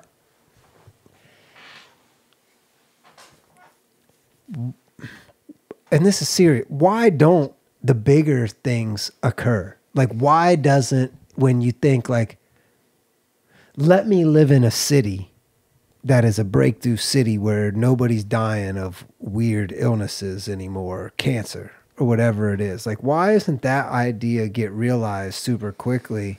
Like, why isn't everybody like hyper focused on that to bring some ideas like that to reality as opposed to anything else? Like, wh- like why aren't we, why aren't we as a collective humanity? And is it because we've been tricked? Like, is it because we're shown a world where people die at 60 to 80 so like the more you think about death the closer you are to death and like then you're just gonna die because that's what you're doing like you're literally That's what happens. Yeah. yes That's the timeline. Yeah. yes Um, hmm.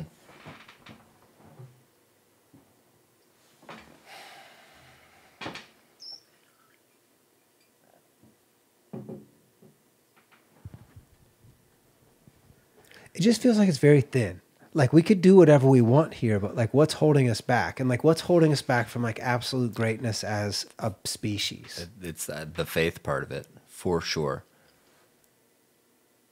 If enough, like flip the bit. This is the the metaphor. We, I Yes. joke about this with Evan sometimes. I just think it's fun to like conceptualize behavior as no matter what, flipping the bit.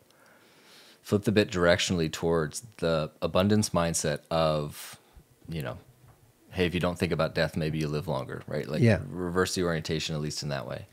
What does it look like to have enough people flip the bit about that at the same time? yes That's actually a tricky problem. It isn't just about the one thing. It's about like everybody getting the one thing simultaneously enough to resonate it outward in a way that creates emergence, let's say. Um, so you get it, great. I get it, great. Do we talk to each other? Do we know each other? Are we able to communicate that to each other? Um, it usually was no. And therefore, like to carry that forward in isolation requires a really tremendous faith. To like believe something when nobody else you think is apparently believing that too really difficult. If you're in a tribe of people and you Bitcoin. are- shout out too. You know, yeah. It's uh, analogous to i think in some respect it's about like what's first principle to you what is um,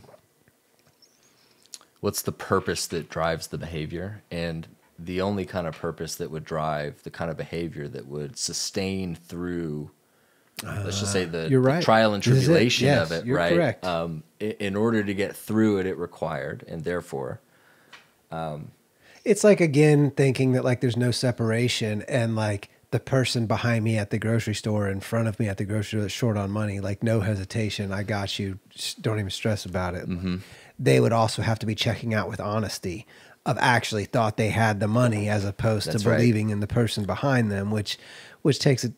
It's very difficult to get a society. if you're grifted, you're less trusting, right? So Yeah. it's um, uh, the Fedimint thing, the, the Fedi, right? We were Mm-hmm. talking about what I love about this concept, and technically need to sharpen my sword, but I, I think directionally, what I love that they're doing is saying at a certain level of organization, it makes sense to go as wide as possible. And in doing so, actually, the best security is simply reputational from a small group perspective.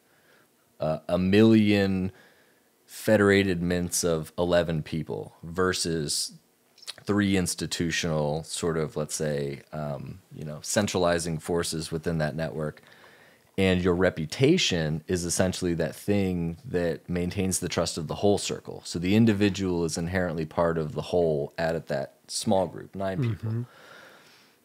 You would only uh, uh, assume to interact with trusted parties at the federated mint level, and therefore, if at any point uh, there's an untrustworthy action by one individual within a small tribe, the whole tribe's kind of segregated, right? So you start to think like cellular automata, like these little things start to interact at scale.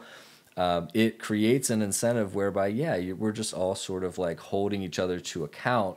The unit of account just becomes a different thing at this point. This is where I love like love as a dimension, right? Where where uh, the energy that we give and take is a, a, a physical force in its own right, and there's a unit of account that allows us to measure it just like we would um, photons or you know like more simple uh, measures of physics, right? Like we would basically be saying the energy that we store now through the dollar currency is the energy that is recorded in the vibe of it in an intersocial setting and then the relation of it through the business setting of just this digital network Wow. that we created. So it's like you hard code your reputation necessarily into the process of just streamlining the transference of the bits.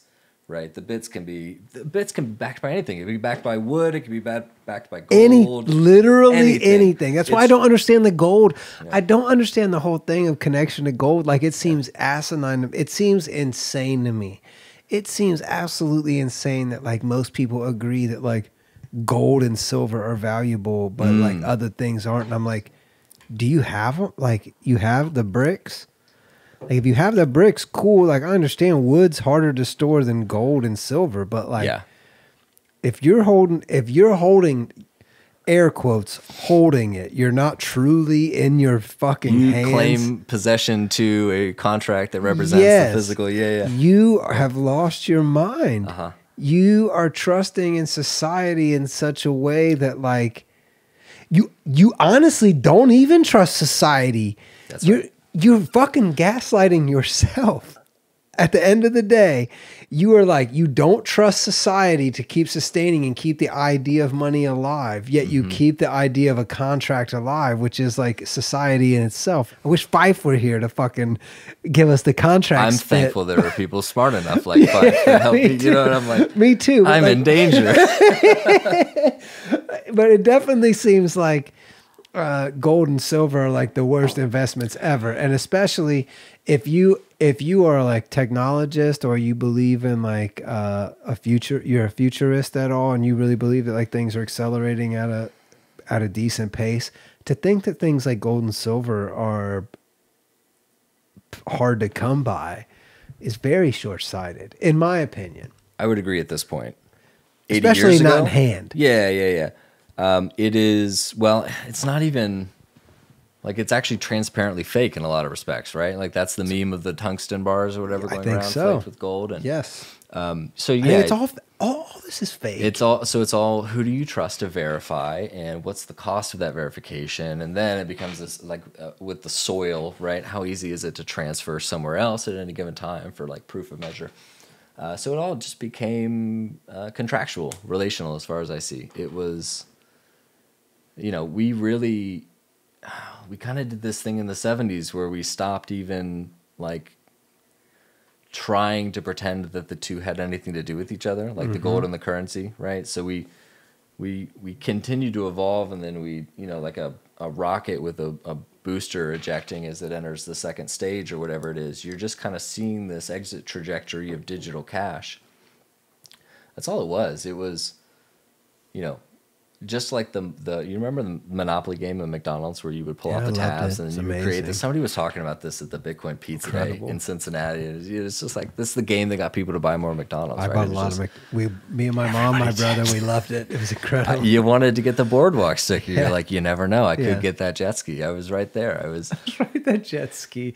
It was like a million dollars. Don't sell there are levels short. to it, right? There was It wasn't was a, a jet hierarchy. ski. I know Boardwalk least- was not a jet. Maybe boardwalk wasn't. But You weren't going to McDonald's for a jet ski. You Well, were going for it- the mail ticket. it did escalate too, right? This is the thing: is like year Uh-huh. over year, you do it enough, or you had to like give out a bigger prize at the end of the day. Um, oh, did you see this? I don't want to change this too hard here, but did No, you no. see the uh, lo- the recent Pokemon scandal?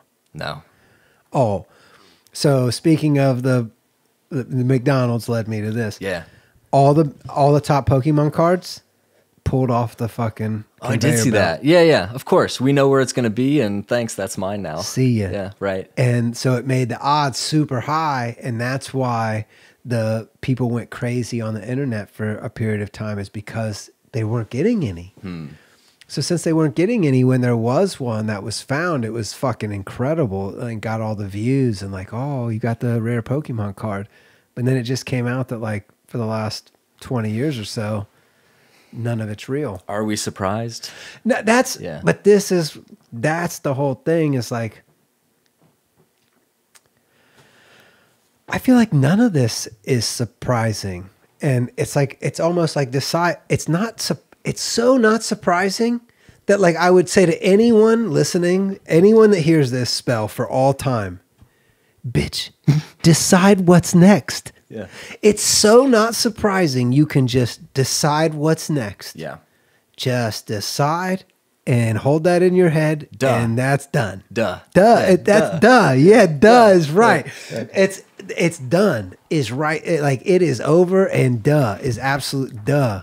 You just w- just decide it happen really feel it. Like if you're hitting home runs this is this is how like where my 10 year old brain goes just see yourself hitting home runs over and over again just see it in your head and feel the home run energy See it, feel it, feel believe it. Just Yeah. feel it in your body.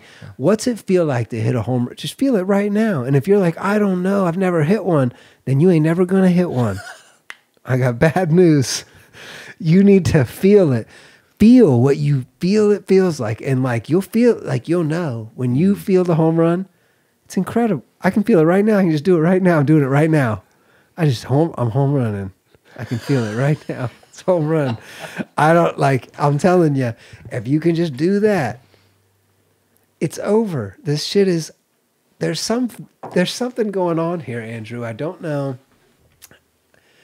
I don't know how to convey it in words quite yet, mm. but I do know somebody I saw a tweet this morning. I'd love to talk more with you about Twitter. I Go know for it. I, well, We're, we are kind of talking about Twitter this whole we- time, but we always you can't have a conversation since 2010 pretty much without twitter and definitely since Mm-hmm. 2016 like if you're talking politics how do you not talk twitter since 2016 Yeah. period i mean you can't did you see what Jack tweeted, by the way? If you want to get into Twitter. no but- i i muted jack what's jack doing Uh, going after three letters. He was like following the JFK, like you know, dismantle the CIA, FBI, you know, splintered into a thousand. He tweeted that? Jack did, and then I saw uh, one of the congressmen or former congressmen re- respond to it. Right, so it's like, yeah, that was uh, that was just within the last day, I think. get rid of them. It's just like splinter them, you know, the whole line, you know, whatever it is. what does that Yeah. even mean I don't know, whatever the language was, but it was I think JFK that was talking about it, right? Or at least that was the line. Mm-hmm. So he was just parroting that, and I think adding a few, and then you know posting it on Twitter, right? Because you can do that. You can i guess you can air quotes nobody can see me biggest biggest air quotes i've ever made You can just tweet do it, you know? i love that the term jfk anything. rfk and whatever is used in the term with you can do it like i guess fam but Well, he is doing it, right? J- uh, RFK Jr. in the He's same doing way, he's it. tweeting Amen. things that He's are, you know what I mean? Like you can't always come out in front and say some of these are we things. past that are we past the you're getting We'll see. Do Uh. you think we are? this so this is a this gets very deep for me because it gets it goes back to like um, you see the memes going around right now of like uh, they faked the moon they did the moon landing with cgi here's cgi in Sure. 1969 it's the most hilarious picture you ever seen and, like, and like sure fam like maybe they're not maybe it's not all uh faked you know like they're maybe they sent a probe or something like that but like and i don't know you know i'm just i'm just guessing i'm just uh Yeah. playing theorist here um but isn't do we know will we ever know could Uh, we know That's kind of like secondary to can you ask?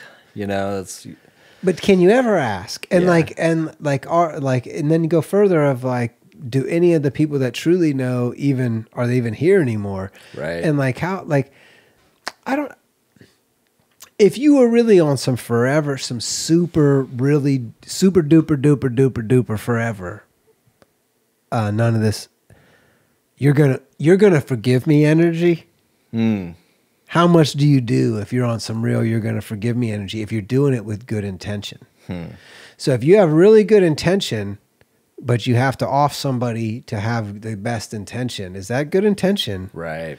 and like that's i would like this these are the thoughts that really get complex to me is you know where where do you this is so i wrote the book that and the this is fun i'm so glad to say this thanks for the two drinks Thank you for saying it in front of me. Yeah. you're welcome. Um, so I wrote the book "Time Is the Only Luxury" because of of this energy of like we don't we don't know how long we get, and like what are you doing? Where how are you spending your time? And you know, some people could probably look at me right now and be like, "You got a pregnant wife upstairs, kicking it by herself, while you know you're hanging out." And I could say, a thousand, a a mil, infinite uh, things of like why I'm here with you. I think it'd be better to ask Kendra why I'm here with you, and I think she'd have a better answer. And I think she knows me well enough to answer f- for me of like why am I here? Like she might literally just say Kane. like I don't know what her answer would be, but I believe that she knows why I'm here better than even I do, and I would say I'm here because uh, I think the reason I started this was be- because I feel like all of my conversations are so privileged that it's kind of fucked up for me to hold it to me. Like it's not about me talking at all. Yeah. I feel I'm dead serious. Everybody everybody in my life knows this and I say it all the time. I have actually found the place where I'm like the dumbest cat in the room all the time and it is fire. Let me tell you, fam, it is the best It is not the room most of you motherfuckers are in. I don't care what you think, but the room I'm in is with 130 plus IQs that I feel I feel like an idiot in all the time and that's I've been searching for this for a long time and I appreciate like your presence. I told you earlier like how brilliant I think you are. You know, uh, you came into my our lives when Jamie and I were talking about Battelle every day. And then you came into our lives as a geologist from Battelle. And that to me it was very serendipitous. It was very strange it, especially around bitcoin. Like i just kept finding such intelligent people in my circle. Like most people weren't having the conversations i were having and then they're in my circle. And it's like how how did this even occur?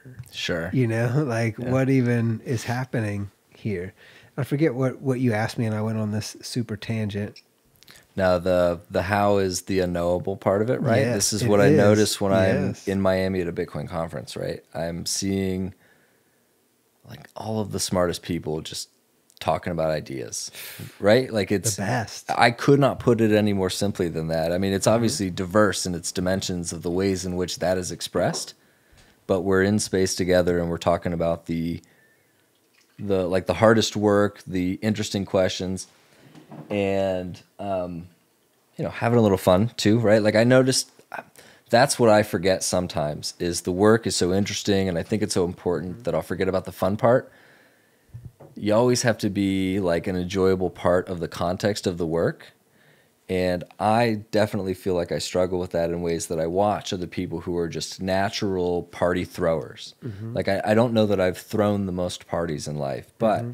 I watch the people like you who are, and I notice, you know, even if it's just a small setting where you're trying to just bring a few good people together, do the simple things here and there, and it's a good party, right? Mm-hmm. This is the the life and the work of it is that okay, you say lowest IQ, and I think great, like the, don't be stupid. First of all, like Yes. obviously not, and also like there's so many dimensions. so. EQ, like so. probably an XQ. I'm like, definitely the lowest at EQ. you are uh, you're uh, sure, you're social no in a way that I'm not, and that I learned from and that I appreciate because um, you decided to be the guy out in front of the door saying good morning before I figured out that that was the game, right? Mm. Before, wow, thank it you, me a long thank time. you for shining that Ah, light at welcome. that time. Yeah. Amen. I, that feels good to be the guy that's saying good morning. Colby jokes around with me sometimes. Like eh, it's probably been it's probably been some months, six months, a year since he said something like this. But he's like, I feel like you'd be like the best radio morning host ever. But that energy is so. Good morning. Coming to you Yeah, live Yeah, from- yeah, yeah. And I could just never do that. Like, Yeah. like I'd rather it be this type of conversation and be motivational of yes so the, ken and i have been having some super deep talks with kane on the way Okay. um, and we've been driving a lot more going to see more family Mm. doing things together um, just because i want to include my family and her family in the pregnancy i want them to all to see her i want them to feel like uh, they you know everybody's getting pictures everybody's getting updates. I, f- I feel like that's important. I feel like if they if they're involved in that process they're going to be involved in kane's life. If if they're left out of that process they they miss the seed. Mm. and i think there's something to that. So kay and i talking about like how how important it is to be present and how important it is to to be honest in the presence of if you're sitting here together and you're not truly there whether you're trying to act in a way that you're not there or you're really truly not there mentally I think uh, it was Adam that shared a tweet with us yesterday that said like parenting matters, but only when it's dads I didn't see that.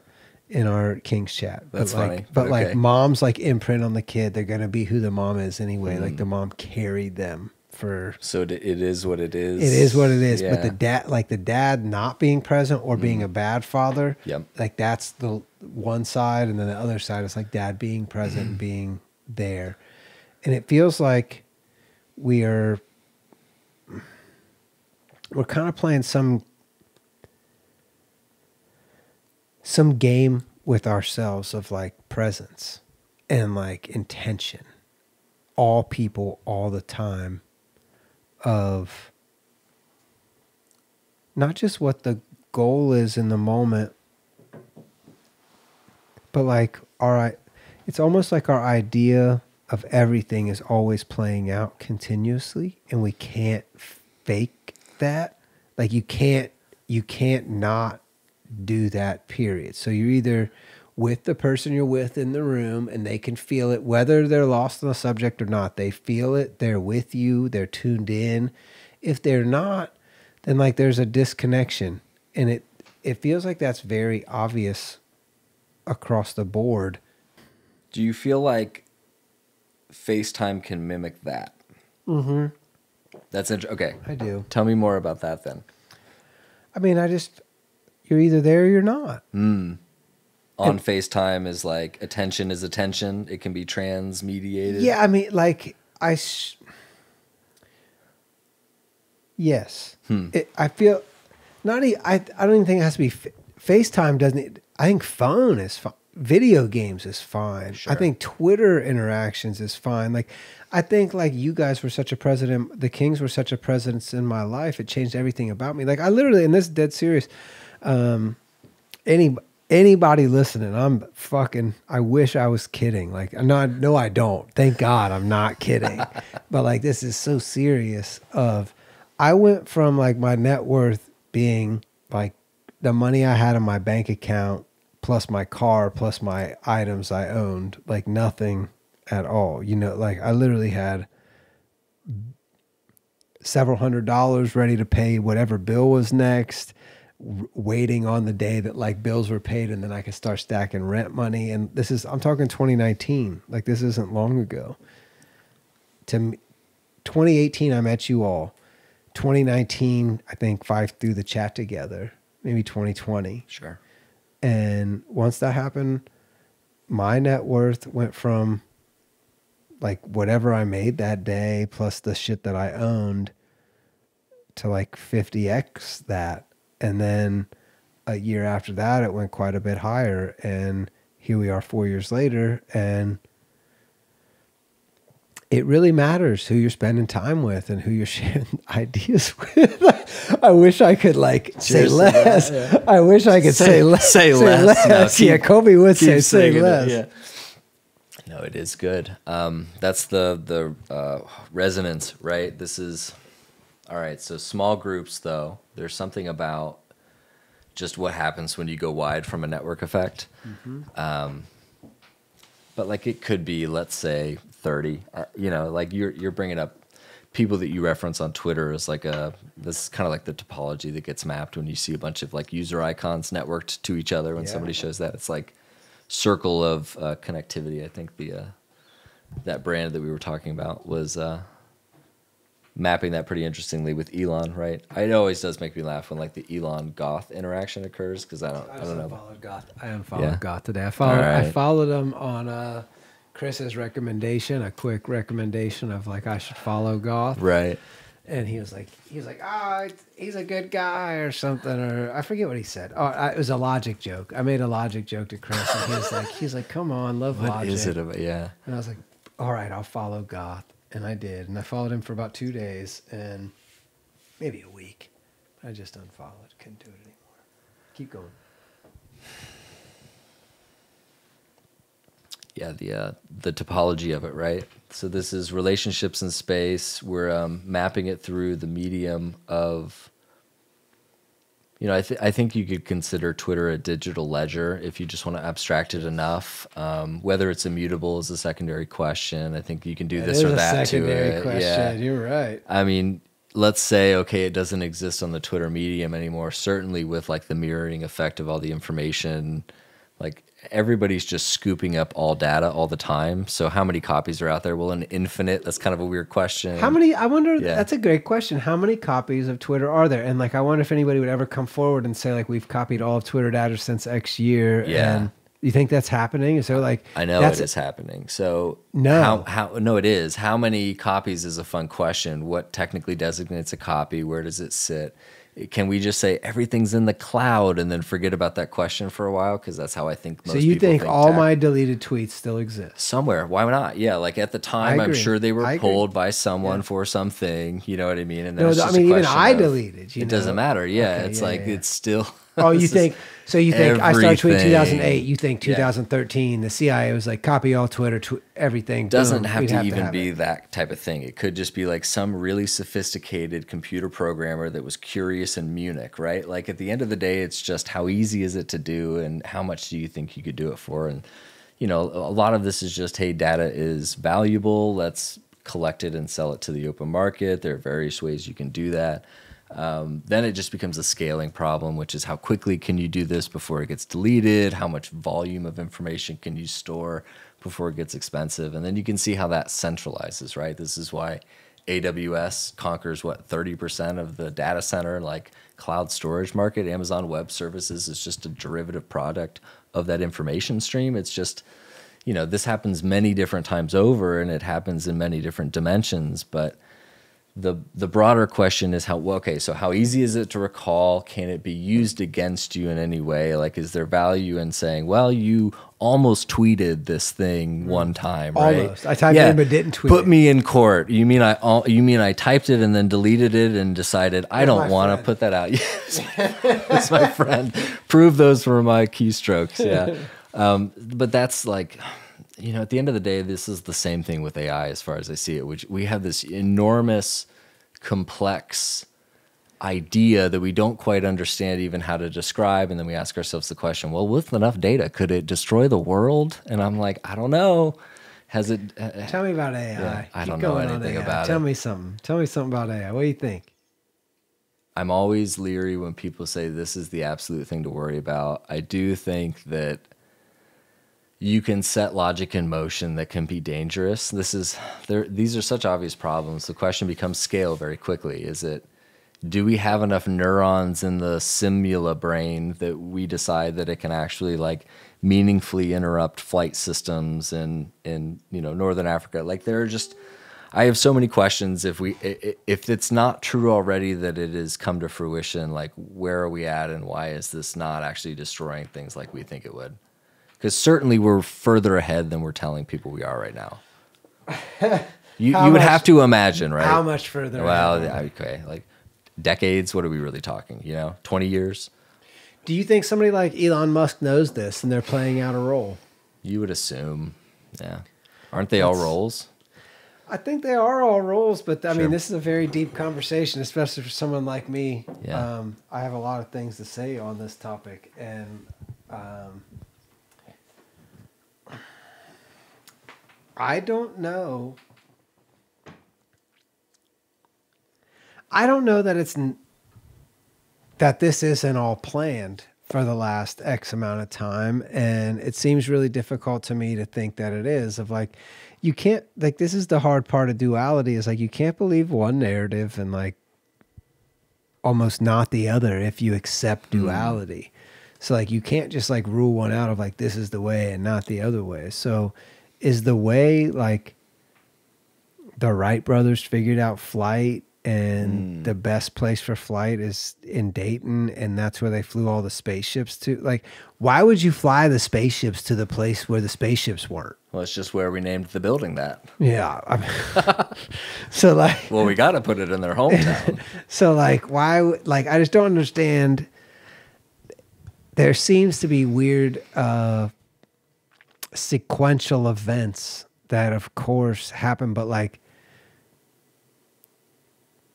if they invented flight and then the Air Force base is the biggest and baddest Air Force base that there is, and then they Roswell happens and they fly the spaceships there. Hmm. Like at the end of the day, how do you not think like, oh well, they've not like reversed engineered this stuff of like we have if there if there are elements we don't know ab- you and I don't know about on the table, well, bitch, they've been named. yeah. The the ones that they have have been It's the first thing you do, right? You give it a name. Give it a name. do. What do we call this? Yeah, so like yeah, you find one that doesn't fit the system, you name it, and now you have a second scale. Yeah.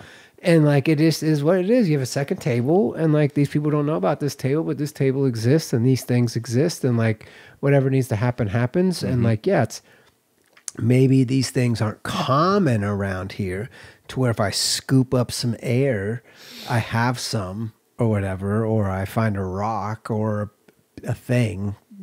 It's not everywhere, but it just feels like it feels like we're being lied to. It feels like we're playing some game that is uh it feels like when the book The Secret came out, like that whole The Secret thing came out, like it felt like that. Like, I hate to say this, but it feels like that was really the surgence of the energy that is, hey, you're in control here. Do you think that's because of the book The Secret? No, it's about the same time as the iPhone, right? I was just thinking, when was that? Is That was- it? Okay, let's say 20, 2007-ish, right? Okay. Maybe a few years before. What year did The Secret? 2006. Okay, directionally correct. Yes. So imagine 2006. We actually didn't have. I think it came out in 2007. Maybe it was six. But point Think being, about 2006, It was the world later. before. Yeah, yeah, yeah. It was the great b- before. Yeah, it was when we didn't have iPhones. So the secret Or was, MySpace. Ooh, did you have a top eight? I, I don't think I did. Yeah. yeah, For sure. for I mean- sure. I mean, I was in college in 2004, Sure. So I definitely had a top eight. Hmm. Graduated 2003, went to Wright State in 2004, had the top eight. Yeah, you didn't have a top eight. You're too young for a top eight. I don't know if I just did it meaningfully enough to have one, but I think I interacted. Did you have a MySpace? Facebook was kind of the first major entrant to so. I What think year were so. you born? Um, 89. 89. Yeah. Okay. Close enough. right? Yeah, you probably missed it by like because the only reason for me to even use Facebook was because I was connecting really with college It was a shift, Yeah, yeah, it was like a yeah, shift yeah. of like I wasn't connecting with high school. Like there were a few high school friends on there, but not many. So it wasn't like a reverse of like, oh, I'm turning on, I'm tapping into the last X amount of years. It was like I literally just left them six months ago, or you know, a year ago, whatever it was. And here's Facebook. But yeah, I used I used MySpace heavily. I loved it. Thought it was great.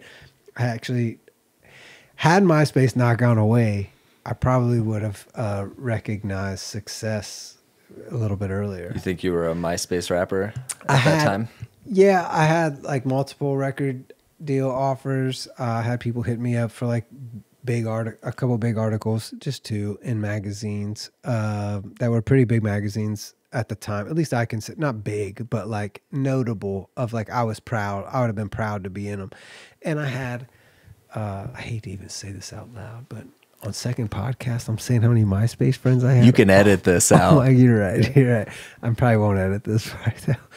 I had 17,000 MySpace friends. That's a lot. It was a lot. Mm-hmm. And like Tila Tequila and Dane Cook had just got famous off of it. And like I was starting to pick up steam and I knew what the game was. The game was just like building a community. Oh. It was literally like people were looking for connection. Mm-hmm.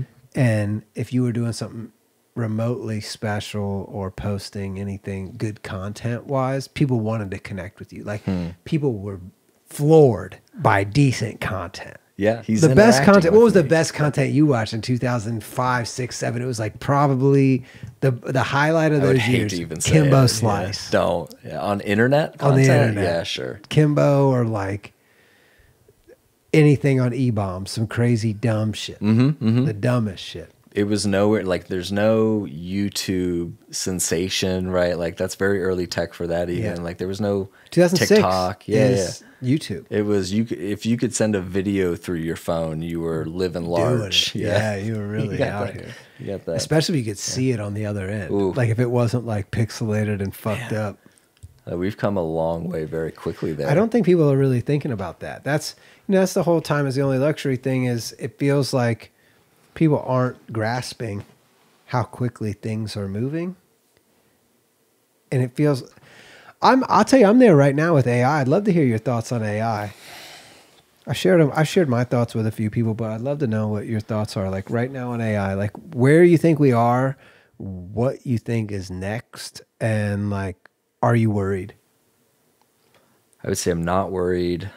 Um, where are we headed is kind of up to us. I think there's this real danger right now of saying because it's unknown, don't study it.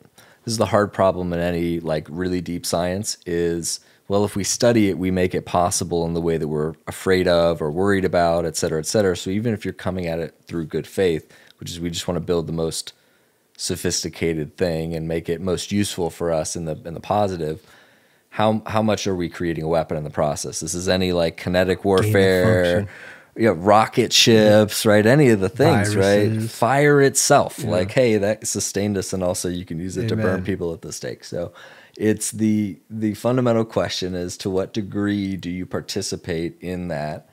And the the through line is always well, if you don't look at this, other places will, and then you're behind, or then you're susceptible, then you're not keeping up with the pace of the evolution globally because we're kind of a multipolar in that way. Um, so it almost necessitates that you must lean into it, right? Out of uh, uh, out of a perspective of national defense, right? You gotta we gotta It's always national Therefore, defense. yeah. So you know, I think it's like anything where it's yeah, sure, we can create a malicious bot attack and do dangerous things, and also maybe we can diagnose cancer much more efficiently. Like it's always both. It then becomes a question of what's our intention with it. How do we safeguard against any potential effect? Um, to what degree do we um, try to stifle people from doing it themselves? This is the like cyber attacks are generally to prevent other places from doing certain actions, and that could be physical infrastructure, but that could be just the bits in the software. Mm-hmm. Like we Mining Bitcoin. yeah, so easily. you want to talk about like uh, just the vectors through which things can be um, affected, persuaded. You know, I, I really try not to speak in the language of like threats or danger or violence or anything like that because you know at the end of the day you can speak analogously and get yourself in trouble and I was at a, a, crypto energy conference in Pittsburgh recently, and there were a couple of guys from the, uh, I think they were from the army, to some degree, and they were speaking about. They're supposed to be, you know, the headline was crypto in national security. They didn't talk about crypto at all. They just talked about like national security and the through line sure. of the intelligence report. They had very strict, you know, uh, talking points there, and there was nothing to do with crypto. How um, would you even talk about cryptography as a government you know, like that's if you're in the army and you study cryptography, yeah, you actually like can't at all. Yeah, yeah that's what I'm saying. For like, so many literally reasons, the only yeah. thing that matters. Yeah, not only can you not talk about it because it's important, but you can't talk about it because it's so hyper technical that you could never explain that to anybody sure. anyway. There's just a lot of degrees to it. So how do you simplify up the chain of communication to speak to a broad audience? This was just practice for them, I noticed, you know, mm-hmm. but they mm-hmm. were just there, they got in, they said their thing, they left.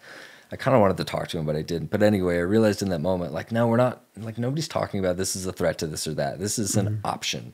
This is an opportunity and optionality that you get to try.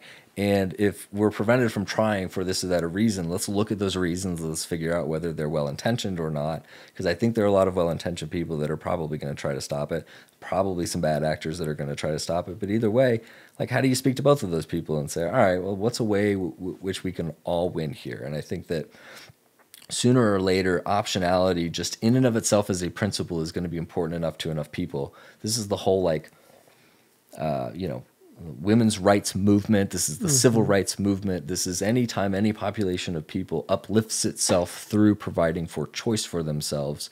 We are simply saying to ourselves, as individuals, as a collective people, I just want a choice to try to do some new technology that might be a little better. Like, remember that time when you had to decide whether you had a flip phone or an iPhone and you struggled with it for a bit? You're like, I don't know. I'm really used to that T9 texting style. Right, right. And I don't like the overcomplication of having a camera on my phone. I'll think about it later. And then, like, 10 years later, it's like, yeah, we just all have iPhones because that's the only thing you can make. You know what I mean? Mm-hmm. I think we're just, we're getting through that period of, I don't know, that seems risky. You know, there's there's the doubt, the fear, the uncertainty, right? This is what we talk about when we say FUD. It's it is the inability to recognize the abundance mindset of potential here, hey. right? So like bringing it back around. Why uh-huh. what is this all for? It is because oh, actually there's a way better way we can be doing all the things we're already doing and we're not upsetting the apple cart too much. And you know, every, like everybody wins here and then we all just win a little bit more over time together, right? Like that's unheard of. Is that what you think happens here? I I think directionally, yes. I think it's going to be a long road. I'm not saying this is tomorrow or next year. I'm saying we've flipped the bit culturally to some degree, and we have the optionality if we choose it. It is not guaranteed that we can all flip the bit together. Like, how do you get all the ones to orient together mm-hmm. at once? This is the 21E8 of it, the the eight or nine leading zeros of it, of the mm-hmm. mathematical mm-hmm. impossibility. This is what does it mean for that to actually happen in that dimension or in this dimension such that something really unexpected emerges out of it, right? Like I absolutely think that's possible. I don't think it takes Poss- possible. But I don't think it takes so, everybody. I like that you're saying possible. Yeah. But I like that you're not saying has happened. Well, that's be- different. Be- yeah. Because that's I feel like everybody's acting like right now like something special's happened with AI. Okay. And I just feel like it's not. I feel like everybody's hyped about AI right now, and nothing has happened. I don't think it will to the degree they're saying it is. I right? feel like what we're looking at is like we want AGI, and nothing that's occurring is even close to like it's not even in the ballpark mm-hmm. of AGI eh, from my perspective. Sure, it's not even worth the conversation. Like that, where I'm not willing to debate. Like, right. is it is it AGI? Like, can we admit that that's just a really hard problem? I think it's I think we need I think we need to admit, and this is where like my whole I my whole energy on AI is, is that like not only is it a hard problem, it's Im- I think it's impossible. That's fair. And I keep hearing Elon talk about the, like not hearing, hearing and seeing, but mostly seeing, I would say, about like worrying about AI. Thinking back to like the Rogan interview, and he's like, "It's so terrifying." No, it's fucking not. No, it's not. It's not writing any good raps. Hmm. It's it can't even produce a lifelike picture. Everybody's up in arms this week over the Adobe click and replace feature for Photoshop. All of the comments are this is not real. All the comments are like I'm using it right now Yeah. the the additions are laughable. They are not what is happening Okay. in your video. And Adobe's like, can you please email support about that? That's what they say publicly. Uh-huh. Well, of course they'll fucking email support, but you guys are using this as a marketing tool that is it's a lie. It's all a lie. Like until the stock market fucking plummets to zero because one company owns everything and one company goes to whatever the total of SPY is. Until that happens, AI has not happened. AGI mm. has not happened. Mm-hmm. When there is total general general intelligence, general. I'm talking retard intelligence with all data average? available. Yeah. the basic, I have all. The, the problem is they use the word general. Mm. There's no option of general. When you have all of the data mm-hmm. And you have intelligence, You flip the bit. Yeah. you fuck everything up today. There's no more like a, is there a cure for cancer? It's like a bitch, are you retarded? Of course there's been a cure for cancer. You've been lied to. Mm. Here's the cure for cancer. Here's why it doesn't exist for you. Here's the company that held it back. Mm. Here are the decisions that that al- allowed this to happen. Mm-hmm. Here's the infrastructure put in place in 1937 or 1942 that led to this decision that led it to not be approved by the FDA. Mm-hmm. Like it would literally be the entire lineage. That's intelligence with all data. It would just explain everything to you that has ever happened. And like until we have that, we are lying to ourselves and we're being idiots about what this uh, new tool set is. Yeah. And uh, anybody that's hyping it up is a grifter. They're looking to uh, be smart. They're trying to be smarter than you in an arena that they are not smarter than you in. They might be smarter than you in some arena, but it's not the arena that you're placating it to be. Understood. And like, to me, it just like is very complex quickly of explain to me how I'm wrong about what general intelligence with all fucking data would be able to do. And like the only argument I can see fit is not enough compute. Hmm. And then if they say not enough compute, then you have to time is the only luxury, baby. Compute is a matter of time. So if we're talking about you don't have enough compute, then tell me how long it would take to get the answer with the current compute. I'm not retarded. like it's very this is very simple. Straightforward that. It's very simple. Yeah. And like everybody wants to make it so complex of Uh-huh. like it literally it cannot literally make an image. It can't even copy the image that I have or like make me move. Mm-hmm. Like it can't take a picture of me and bring it to life forever. If it could do that, that would be intel. That's the minimum. That is literally the minimum level of intelligence. Hmm. The minimum, as soon as it becomes air quotes intelligent, I can feed it one image of me, period, and it will bring an entire life of me hmm. to life hmm. in video form of me moving. It could just follow everywhere. And then once it does that, uh, once it does that, just give me a vacuum, a literal fucking dirt devil button push vacuum that I can just walk around Earth with, with a chip in that just can smell. and then it can actually, once I sweep up the whole Earth, it could tell me, it could show a video of like almost exactly what I did, at least where my asshole was. Mm. It could show me. I wish I was kidding. This is actually true. The vacuum. This is if you could actually show me this is what analytics are. Yep. It's called analytics, and everybody acts like it's not real. It could actually trace the next tech is it everywhere your butthole is leaking, your DNA everywhere you go, you have a full trail, a line coming out of your butthole everywhere you go for all time. So this little vacuum could just sweep around and so exactly if you just sweep up the whole world, it could show exactly where you've been. Just a trail, literally on the ground. That's how gravity works. And a trail of your shit on the ground. You could just send a Roomba all over Earth and show you exactly where Andrew went, mm-hmm. all the places. That's that's literally minimum intelligence. Because if it has minimum intelligence, I mean, I don't even know if that requires intelligence. Like it would almost just be, hey, go find this DNA. Self sort over these molecules within this database. Yeah, this all- is yeah. intelligence is mm-hmm. so far beyond Yeah. what we're talking about today, and Right. everybody's like, "This is it. This is it." I saw somebody tweet the other day that AGI is here. okay. That's I don't believe that, but okay. I- I, I, I understand why they want to say it. I but- do, no, I don't believe it. I Yeah. don't. I don't. I don't even know if it's po- like intelligence is being able to connect two things and always make a joke. In my mind, like anything on the table in front of us, make a joke. Yeah. And if it can't figure out a joke that works, literally it needs to be like our partner sitting here, our king sitting here that can make a joke that is contextually relevant to our lives in this moment right now and really make us laugh of like holy shit i can't believe you remember that. I can't believe that you're recalling this moment.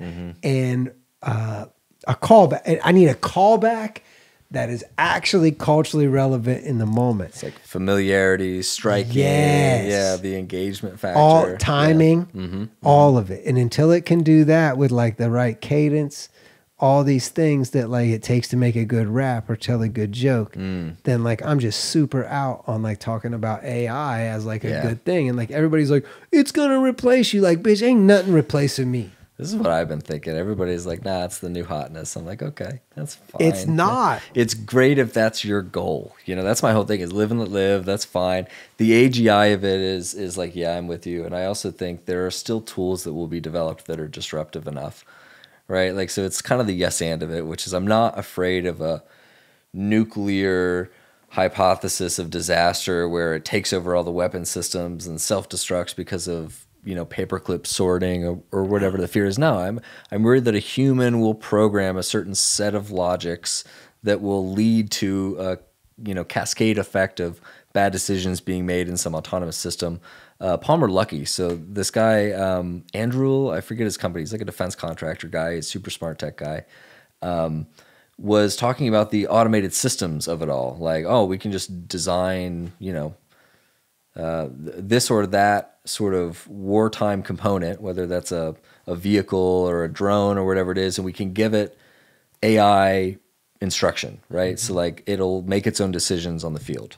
Just like that in and of itself is like, all right, well, we've decided certain people say this set of logics is appropriate for this level of munition, and I'm going to let it go it is what it is now. Uh, you know, you hope there's a self destruct or whatever it is, right? But like the logic, it's gone. It's out there. It's, there's no human. There's no Gaia with the joystick anymore, right? It's just like you do you, you do you, fam. Yeah, and that's um. So I, I worry about that kind of thing because that feels like then we're we're giving up the responsibility of saying, you know, when we affect meaningful aims, when we harm people in any dimension buildings, property, persons, etc. Like imagine anything that can be used out there being used here and then start from the perspective of what do you feel about Yes. it. I don't think that that leads to something that allows more empathy. You know, like we're trying to create this intelligence because I think some people think, ah, well, it can be smarter than the human without the emotion or without the right. Like that's the whole theory behind it.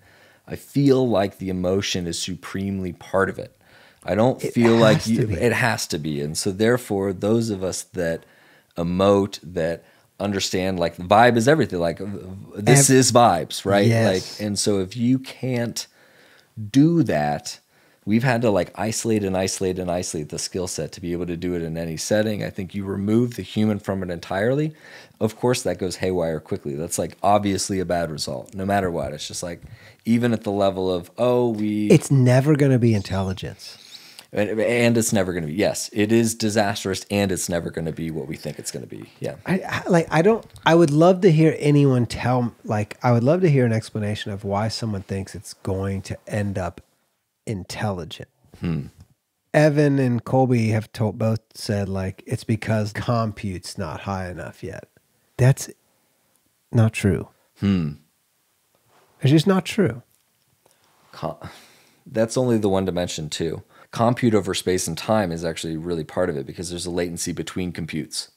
Um, we forget the physical distribution of compute sometimes when we think of the total network of compute.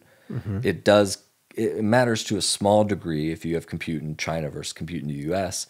If the centralizing aggregator is somewhere that's non-local to that, then there's a triangulation problem, right? You do some Euclidean probably- geometry. I agree. I agree with what you're saying, but I think it like I'm not trying to interrupt you, but it Go feels it. like it just feels like if you're talking about compute, Yeah. it needs to be in relation to the total population outside of the space of the compute. So like, Yeah. however much time it would take for that compute to like reach everyone is mm-hmm, really mm-hmm. what matters. But and also fractally, it matters the propagation path that it takes to get Yes. there, right? So like it's Yes. the sum aggregate of total Yes. and also, um, so the like it would actually need to go through like the biggest influencers of all time Yeah. first Uh-huh, to uh-huh, to well, and you're you're thinking attention. I start thinking energy, and I start think the biggest influencers are just the largest power generators at each internodal absolutely. point, right? Like Yep. we're playing a logistics distribution game of information transference, whether that attention is love or Mm-hmm. you know like electrons, right? Um, so yeah, the compute is not enough. Is probably directionally there with the tandem of the distribution of compute is not complete. Like it needs much more, and it needs in more spaces, and it needs two more degrees, right? Like we do need the hundred, the 50 Hmm. the ten, the one, like. But we're we're we're kind of far from that. We're working our way towards it. in this conversation, I just, I mean, I'm sure other people have had this thought, but it feels to me like general intelligence should not be. Uh, I feel like we've always been looking at AI and like brain power for an individual. And Hmm. it feels like that shouldn't be the goal because I'm not an individual Right. at this moment. The It feels- mastermind theory, yeah. yeah, it feels like Yeah. it feels like the only way to be a total human is to be tapped into the hive totally. So like not only would I am I am not doing all the compute that I'm doing.